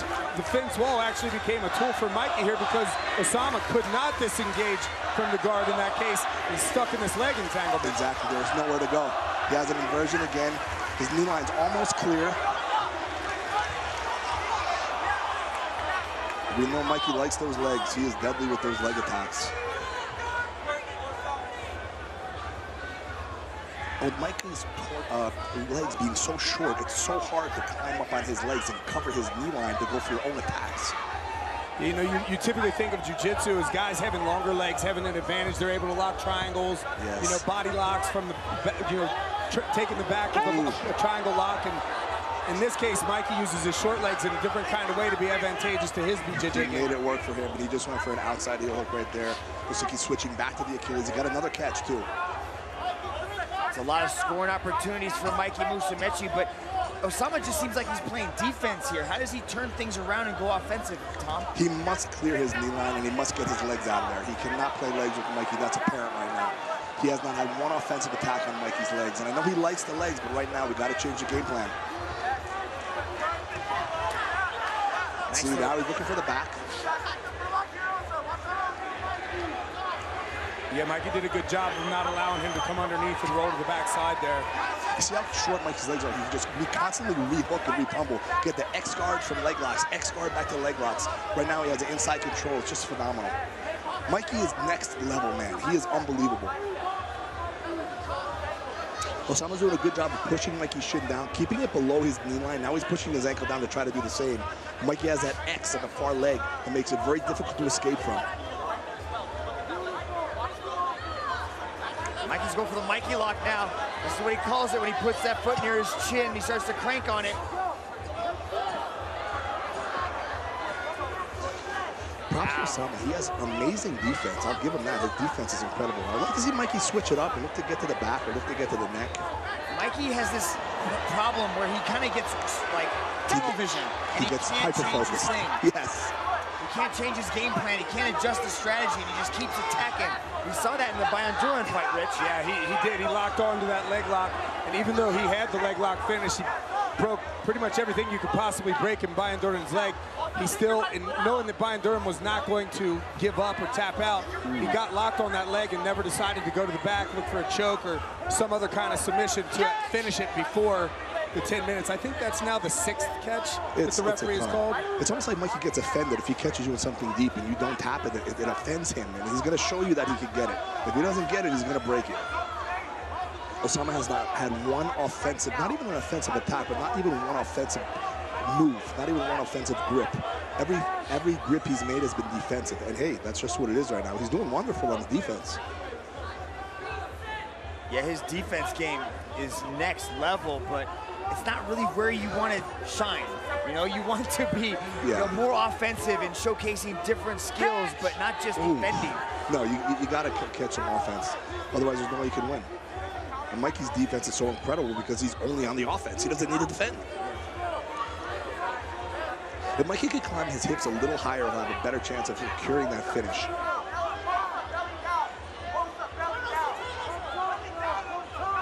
You can hear the corner advising Osa to go belly down. What is that going to do, Tom? I, in that particular instance, I don't think belly down was going to do much, to be quite honest. I don't think they saw the angle that we saw. Um, now he has the leg caught again. And Mikey can bring his left leg all the way across and figure four his legs. And if he could go belly down, Mikey, he will get the inversion. No, he looks like he freed his leg again. Mikey's doing a good job of switching back and forth between legs. Well, it's fair to say at this point in the match that Mikey's hit so many catches that if he doesn't end up making a mistake and Osamah doesn't catch him in something, Yeah, the, the- it's going to be a victory for Mikey. Osamah cannot get his legs entangled. Break! First warning, Luch! I think he's very perplexed right now um, on what to do, how to get to, to, to score on Mikey. Because his game, he found out Mikey is better at his game than he is. So that makes it very, very difficult. Now you see his knee in the middle. That's a good plan. He could try to get chest to chest and flatten Mikey out. Oh, Mikey underhooked that leg. He's going to get to the leg again. Here we go, the same dilemma he had before. yeah, and he's allowing that right leg to come across the body. He's got to control that right foot there, otherwise he's going to continue just isolating and looping through. Exactly. Look for Mikey to switch the inversion too. Oh, now we got Mikey on top. He's, he's gonna look to pass and smash, and strangle, or look for a leg still. Mikey Oh. told us earlier this week that he would rather lose an exciting match than win a boring one, but this is definitely not boring. This is an all-out offensive war that is attacking from Mikey Musumeci as he's looking for the finish. He's looking for a modified dart stroke here. I know he wants this. And Mikey can't be boring even if he tried. He only knows one speed. Nope, now he has it back. Nice adjustment there for Mikey Musumeci to take the back of Osamah Almarwai. He's got one hook in. He hooks the second one in there, and Almarwai's arm is trapped underneath Mikey's right leg. Now the question is, does Mikey want to finish from here? Because he certainly can. His arm is trapped. Reminiscent of the Imanari finish, Rich. Oh, he's getting flying over the chin. chin. Two sliding. minutes to go. That should be it. Can Osamah defend? That should be it. That should be it. That's tight. That's tight. And he got it. Immediately checking on his opponent. He's such a champion.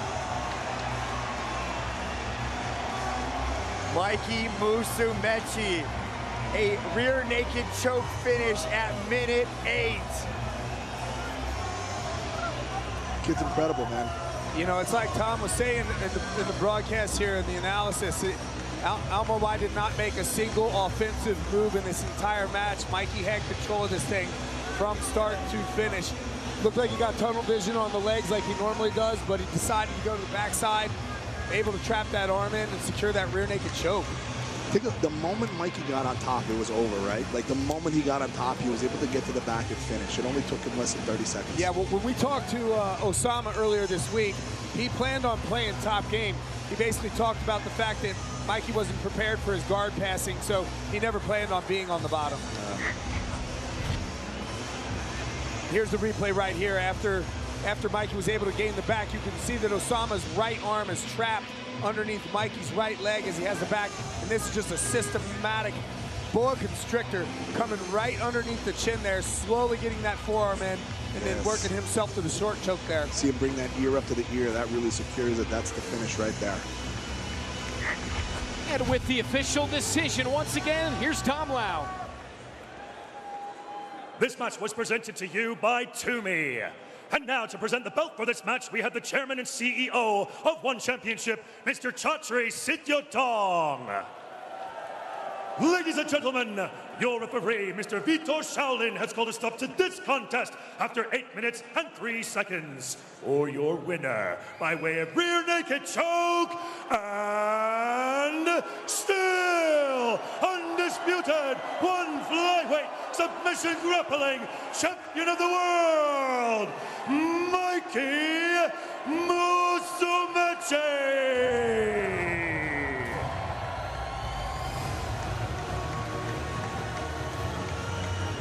He is now 4-0 in one championship.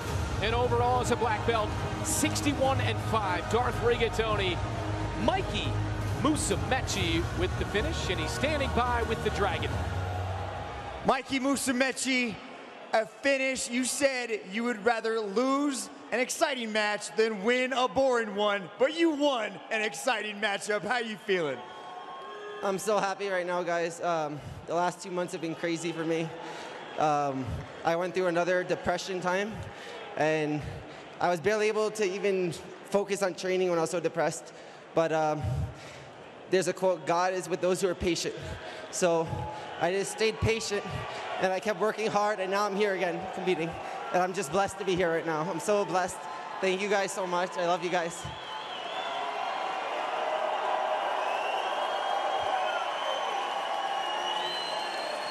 In the past, you've gotten tunnel vision and you've kind of got stuck on one move, but you were able to kind of turn the corner and transition to the back and get the finish. What was going on in your mind when you made those adjustments?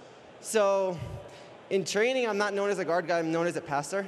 I'm actually way better as a passer than guard. So, this is the competition I was able to play top like I do in training. At the end, I finally snapped out of it. I was like, all right, stop being a leg locker, just fucking come up, pass the guard, take the back, and choke. So, I tried, guys. Um, I, I think I did the Leo grip from Vice President Leo Vieira. It's my favorite pass. Shout out to him for teaching me that in 2016. Uh, it's the best pass, and he taught me that, so thank you, Professor. Well, I know this match meant a lot to you, everything that you went up through through the buildup of this match in your training camp. So I commend you on your determination and your heart. And I gotta say that Chatri Sityodtong just gave you $50,000 for your performance here tonight. And that's gotta feel good, my friend. Pizza and pasta on me, let's go. Thank you everyone for coming. Um, I know it was a big deal having a jiu-jitsu match as the co-main event. I really hope it was exciting for you guys. Even people that don't watch jiu-jitsu could appreciate this sport. Thank you guys so much. I love you all. And again, I'm so grateful to be here. God bless everyone here. God bless you. Denver, Colorado, make some noise for your champion, Mikey Darth Rigatoni Musumeci. Pizza and pasta Rich is on him. Well, the bonus affords him the ability to, to, to do that. But You see here, Musumeci at the beginning of the match, this is when they entered, the, when Osamah first entered that guard and he realized that he was going to have a tough time on his head.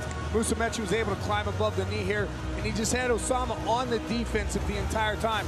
He was going cross-side body grips, able to just keep weaving his legs back in, and as Tom was saying earlier, Musumeci's short legs, shorter legs, it gives him the ability to uh, weave through. Tom, talk us through some of this. You know, Osamah wasn't doing a bad job. He was doing everything right to defend. It's just that Mikey's just so good. It's Reese pummeling his legs constantly from X to leg to leg, and Osamah just got a little lost because every time he defended something, Mikey just chained something together. Jiu-Jitsu is very much like striking. It's not just one technique at a time. It's multiple things at a time, and that's what Mikey did, and that's what he got. Yeah, eventually Mikey was switched it up here. He's been known to get that tunnel vision on the legs before, but he ended up taking the back, locking in here, trapped, trapped Osamah's right arm underneath his right leg, and just slowly cinched in the choke from the rear naked choke here. Beautiful. Getting himself to finish. Beautiful. Retaining his belt, and now 4-0 in a one championship and a $50,000 bonus. Tom DeBlass, thank you very much for joining us. Thank you so much, brother. And listen, buddiesoverbullies.org. If you guys want to check it out, just give us some time. My partner and I, Mike Fowler, we're doing our best but. I appreciate you guys a great deal. Thank you. BJJ legend right there. Jackie Buntan opened the night with a win, followed by Tye Ruotolo, 20-year-old American sensation, unanimous decision victory for him. A submission victory in the middleweight MMA division for Aung La N Sang. And then the American Sage Northcutt got it done quickly against Ahmed Mujtaba. We said this could be the fight of the night, Soldic and Kadestam, and it was awesome. Kadestam with a knockout win. KO win for Stamp as well over Alyse Anderson. A submission win just moments ago in the first of three world title fights for Mikey Musumeci. Coming up next, Co-Main, Rodtang defends his belt against Tabares. And then in the main event, trilogy fight, Demetrious Mighty Mouse Johnson and Adriano Moraes. Our next fight, these two men warming up backstage getting set. Rodtang, his first fight on U.S. soil, 270 career wins in Muay Thai and kickboxing, by far the most in one championship. Edgar Tabares, he is an underdog from Mexico, but fighting here on Cinco de Mayo, hoping to score a huge upset. That battle, the co-main, is next.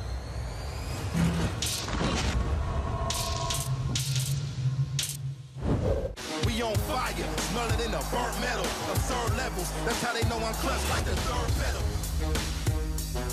The most dominant Muay Thai fighter in the world. Rodtang is the most entertaining fighter in one history. He's a box office blockbuster. Here comes Rodtang! Look at this monster! Look at this battle tank!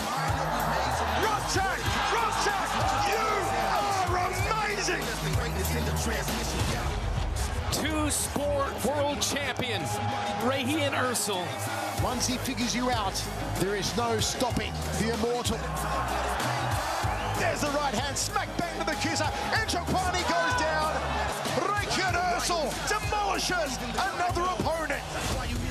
The light heavyweight kickboxing world champion, the Tower of Power, Roman Kryklia, arguably the best pound for pound kickboxer in the world. Oh, he dropped him. It's over, it's over, it's over. Roman Kryklia is just too good. The featherweight kickboxing world champion, Chingiz Allazov. This guy has been dismantling everybody. Chingiz trying to finish him. That's all, folks. Unbelievable. Wow. Absolutely spectacular. The phenomenal world champion, the great Nong-O. This man truly is excellence of execution. Undefeated in one championship. He hits like an absolute truck. The uppercut! The uppercut! That was awesome!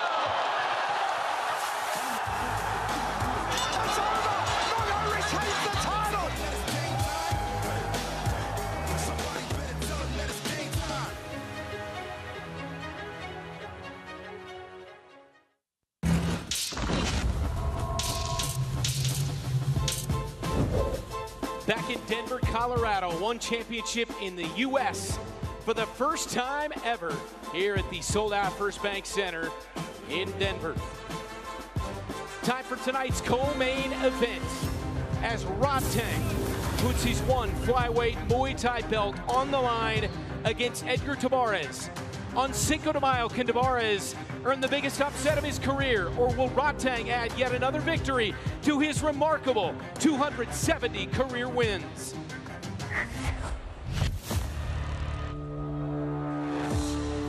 ผมก็เลยอยากมาโชว์ตรงนั้นให้เขาได้ได้อิ่มกับการที่มารับชมผมในวันนั้น ได้กลับไปบอกต่อๆกันว่าเขาได้มาดูรถถัง สำหรับผมครับก็รู้สึกดีใจและก็เป็นเกียรตินะครับที่ทางวันวิชิปได้ให้โอกาสผมได้ไปถึงขั้นไปชกที่อเมริกานะครับผมก็เลยความเป็นดีไอรอนแมนของผมนะครับให้ทุกคนได้เห็นในวันนั้นครับ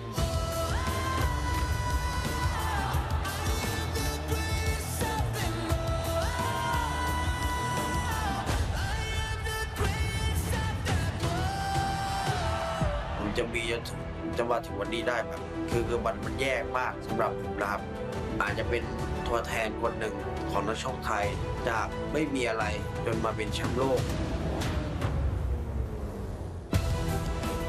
มันก็เป็นความใฝ่ฝันของนักมวยทุกคนที่อยากได้ไปโกอินเตอร์แบบนั้นนะครับความเป็นมวยไทยให้ทุกคนได้เห็นทั่วโลกให้ทุกคนที่อเมริกาได้หลงรักมวยไทยมากขึ้น อยากให้ทุกคนจดจำผม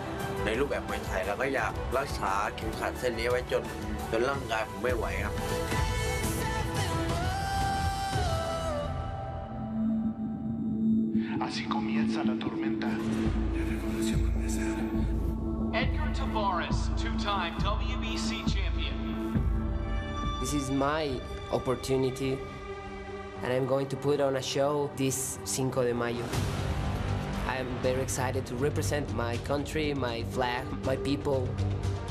Every fighter in Mexico is looking for this opportunity. It will be an honor to be the first Mexican to get that title.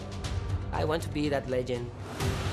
ตามที่ผมได้เห็นเขาชกเพื่อสู้น็อกมาเป็นว่าเล่นพอที่จะเอาเขาหล่นได้เหมือนกัน I am preparing for the best fighter of the world. I want to play my game, not his game. ทำในความเป็นผม อยากโชว์ในความเป็นผมให้ทุกคนได้เห็นไม่ว่าผลมันจะออกมายังไงก็ตามผมอยากทำให้มันเต็มที่ในวันนั้นครับ ผมว่าการที่จะเอาล้มผมไม่ง่ายไม่ว่าใครก็ตามผมก็จะสู้แบบแบบอย่างโหดทำไม่คิดอะ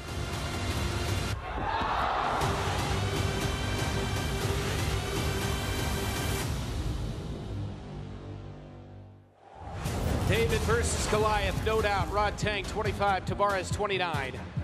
Tabares one inch taller. Identical weight, identical reach for these two warriors. Our global rules set in this world title fight, five three-minute rounds, 10-point must system, three knockdowns and a round is a TKO, no throws or grappling.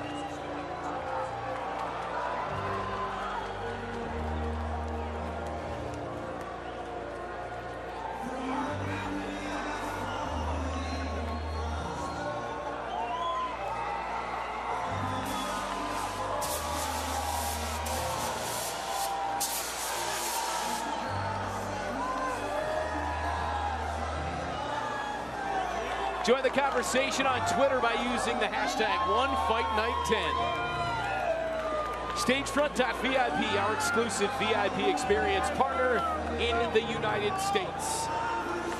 Biggest night of his life for Edgar Tabares. Biggest night, biggest fight. You know he has to get it right he wants to do it because he, the task that is in front of this young man, Rich, is tremendous, to say the least. Yeah, Tabares has talked about how he wanted to feel Rodtang's power, but I'll tell you what, it is it will not behoove him to walk in front of Rodtang and just try to trade punches with him. He needs to work these angles, come in, come out, get off to the angles, not allow Rodtang to chase him down, and he needs to throw in combinations, not just single strikes. I've seen some of his matches before where he'll just stand in front of someone, throw a single strike here and a single strike there, but he needs to put these combinations together. He, he works best when he does that.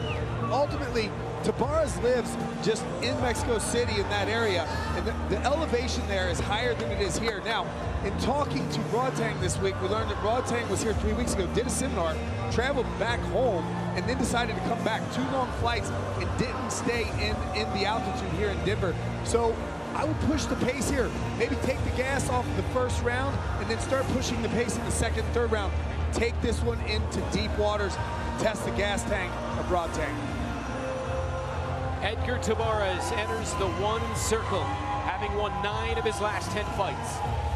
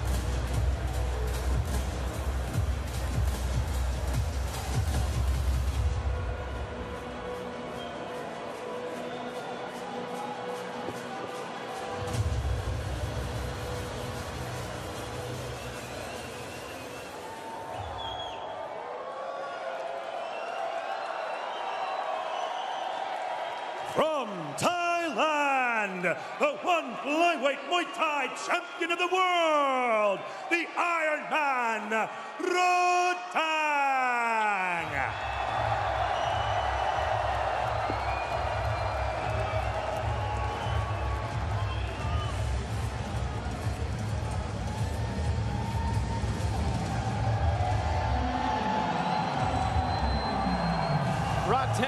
First ever fight on U.S. soil. 273 wins in Muay Thai and kickboxing.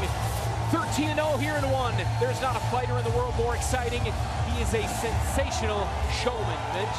Rodtang undefeated inside one championship, the two-time one Super Series Fight of the Year recipient. This guy is a beast, Rich. He walks forward, eats shots like you eat meat and potatoes. he goes forward with this aggression and this hunger and desire to end the person standing in front of him. He comes from a very, very small town in Thailand, and he has managed to work his way up to the tier, the top tier levels of Muay Thai, and now to have this world opportunity, this world stage in front of him, he is going to try to seize this moment for everything that it's worth. Yeah, you talk about Rodtang coming forward and eating shots. Rodtang comes forward and he gives shots. It doesn't matter if he's going up high, if he's coming down low. He loves that body work that he does. And I'll tell you what, right now he's loving this crowd and he's, as he's walking in. He's definitely taking his time getting to the circle tonight and enjoying the U.S. fans here. He's had quite the reception. You know, Rodtang garnered quite a following when they saw him perform the first time against Danial Mini T. Williams. And since then, he's just giving the, U the U.S. audience a show here. First fight on U.S. soil, and he's making it count.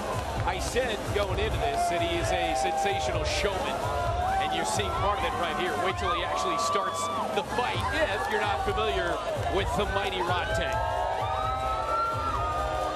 Rodtang says that he wants to use Tabares's aggression against him. He wants Tabares to come forward so he can catch him with big shots. He says that Tabares has giant holes in his defense and he plans on exploiting them. The recently married Rodtang is putting on a show right now, Rich. He's, he's giving Stamp a run for her money on the Stamp dance. But I'll tell you what, you talk about him allowing Edgar Tabares to come forward. I don't think a leopard can change his spots. Rodtang comes forward. He's going to come forward. Edgar Tabares does his best work when he's coming forward. I think Rodtang, you know, keeping Tabares on that back foot is really what's going to do work for him. I've speculated about whether Rodtang is acclimated to the altitude here or not, and if I were him, I'd be looking to end this as soon as possible. That lead hook to the body that we've seen, shut the body down, it'll do that quickly. We saw him do that against Haggerty. We've seen him do it against a number of opponents before, and he needs to be efficient with his with his movement. He can't Tonight is not the time for the antics, allowing yourself to get hit in the chin, allowing that stuff, even in the littlest, zapping the energy from you, because he has to take every advantage that he can, he can with this guy in the ring, Tabares, tonight. But he's a showman. He wants to put on a show, especially here in the United States. I can't wait. So who will take home the belt? The journey continues with Tumi. And you're right, Mitch, he is a showman, and like I said before, I'm not sure Leopard can change his spots.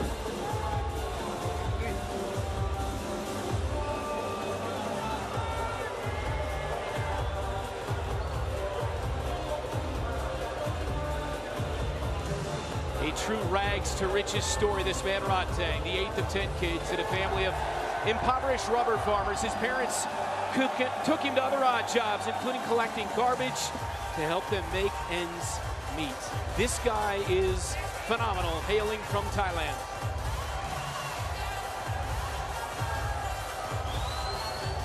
And Dom Lau for this co-main event has the introductions.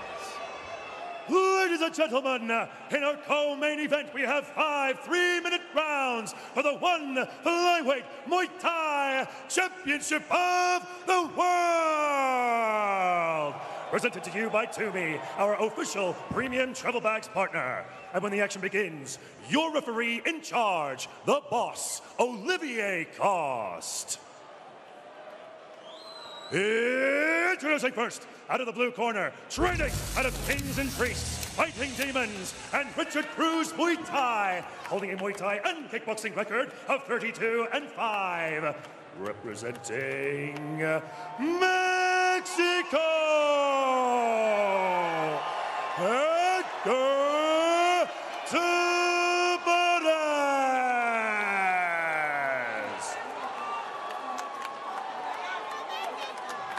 And introducing his opponent out of the red corner, training out of Jitmuangnon Gym, holding a Muay Thai and kickboxing record of 270 and 42.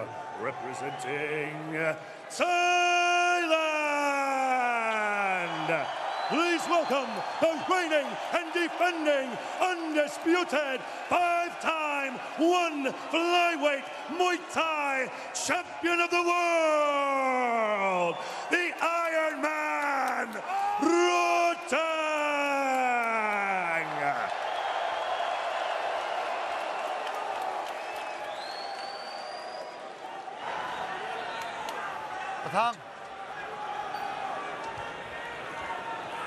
All right, watch out for the headbutt, low blow, and back of the head. You both know the rules. Fight fair, fight clean. Touch glory if you want, and back your corner.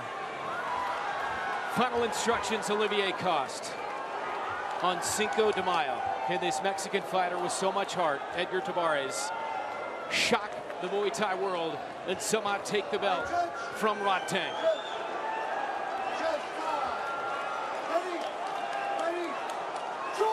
Two weeks ago, we saw Haggerty take down Nong-O. That was one of the biggest upsets in Muay Thai history. If Tabares somehow does it here tonight, this definitely would be the biggest upset in Muay Thai history. Of nice shots early on from Rodtang and then the push kick. You know, typically when we see a newcomer come into one championship, they don't have any experience doing Muay Thai with four ounce gloves, but Tabares does. He's fought some Muay Thai in cages before in the four ounce gloves, so this is not new to him. Rodtang loves to catch push kicks and then pull them into his body shots. He landed one earlier and he's looking to catch again. Very relaxed start for both guys, but Edgar Tabares is standing in front. There's another one, pulling him into the shot, but Edgar Tabares has an answer for it. He's spinning with the elbows. It's the second time he's done it too. Rodtang has caught two kicks and Edgar Tabares has spun with the elbow off of both of them. He didn't land the first one, but that one landed there. Kind of irritated Rodtang, it looked like. Tabares returning fire. And another one, this one up top from Edgar. One, two, and then the outside leg kick from Rodtang.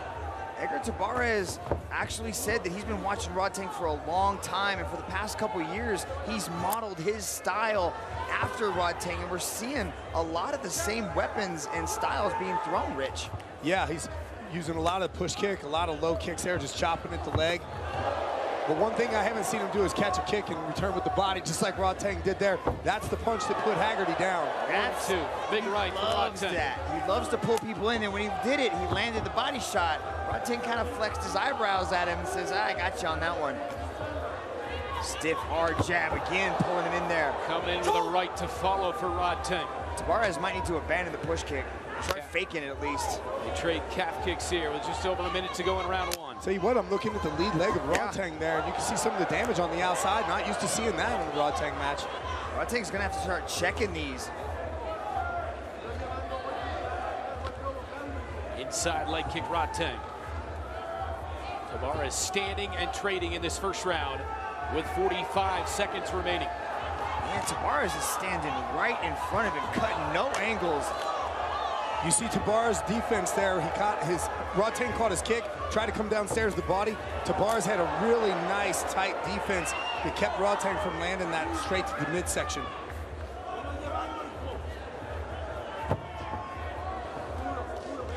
This has the feeling of that typical Muay Thai start where they just kind of download information, pick up on each other's tells and reads, and just sort of get information so they can kind of plan the rest of their match.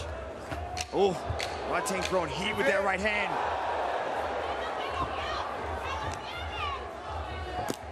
Ooh, Edgar Tabares going up high, going toes to the face. And that one landed. Good opening round in this co-main event. We go back to Bangkok in June. The iconic Lumpini Stadium, one fight night 11, Eersel versus Menshikov. Eersel, one of the most dominant performers in any martial arts. Back in Lumpini to defend his one lightweight Muay Thai world title for the second time against Menshikov, making his one debut. Dmitry Menshikov will see what he's got in June in Bangkok.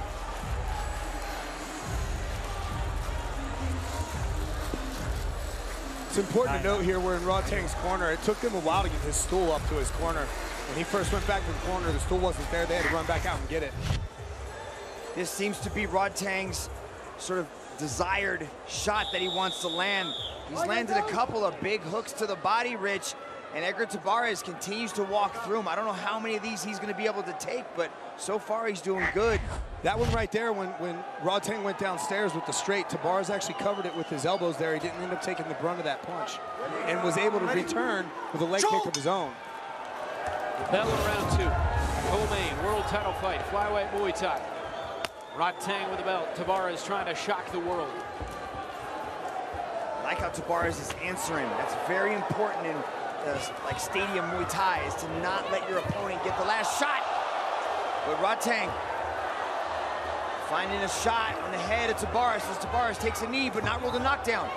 Yeah, wow, he stepped in with that lead elbow there. I think that actually hurt Tabares, even though they didn't count that as a knockdown. Olivier saw it as, as, a, as a stumble or a slip. Big combinations from Rodtang with a nice knee from Tabares. Head kick Rodtang as they trade leather here in the second. Rodtang shifted gears here, putting a lot of forward pressure on Tabares, no longer standing toe-to-toe.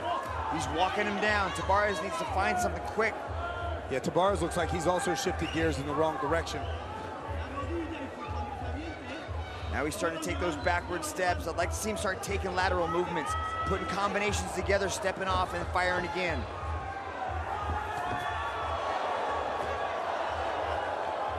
Nice jab there by Tabares. But he's not moving. He's got to get that head offline. He can't keep that head in the same position. Rodtang's right hand is a heat-seeking missile. Yeah, this is what I was talking about in his keys to victory is working those angles, being stuck here on the on the fence. Oh, Elbow. wow. Elbow clean, that's it, that's a wrap. Tabares, can he somehow recover and get up? No! Rodtang in the second. You know, you watch Rodtang in the first round when Tabares tried that spin elbow off the kick like a third time. Rodtang was reading reading that, that offense. So I am not surprised by that elbow coming over because that's exactly what happened there. Tabares looked for the spin. Rodtang come over with the elbow and put him down.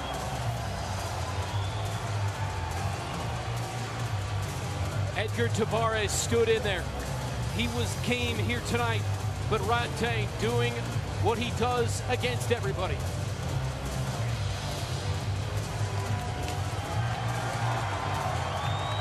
Giving credit and respect to the Mexican fighter here on Cinco de Mayo. Large Mexican presence here in Denver, Colorado. Rodtang career win number 271. And now 14-0 here in one championship for the world champ in the flyweight Muay Thai division. Here's a knockout right here. He's pushed the push kick. He tries to come up with the spin elbow, and, and Rodtang has seen it one too many times. Steps right through with an elbow of his own. He was waiting for the spin that time because that you go to the well too many times and the well is dry, come with the spin elbow. Rodtang blocked it immediately, come back with an elbow counter of his own, put Tabares on the mat. One more look at it right here, catch the kick, drag it, go to the body, block the spin elbow, come right back with the counter elbow. That's beautiful work because Rodtang saw the data in the first round and made the adjustment. Here's Dom Lau with the particulars. This match was presented to you by Tumi. And now to present the belt for this match, we have the chairman and CEO of One Championship, Mr. Chatri Sityodtong. Ladies and gentlemen, your referee, Mr. Olivier Coste, has called a stop to this contest after 1 minute and 34 seconds in the second round for your winner by way of knockout and still undisputed one flyweight Muay Thai champion of the world,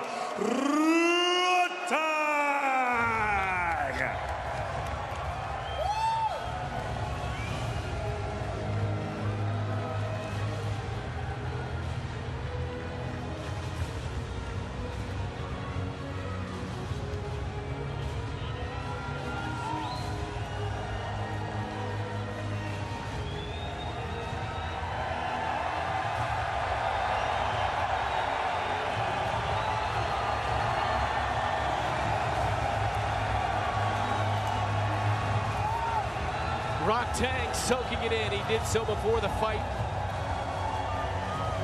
In front of this sellout crowd, what a show.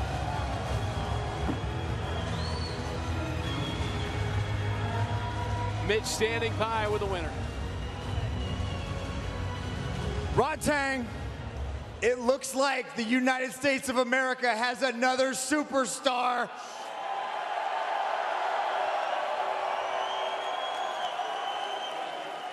I know this moment means a lot to you, and you really put everything in your heart into preparation for this fight, and it showed here tonight. What's going through your mind right now? ตอนเนี้ยเป็นเรื่องใหญ่ของของรถตังเนี่ยแล้วก็ตอนเนี้ยยังคิดอะไรคิดอะไรอยู่สำหรับผมอะครับก็ผมคิดว่าผมจะพัฒนาตัวเองให้มากกว่านี้ แล้วผมอยากเป็นตำนานในวันแชมเปี้ยนชิพให้ได้ I know I can push myself, push myself a lot more, and I can get the championship. Well, you have the championship, so are you talking about a different championship? พูดถึงแชมเปี้ยนชิพใหม่หรือเปล่า? Yes. Boss Chatri ผมได้หมดนะ หรือว่าจะเปลี่ยนเวทเป็น a g a t y Yeah. everything I want everything but I want Haggerty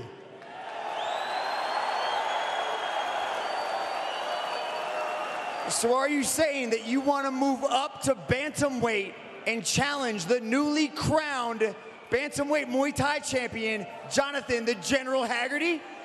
อยากเพิ่มน้ำหนักแล้วก็สู้ Haggerty yes Haggerty you can't fight me yeah come on bro Well, let's talk a little bit about the match that happened here tonight. You showcased a very composed, very calm style. You enjoyed this fight a lot. Look at this Denver crowd showing you some love.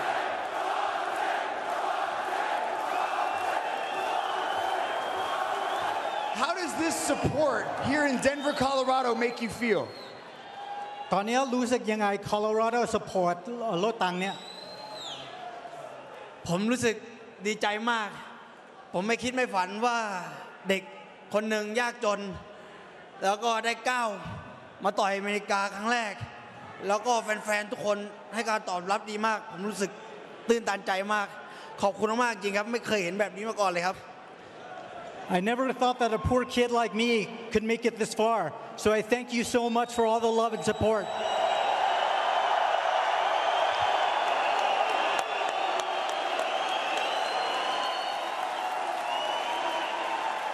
This United States crowd is showing you a lot of love, Rodtang. I can see your uh, the emotion that's pouring out of you right now. But I got something that's going to show you a lot more love. I got something for you. For a poor kid that's come from very little to reach the absolute superstardom of this level here at One Championship, how about $100,000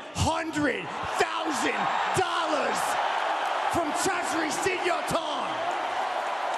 How's that make you feel?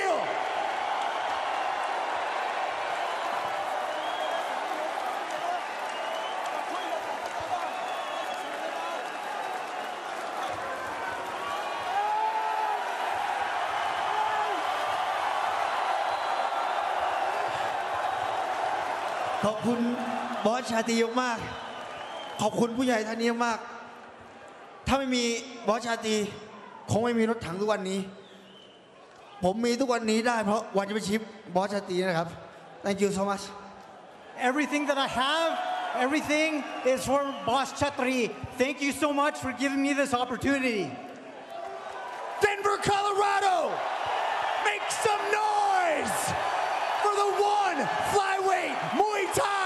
champion,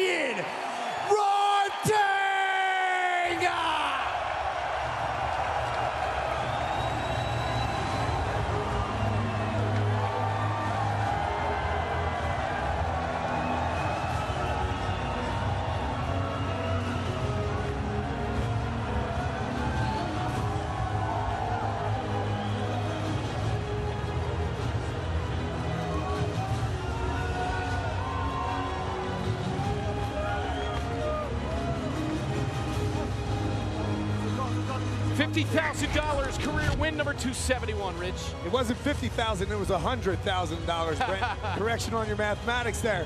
But Rodtang came out, and this is a match that shows the beauty of, of Rodtang's skill and ability. He came out early. Edgar Navarro's looked game in this match. He was able to land some shots, maneuver around, give Rodtang a hard time, but this was ultimately the, the story of the match.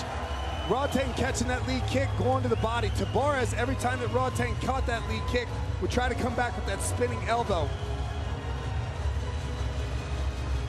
And coming in off this in the second round here, he catches the kick, he tries to spin with the elbow again. Rodtang makes the adjustment, knew the elbow was coming, blocked it, countered with an elbow of his own, dropping Tabares. That knockout earned Rodtang a $100,000 bonus. And I'm gonna tell you right now, Rodtang has a history with Jonathan Haggerty, and I can't wait to see him move up to bantamweight to take Jonathan Haggerty on for his belt there as well. Jackie Buntan, a TKO victory to kick off the night. Tye Ruotolo took down Reinier de Ridder, unanimous decision in submission grappling. A submission victory for Aung La N Sang of Myanmar, and a submission win for Super Sage Northcutt in his return to one circle. We knew this next one would be a banger, and it was a knockout. Second round, Zebaztian Kadestam over Soldic. Knockout win for Stamp, and then the first of the world title fight. Submission victory, Mikey Musumeci. A knockout moments ago in the second round for Rodtang over Tabares, leaving us with the main event for the Flyweight World Championship. Demetrious Johnson and Adriano Moraes. Celebrate this historic moment with the Johnson versus Moraes limited edition Fight Night Tee and other One Championship merch. Scan the QR code on your screens right now to get exclusive access. Available for 48 hours only on Amazon. What a night. Sold out crowd, one championship, first time ever in the United States. Backstage, both of the Warriors getting set to go. The greatest pound for pound fighter of all time, Demetrious Johnson, puts his belt on the line against the only man ever to knock him out, Adriano Moraes. Main event when we come back to Denver.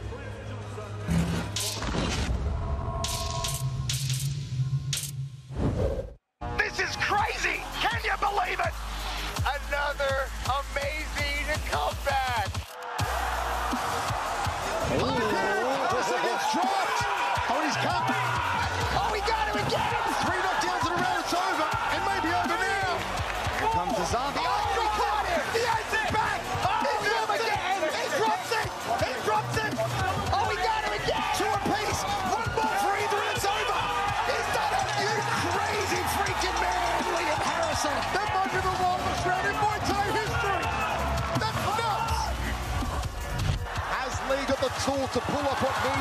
He would an upset? Oh, look at it. Oh, he's going into the arm. Oh, Is it over for Christian Lee?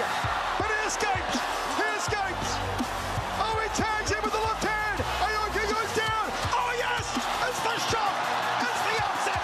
It's the phenom. It's Christian Lee. Christian Lee brings the house down in Singapore. The reach on Roman quickly and the unorthodox stylings of Aziz Bohr. Oh, he's dropped him! He's dropped him! Overhead run from Kryklia! Here we go, toe to toe! Knee! Left hand! Oh, he dropped it down! Here is down! Oh, here going down! Oh, Roberts feeling it! Jumps on it! It's over! It's over! It's over! It's over! Can you believe it? Another amazing comeback! Never before has Angela fought a credentialed striker. There's a mean look on the kids of Stamp. Oh, she's hurt her! Angela's hurt! Stamp senses the finish! Here it comes! Angela survives! Angela in full mount.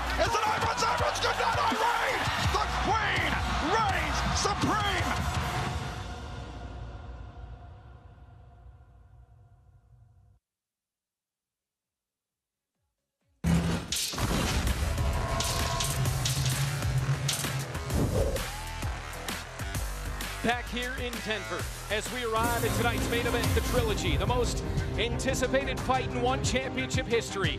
Demetrious Johnson, the man considered by many to be the greatest of all time, versus Adriano Moraes, the only man to ever knock him out.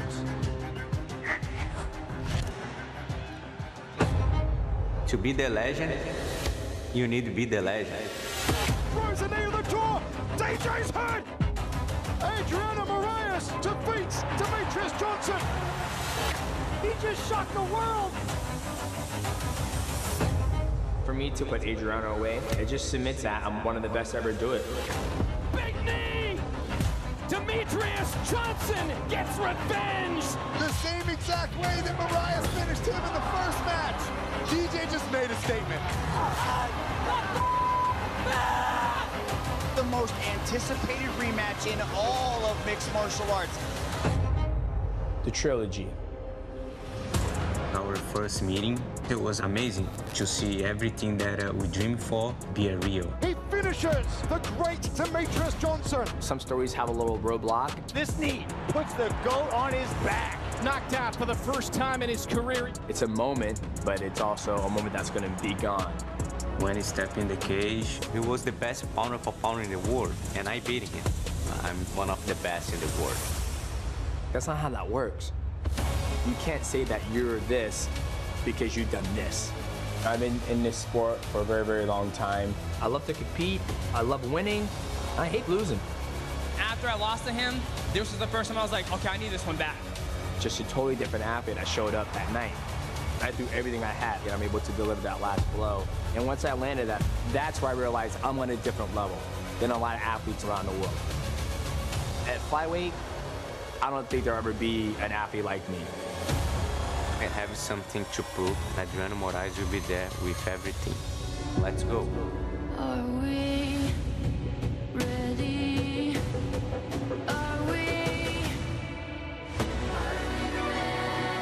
Now we're at this pinnacle moment, you know, the trilogy. One was a dream, two was crazy, and three right now is gonna be mind-blowing. I've been in the biggest arenas, I fight in front of sold out crowds. To go out there to put on that spectacular fight, that's what I'm more proud about. All the American fans love Demetrious Johnson. Here in America, they're gonna take the belt back.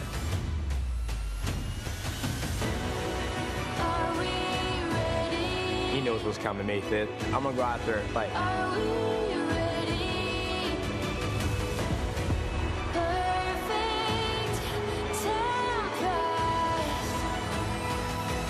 Are we ready for it? Cannot wait. Top five flyweight rankings, Rich. Yeah, obviously, Demetrious Johnson here is the king. Adrian Moraes is the number one spot. Those guys are coming on up here in a bit. But when you look at these rankings, Danny Kingad has already had a shot at the title. And number two and number four decided tonight. So it looks like Kairat Akhmetov is up for next at bat. But Demetrious Johnson is teased the fact that he may retire. So this may just throw the entire division up in the air. All right, we have talked about it all night long. In the first fight, Moraes knocked him out. In the second fight, last year, it was Demetrious Johnson getting the belt back. We have arrived at the moment here in Denver, Colorado, the biggest moment in the history of one championship, this rubber match. So, what much must each fighter do? Let's start with Moraes, his keys. Rich? You know, Adriano Moraes used some great footwork in the first match and in the second match, and I think he needs to continue with that footwork. He obviously can't continue doing the same things, make some micro adjustments, but it's that footwork that caused Demetrious Johnson to make those big commitments in the match. It was those commitments that allowed Moraes to get that takedown. And ultimately, when he gets that takedown, he better maintain topside pressure because you can't let a fighter like Demetrious Johnson to continue getting back to his feet. How about for DJ, Mitch? Demetrious Johnson has to do what he does best, and that is go out there and make it a fight. DJ hunts down his opponents until he breaks them, especially when it comes to Adriano Moraes, who has that elusive footwork, that constant switching of stances. He's so hard to track down. DJ needs to take intelligent risks, track down Adriano Moraes, but also mix things up, add in his world-class wrestling. He has great jiu-jitsu that he's been leveling up at every single day. I'd love to see him mix in some jiu-jitsu. This is gonna be a very important match, and I cannot wait for the trilogy, which goes down right now. A lot of talk of DJ's retirement in the last couple of weeks. Do you believe this is his last fight, Rich? It could quite possibly be. DJ has talked about the fact that this is a business decision. A lot of fighters end up retiring because they physically can't keep up with the game anymore. Some people end up retiring because mentally they're just burned out. But Demetrious said, you know what, I have other methods of making money. I don't need to put my body through this abuse. And ultimately for him, it was a decision about spending more time with his family. So could quite possibly be. It's always an emotional moment when the greats talk about leaving the game, whether it was Michael Jordan, Wayne Gretzky, Roger Federer, whenever the pinnacle decides to leave the sport, it's always very emotional. I've done training camps with DJ. I've been to his house. I love this man. I cannot believe that he is even contemplating retirement at this age because he is still at the very top of his game. I hope this is DJ's not his last fight, but if it is, thank you for everything you have done for the sport, and I cannot wait for your final match. Well said. This the main event. So much excitement, so many months in the making. Finally, we get to the trilogy fight. Demetrious Johnson, 36 years of age. Moraes of Brazil, the number one contender is 35. Moraes, five inches taller, slightly heavier. It's a three inch reach advantage for Moraes, an MMA style for DJ BJJ for Adriano Moraes. Our global rules set. In this world title fight, five five-minute rounds, thou judged as a whole. Knees to the head of a grounded opponent are legal. No spiking. Throws on the head, neck, or spine.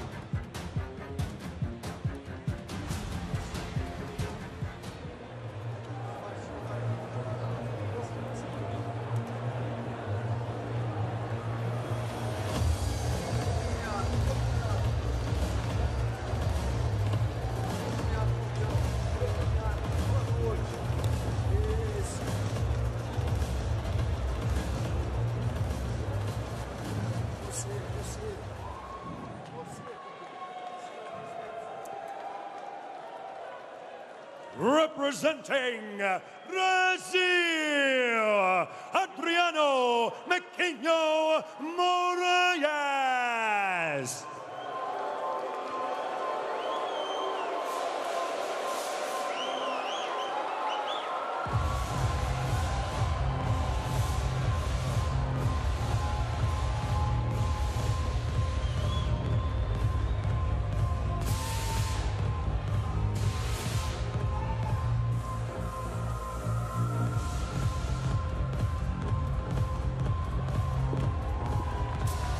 Invite you to join the conversation on Twitter by using the hashtag OneFightNight10.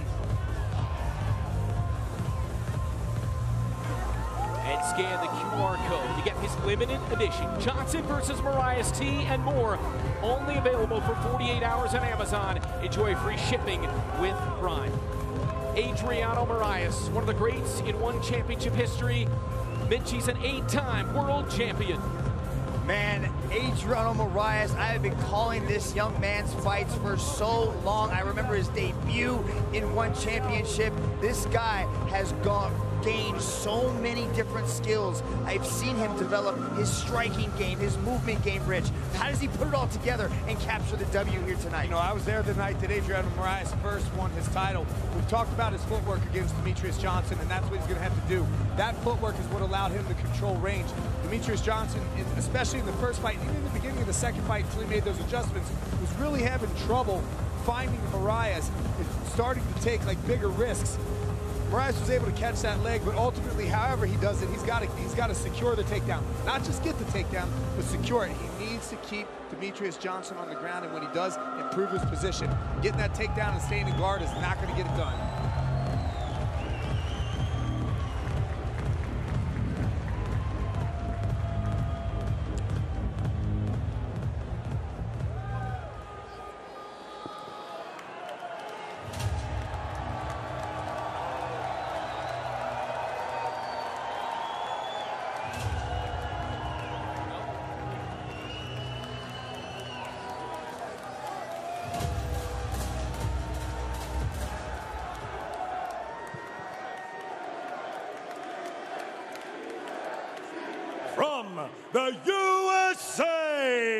The one flyweight champion of the world, Demetrious Mighty Mouse Johnson.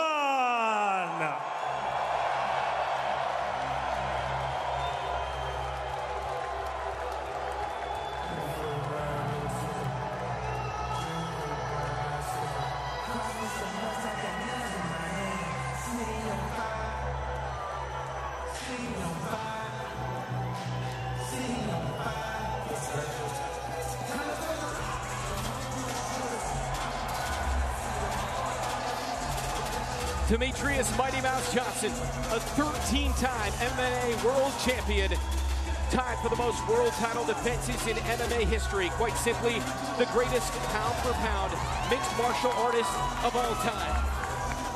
Demetrious Johnson, what more can be said about this man, Rich? He's done everything in the sport. Is this his last dance? That's what we get to find out. Is this going to be his final masterpiece? Or can Adriano upset the apple cart? I think he can upset the apple cart. And the way he gets it done tonight is exactly what we talked about earlier, Mitch. What you said is he's got to bring out all those tools. I mean, he's a champion for a reason. He's got a lot to, to pull from here. He's got to keep Adriano guessing tonight. Pull out all the tricks in the bag that he has. He needs to remain patient. He got hasty in that first match coming in, and that's what got him caught on that combination. He was more patient the second time around, and that allowed him the ability to follow up with that knee with the knockout. And he's got to stay active, whether he's on his feet or on the ground. That elbow that he landed on the ground is what really changed the direction in the first match, second match. So who will take home the belt? The journey continues with Tumi. The rubber match, once and for all to settle the score.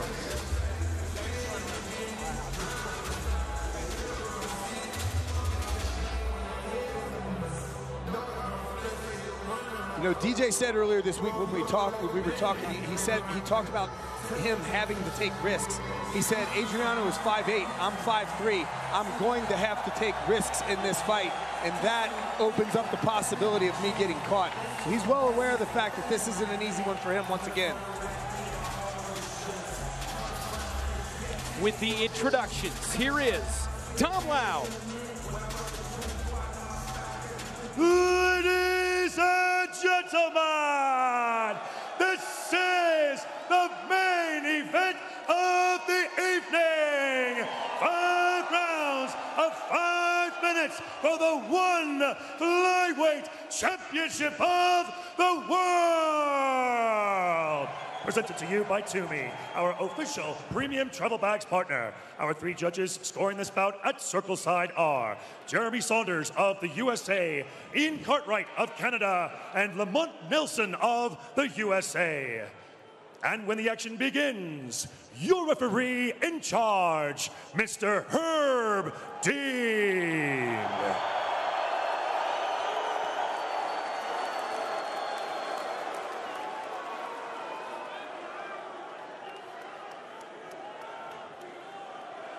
Fight fans from all around the world, live from the First Bank Center in Denver, Colorado.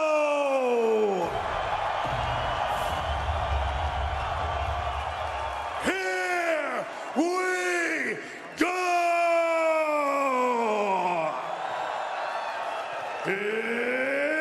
Introducing first, out of the blue corner, he is the former one flyweight world champion the number one flyweight contender, training out of American Top Team and Constrictor Team, holding a mixed martial arts record of 20 and 4 with 14 spectacular finishes.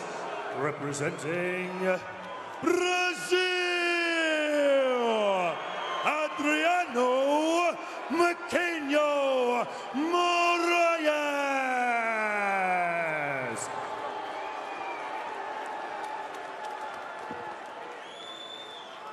And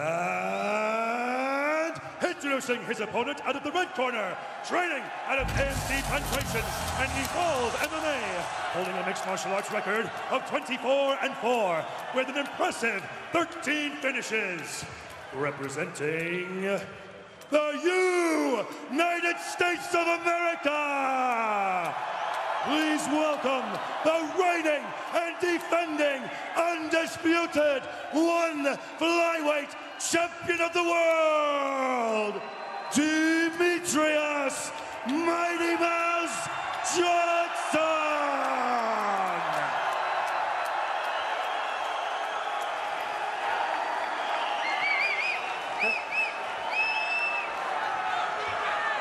All right, gentlemen, we've been over the rules. Protect yourself at all times. Follow my instructions. You gotta keep this clean. Touch gloves. Let's do it. Final instructions, Herb Dean. A sellout crowd here in Denver. The trilogy fight. Adriano Moraes beat DJ in 2021. DJ returned the favor last year. The bell and round one of this world title main event.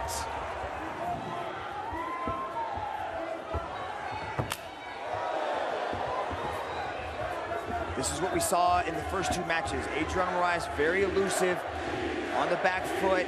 DJ stalking him, looking for his opening, switching stances and moving forward. DJ creates the action. His question was, how much will Moraes try to run? DJ's doing a good job of coming in and out on this, especially with the, the stand switches. He's switching at the, the right time. This is really giving Adriano a different look. It's something to think about. As the Mighty Mouse chants ring out here at the First Bank Center, DJ said to us he needs to break the ice. He needs to find a way to get a hold of Adriano, whether that's with the hands or that's with the leg kicks. He says he needs to find a way to break that ice and find a way to get to him. Body kick Moraes, one minute in. Five five-minute rounds for the world title again. The bout judged as a whole. Johnson in the red gloves, Moraes in the blue. Adriano has a massive reach advantage in this one, not only with the hands, but also with the legs. You can see just how much higher his torso is than DJ's. He's gonna be able to utilize leg kicks from positions that DJ's not used to. Moraes another body kick with a left. DJ walking him down again here. Chance of USA here in Denver at the First Bank Center. This is this is still just a filling out process between these two guys. One of them just looking for the other to make a really big mistake here, but It's like round seven, Rich. Yeah. Nice right hand landed by DJ, and they still have to feel each other out because they have they're so world class in their skill sets that they can still bring so many different skills to the table, even though we've been there seven rounds with each other. well, it doesn't matter. It's a different night. You don't end up fighting the same fighter twice, especially when you're at this level. In the first six rounds, Moraes has had the upper hand for most of the minutes inside the one circle, even though it's one to one. Very good point, Brent. Crowd 100% behind Mighty Mouse as they collide in the center of the circle. DJ gets thrown back and then a knee attempt from Moraes. And back to the center they go. Adriano is filled out nicely. He's looking thick. He's been working a lot on strength and conditioning to try to increase his power output.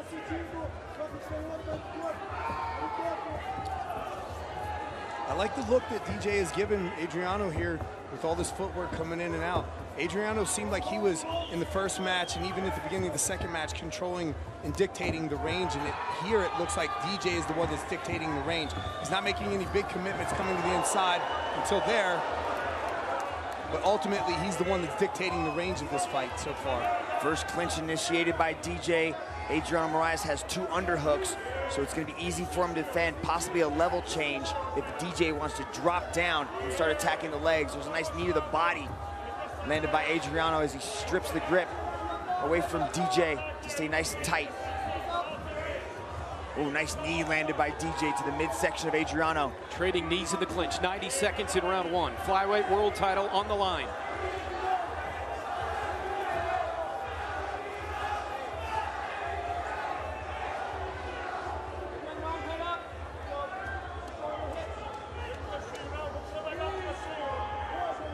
I like the way Adriano utilizes the hand manipulation to create openings for those knees, Rich.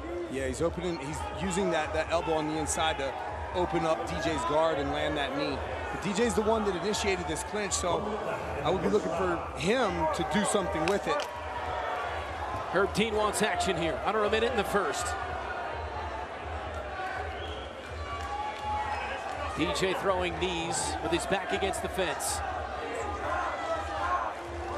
Adriano looks to be the taller, stronger fighter here, pressing DJ up against the, the fence, not allowing him really to go anywhere. DJ needs to move here. He doesn't want to end this round with his back stuck, against, stuck up against the wall.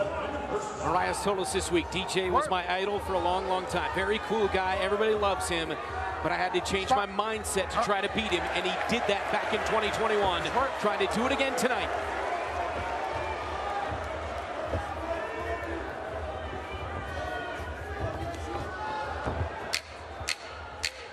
10 second clapper goes, and here in the first five minutes. Leg kick from Moraes at another with the left. Round one looking very similar to the first three rounds of their second match, Rich. Yeah, very similar to, the, you know, doesn't look like there was a whole lot done in that round because not a ton of heavy strikes were landed, but trust me, there was a lot going on in that round. Okay, He's reaching for the kicks. He's really reaching for them. Yeah. Start shading the legs. Smoke the hands in there, okay? When he reaches down, okay? You start showing the hands and get off the angle. All right? He's really grabbing for the legs. Okay? So when you're throwing it, Hey! Sorry. okay. Sorry. That's a relaxed man Kicks right are looking there. good, baby. James Right. Franklin When and you roll the Tony. body, just start moving the feints. Feints, move off the angle. Go in the center, okay? All right, buddy. He's looking, he's knowing what he's looking for. He's looking for that fucking knee. All right, he's looking for the center, okay? So just show it and we off the angle. Okay. Come on, baby. A moment of levity after up, get the round one with Johnson on his stool. I've actually had that same thing happen to me in the corner when my, my cornerman dumped out all the ice all over me and all over the floor. So much tension, so much excitement. Everything on the line tonight. DJ couldn't possibly be more relaxed. Defending his belt against Moraes, the only man ever to knock him out. I like the advice. They're having DJ create the, the offense, but then cutting an angle to avoid whatever's coming back at him and then fire him back. Good advice from James Franklin in the corner. Nice right hand. Big right, and then a kick from Moraes. Talk about those angles. Those are the angles that James Franklin in the corner was talking about that he needed to do to avoid right hands like that landing. Nice right from Moraes. Adriano's not really throwing a lot of straight weapons. He's trading, he's throwing big, wide, looping shots, hoping to catch DJ. especially as he's moving into these these cutting these angles. He's if he throws these wide angle shots, he might run DJ into one of these big punches. You know, when you look at DJ's movement and his, the, his head movement and the way he did it, you see him right there, like how he got, he brought his head offline. He brings his head offline a lot in order to generate that that power and also close the distance. So Adriano might be throwing these looping punches as a calculated movement rather than just throwing them wildly. Not a lot from either guy so far. If you're a judge, how, how do you judge this thing so far? I'm not asking you who's winning, but this seems like a challenging one to judge to this point. Well, there there hasn't been any. I wouldn't. I wouldn't. I wouldn't score really in a striking superiority category at this point in time. It's kind of back and forth. They're trading shots here and there. I'm sure if I was actually tallying it up, maybe somebody might be ahead on that. But I would say this is mostly at this point in time scored on aggression primarily. Nice left there from Moraes. Staggered DJ momentarily. Now it's Moraes on the charge. DJ right back on the left and a takedown here. And right back to their feet. Adriano tried that outside trip, catches the leg kick, ties him up here, presses him up against the wall. Tight grip on the body of DJ by Moraes as they spin around, jockeying for position. Yeah, Adriano initially had that, that high clinch grip, and then they were Demetrious was able to spin him around and go to this 50-50 here. Adriano seems very comfortable just pressing DJ up against the wall. In the first round, this is where Herb Dean separated them. They got to be a little more active here. They have to keep trying to, if Adriano wants to keep this position, he has to stay active. You know, oft, oftentimes we hear the referee telling the, the fighters to get busy. Keep in mind, this is a five-round fight, and strategy comes into play here, whether you take the gas off in the first round sometimes. Even DJ sitting on the cage here, perhaps sitting on the fence like this, perhaps Adriano is stronger. Perhaps this is a calculated motion. I mean, he just spun off right there and tried to land the elbow. So maybe DJ is letting his back just sit on the fence for the time being as a play to get Adriano to burn some of that energy. These guys are savvy in how to conserve energy. DJ 36 years of age. Moraes, he's 35. Second round, 135 to go. DJ looked over at you and said, I'm doing it, Rich. I love it. He heard my commentary. DJ is the perfect face for an organization. That's exactly what he is here in one. I like this elbow strike that DJ is trying to land. Probably wouldn't have been my strategy considering that Adriano has a five-inch height advantage over him. Five but, inches. But it's it's been effective so far, somewhat. Yeah, here inside the clinch, the reach is it's lessened. Oh, big takedown. DJ gets the first takedown of the affair. And so back to the comment I made before, DJ came right off that fence, slid around, went underneath, and earned that takedown. So the question you got to ask yourself is, he spending time on the fence as a calculated movement? Nice level change to get the double leg as he's trying to peel the legs back, but Adriano did a good job of maintaining his position, turns it around, presses DJ up against the wall again. Firing lefts is Moraes. Not much damage. A shoulder from DJ. Final 30 seconds. Herb Dean wants some work. A knee from DJ, and they separate back to the center. I like the way DJ just walks forward right there, going straight into Adriano's space, not allowing him to even step back, take a breath here. He's forcing the action on this. 10 seconds in round two.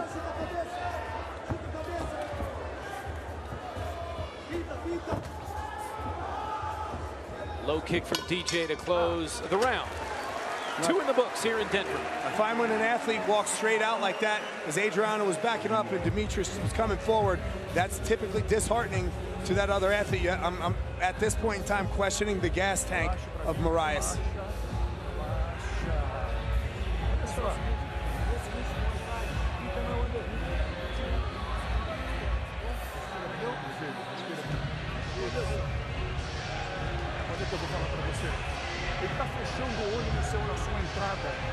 Vamos de cotovelo, tá bom? E vamos receber não tem strike, cara. The most significant point of that round was this, that beautiful dot, drop, level change. DJ was able to lock up the legs. Now, does that count as a takedown because he bounced right back up so quickly, Rich? you know, when, when I'm scoring my takedowns, as I look to score, he has to secure the takedown keep that takedown. And this, even though he hit a dead hip on the mat there, Moraes is starting to bounce back up right away, and they never really spent any time on the mat, so I wouldn't score it. It does get scored as, a, as aggression, though. Third round in this flyweight world championship matchup. Johnson, the body kick gets caught here, but right back up. How elusive is DJ? And he stood up with one leg. It's unbelievable. You could make the argument he's fighting as well as he ever has at age 36 in his brilliant career. Round three, Herb Dean calling for work. Separate once again. DJ blitzing forward the left hand. He's just not giving Adriano that break, that whether it's a, a, physical break to take a breath or two or the mental break to just reset his mind and, and regain plan as he starts to back up. Because when they're disengaging from the clinch right now, nearly every time, Adriano Moraes is the one who's disengaging backwards. But that's how DJ's always fought. He always stays in your face, keep making you work, not giving you that chance to breathe and recover. You always have to be thinking. It's very difficult to deal with.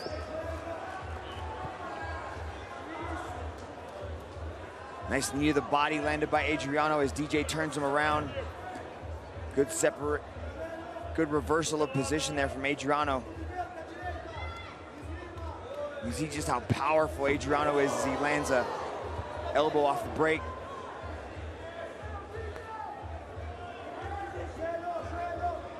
DJ going uppercut to the body, following it up with the knee. Adriano trying the knee shield to keep a little bit of separation there and stop DJ from attacking his body.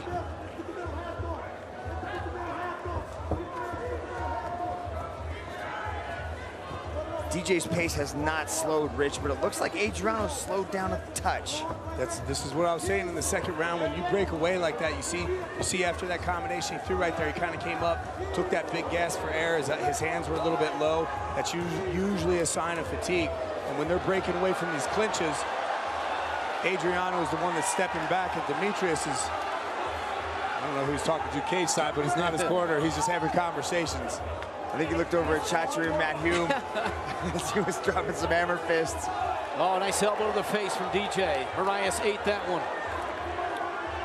DJ firing, is slapping the face here of Moraes. The last shot that Adriano took there that, that DJ was defending on the ground, those are high energy movements. And when you take high energy movements like that, particularly in the third round, those things need to pay off for you.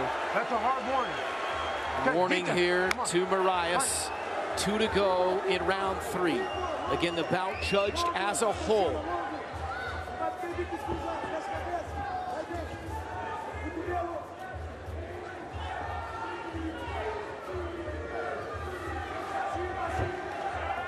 See, at this point, Adriano Moraes, he has that, that reach advantage that we talked about. But DJ's just walking right into this. He's not respecting any of the strikes that Adriano really has. He's putting himself right in the danger zone, throwing strikes immediately because Adriano has not been able to keep him at bay with, with long limbs like the kick or, or the, the jab. But this seems to be Adriano's strategy, at least in this second and third round, is to press DJ up against the wall, wear on him a little bit. But DJ did a good job of reversing the position there and starts continually kneeing the body of Adriano, which is going to you know, drain that gas tank a little bit faster, Rich. Yeah, he is. I, you, when DJ's on the fence, Adriano is kneeing, but I don't, I don't think a lot of these knees are doing damage to him. Demetrious then chooses the time to spin, put Adriano's back on the fence. You see that knee coming in there, landing a lot of slaps to the face, looking for the takedown. The outside trip there, didn't quite get it. Moraes told us this week that one thing that hurt him in the second fight, he knew his diet and his fitness wasn't quite right. He knew if it went into the deeper rounds, he could be in some trouble, and DJ was able to get him out of there in the fourth. You wonder if it's better this time around for Moraes, his ability to withstand all five rounds. We're about to hit those championship rounds here in Denver, Colorado. We're at elevation. The gas tank is thoroughly being tested by these two world-class athletes. Adriano dropping down, attacking the leg. Demetrious looking for that Kimura.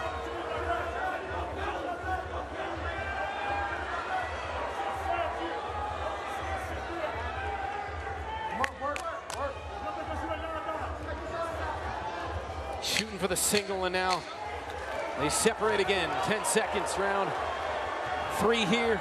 That was a nice straight left landed by DJ before the clinch and, a big knee. DJ, good flurry to close the round.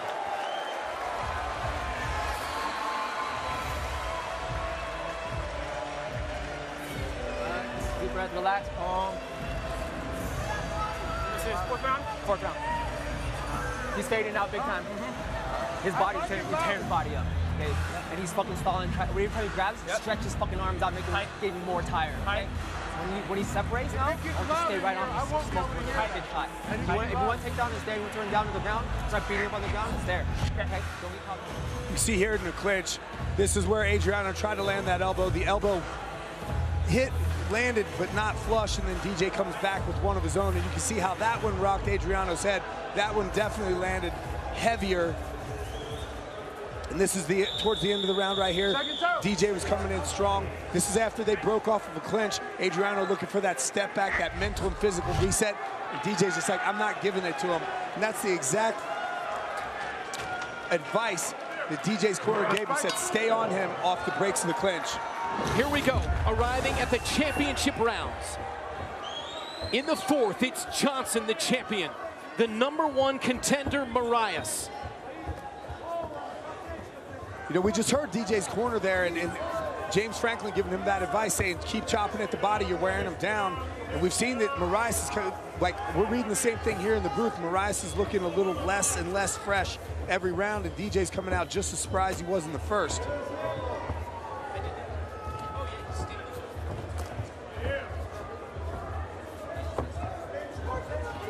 Opening minute, fourth round. Adriano's being a little bit more aggressive here at the start of the fourth. Trying to put pressure on DJ. I like this change of strategy. Adriano's got to take more risk. He's got to do more. I think he's behind, might be behind in the judges' scorecards. So he's got to put some pressure on there and take some risks. Yeah, I would agree. He's more than likely behind on the judges' scorecards. But this is the fourth round. We got four minutes left in this one, a fifth round. As long as he starts doing some work here, it's not gotten so far away from him. It's not a winnable fight for Moraes. Yeah, Rich, but DJ's so comfortable, man. He's having conversations ringside with people, man. He's got to put some pressure on DJ, make this uncomfortable for him.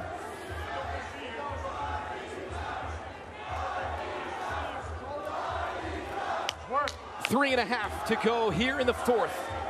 Championship rounds. DJ and Moraes for the third time. Each has knocked the other one out.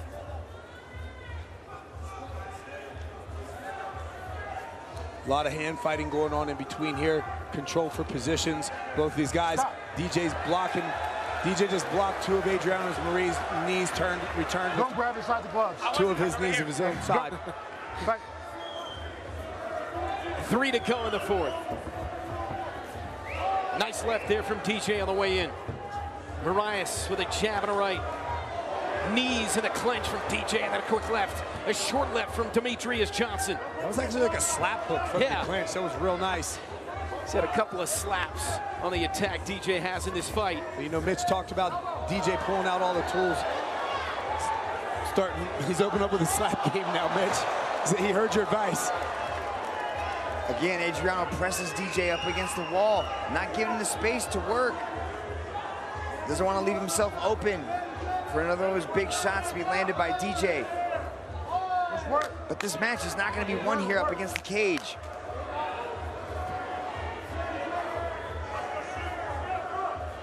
Adriano's got that tight body lock. Looking to torque and twist DJ to the ground, but DJ digs an underhook, gets back to neutral 50-50. He's gonna try to pry it up, turn him around, and he does. Yeah, the body lock that Adriano had was just too high on the back. He needed to get lower around the waist if he wanted to be able to control DJ's hips, pull them in, and actually secure that takedown.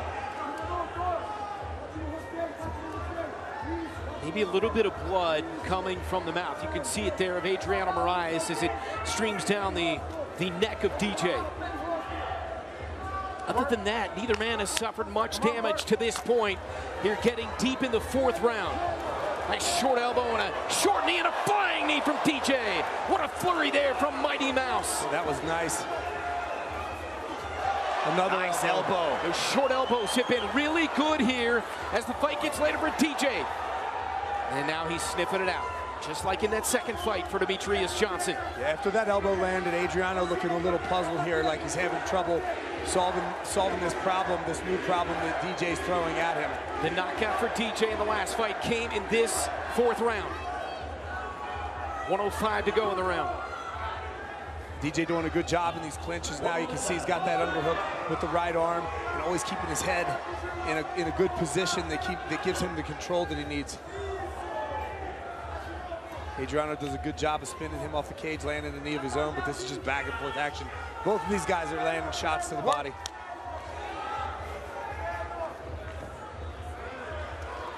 DJ trying to gain position here. Moraes with his back against the cage. Another knee from DJ. He's done some nice work in tight in this fight. 30 seconds, round four. Another short knee from DJ.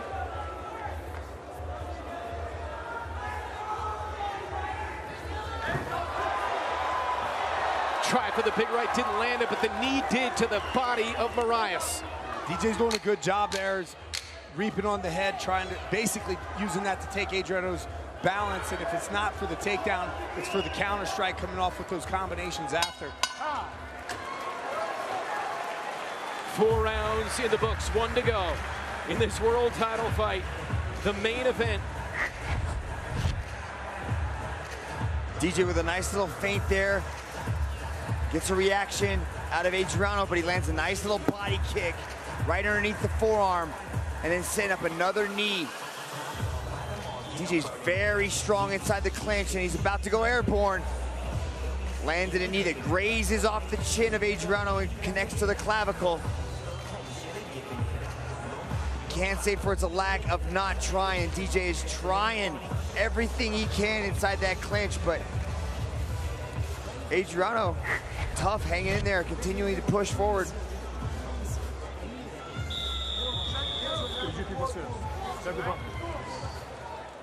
You know, a lot of that work that DJ is doing, Mitch, isn't just really in the clinch necessary, but it's like breaking away in the clinch, the transitions the and the break off.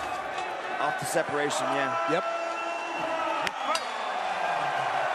Final round of the rubber match. Five minutes to go here in Denver in front of this sellout crowd. One championship in the United States for the first time ever, and a couple of nice shots to open for DJ. You know, at the opening of this fifth round right now, I, in my opinion, Adriano is behind on the cards. DJ is the one that's controlling, you know, the center circle. He's being more aggressive with the footwork coming forward. He's, especially in the later rounds, been able to, to turn and do more of the damage against the fence with the knees, the elbows to the body. He caught a knee there to the chin as he was coming in. Just glanced him, though, but DJ's been the one that's been the aggressor. Not a huge lead. This is still anybody's fight with four minutes left in this fifth round. But I have it in favor of DJ at this point. When Adriano's dynamic and he tries to be aggressive, he lands nice shots. He land, you know, he missed the spinning wheel kick or caught the hand of DJ, but that knee was narrowly close. He's got to continue to push forward. Yeah, I mean, he is very dynamic. Proof positive that is the first fight, right? He caught DJ coming in. I think there's just so much on the line in this third and final match between these two. Guys, if you're judging this by the whole, which we do in one championship, how important are the fourth and fifth rounds? Well, they're the, they're the most important rounds because, I mean, that's the last look that the judges see, right?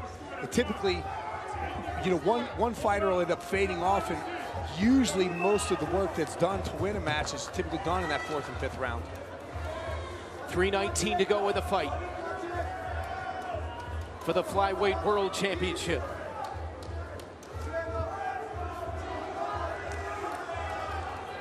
It's about the fourth time that Adriano has gone to that clinch grip around DJ's neck.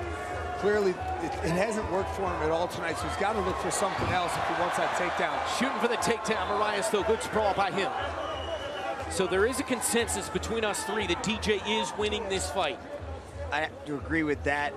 I think that clinch isn't necessarily, you know, he's not looking for a takedown. He's just trying to create a little bit of opening, maybe try to lift up the arm to try to sneak a knee in, but You know, DJ's so skilled inside the clinch. AMC, you've been to AMC, you know how much time they spend inside the clinch, working on positions just like this, as Adrian tries to land two uppercuts. Yeah, you know, DJ's not not really like you said, Mitch, with that clinch work, he's looking to, to, disrupt the balance, land knees on, on the breakaways, land elbows on the breakaways. Right there, he's walking backwards, and he just, he basically set Moraes up for that elbow, knowing that he was taking a step back, not because Moraes was stronger, but allowing that to come in so that he could land that elbow.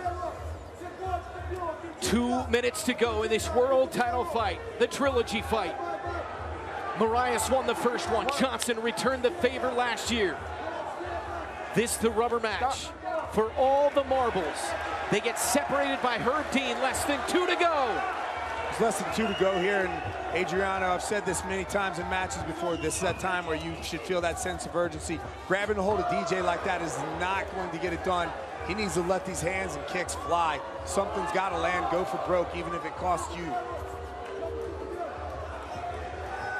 Back to the center of the circle, a jumping knee from Moraes didn't land. Back into the clinch they go. Johnson again trying to take the fight to Moraes with 80 seconds remaining. The short knee that landed to the body of Moraes. You know, Rich, with our scoring system, this uh, aggression seems to be the only category that's kind of being demonstrated here. Well, Moraes is bleeding, so we have three categories under damage. There's internal, there's cumulative, and then superficial damage.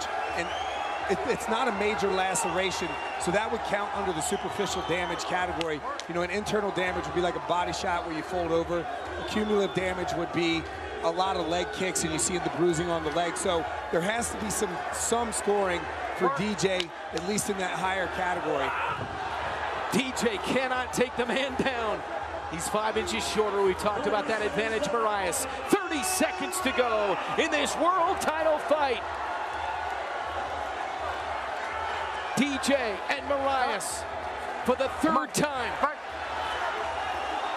Back to the center, toe-to-toe -to -toe they go to trade. Couple of nice left hooks from DJ. Trying to close the show. These guys are so well matched and they know each other so very well. It's so hard to like really work ahead because you know your opponent so well and they're so talented. They've spent more match, time in the circle than you spent with your, your fiance at the time during COVID, bro. Demetrious Johnson and Adriano Moraes go the distance. 25 minutes in this world title fight here inside the one circle.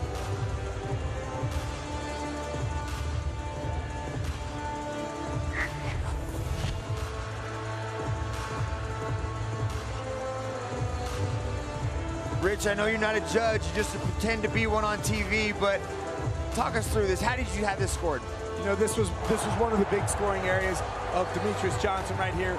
We touted whether or not that would actually be judged as a takedown because Moraes was able to pop back up, but a lot of the work was done in the clinch. You and I talked about not just the clinch itself, but it was actually the separation from the clinch. DJ looking right there to pull away, land elbows, land knees, things of that nature.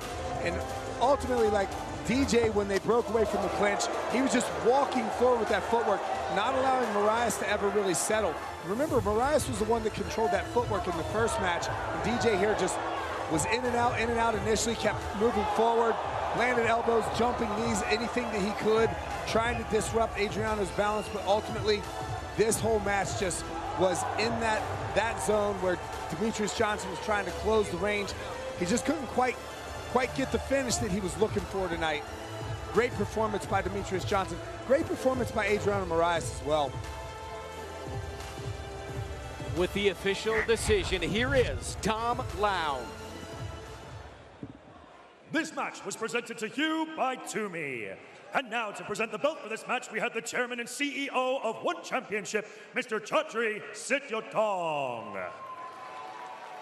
Ladies and gentlemen, after five rounds of battle, we turn now to the judges' scorecards.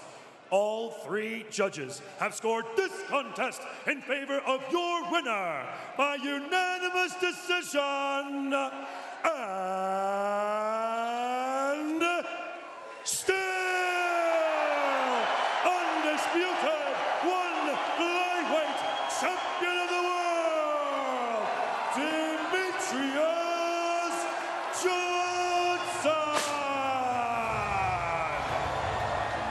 The greatest pound for pound mixed martial artist of all time retains his belt here tonight.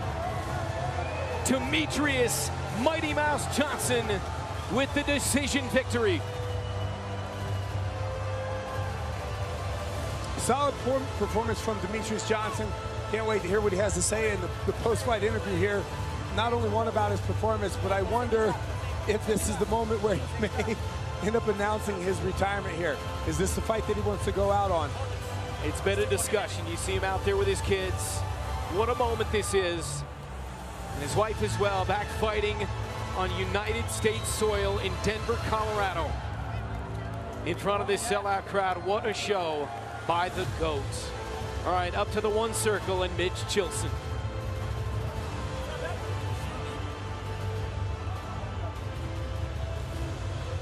DJ, you did it again. How does this match compare to the first two matches with Adriano? First off, I gotta take your business. USA!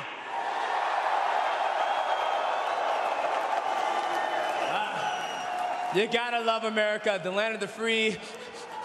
You smell that? That tastes delicious. That sound, smells like freedom. Okay. All right, first things first. Shout out to my partners, Zekin, Portable Consultant, Quantum Energy Squares, Evolve MMA. All right, let's talk business. What's up?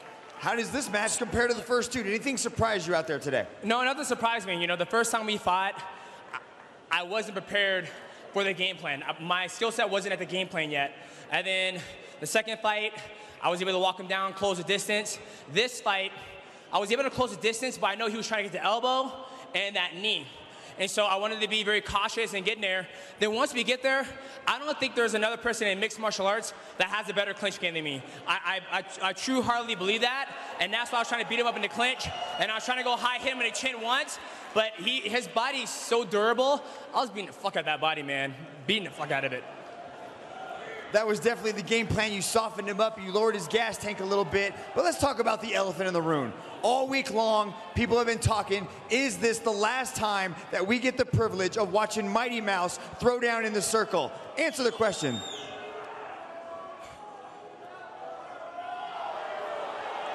You guys want you guys want me to keep on fighting?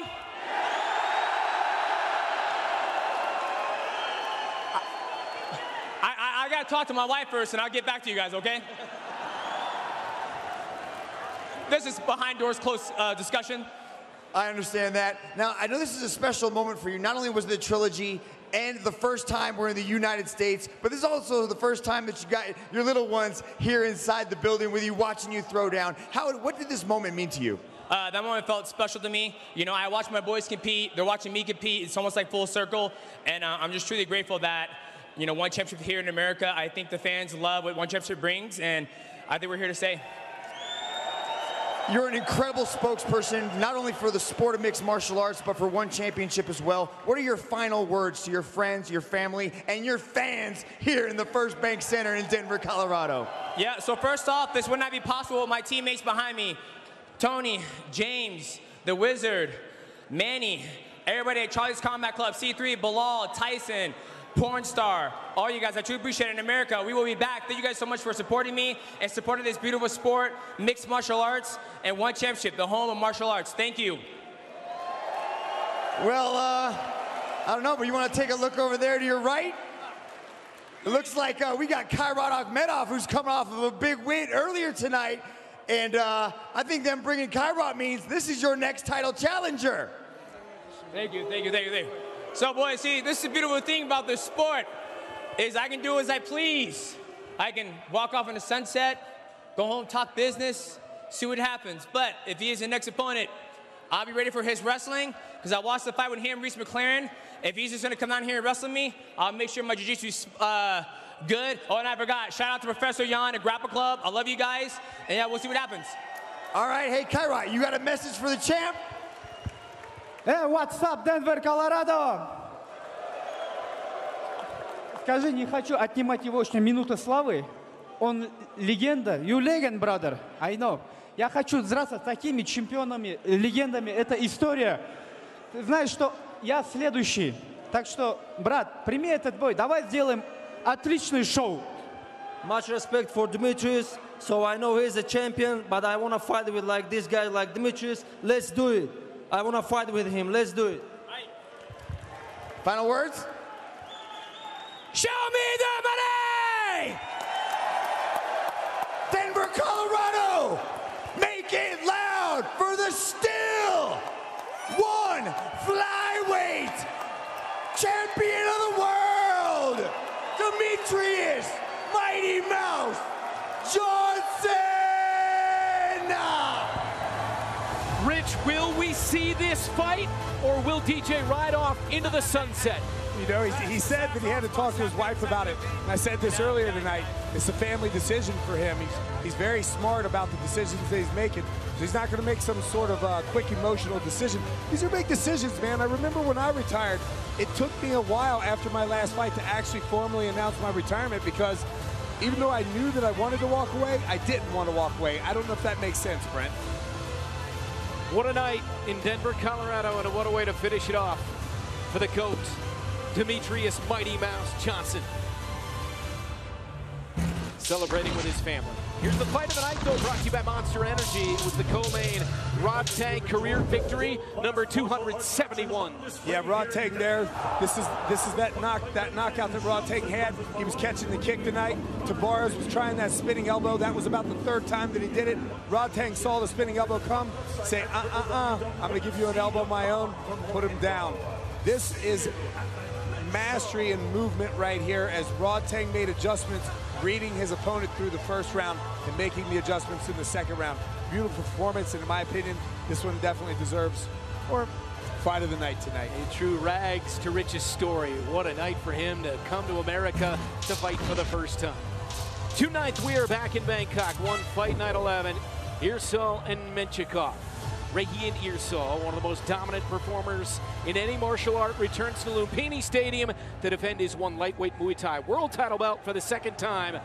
And for Menshikov, it's his one championship debut. That's our next one, June 9th from Bangkok, Thailand. An historic night here for one championship, first time ever in the United States. What a show it was for one. For Rich Franklin, Mitch Chilson, and our entire one championship crew, I'm Brent Stover saying so long from Denver, Colorado.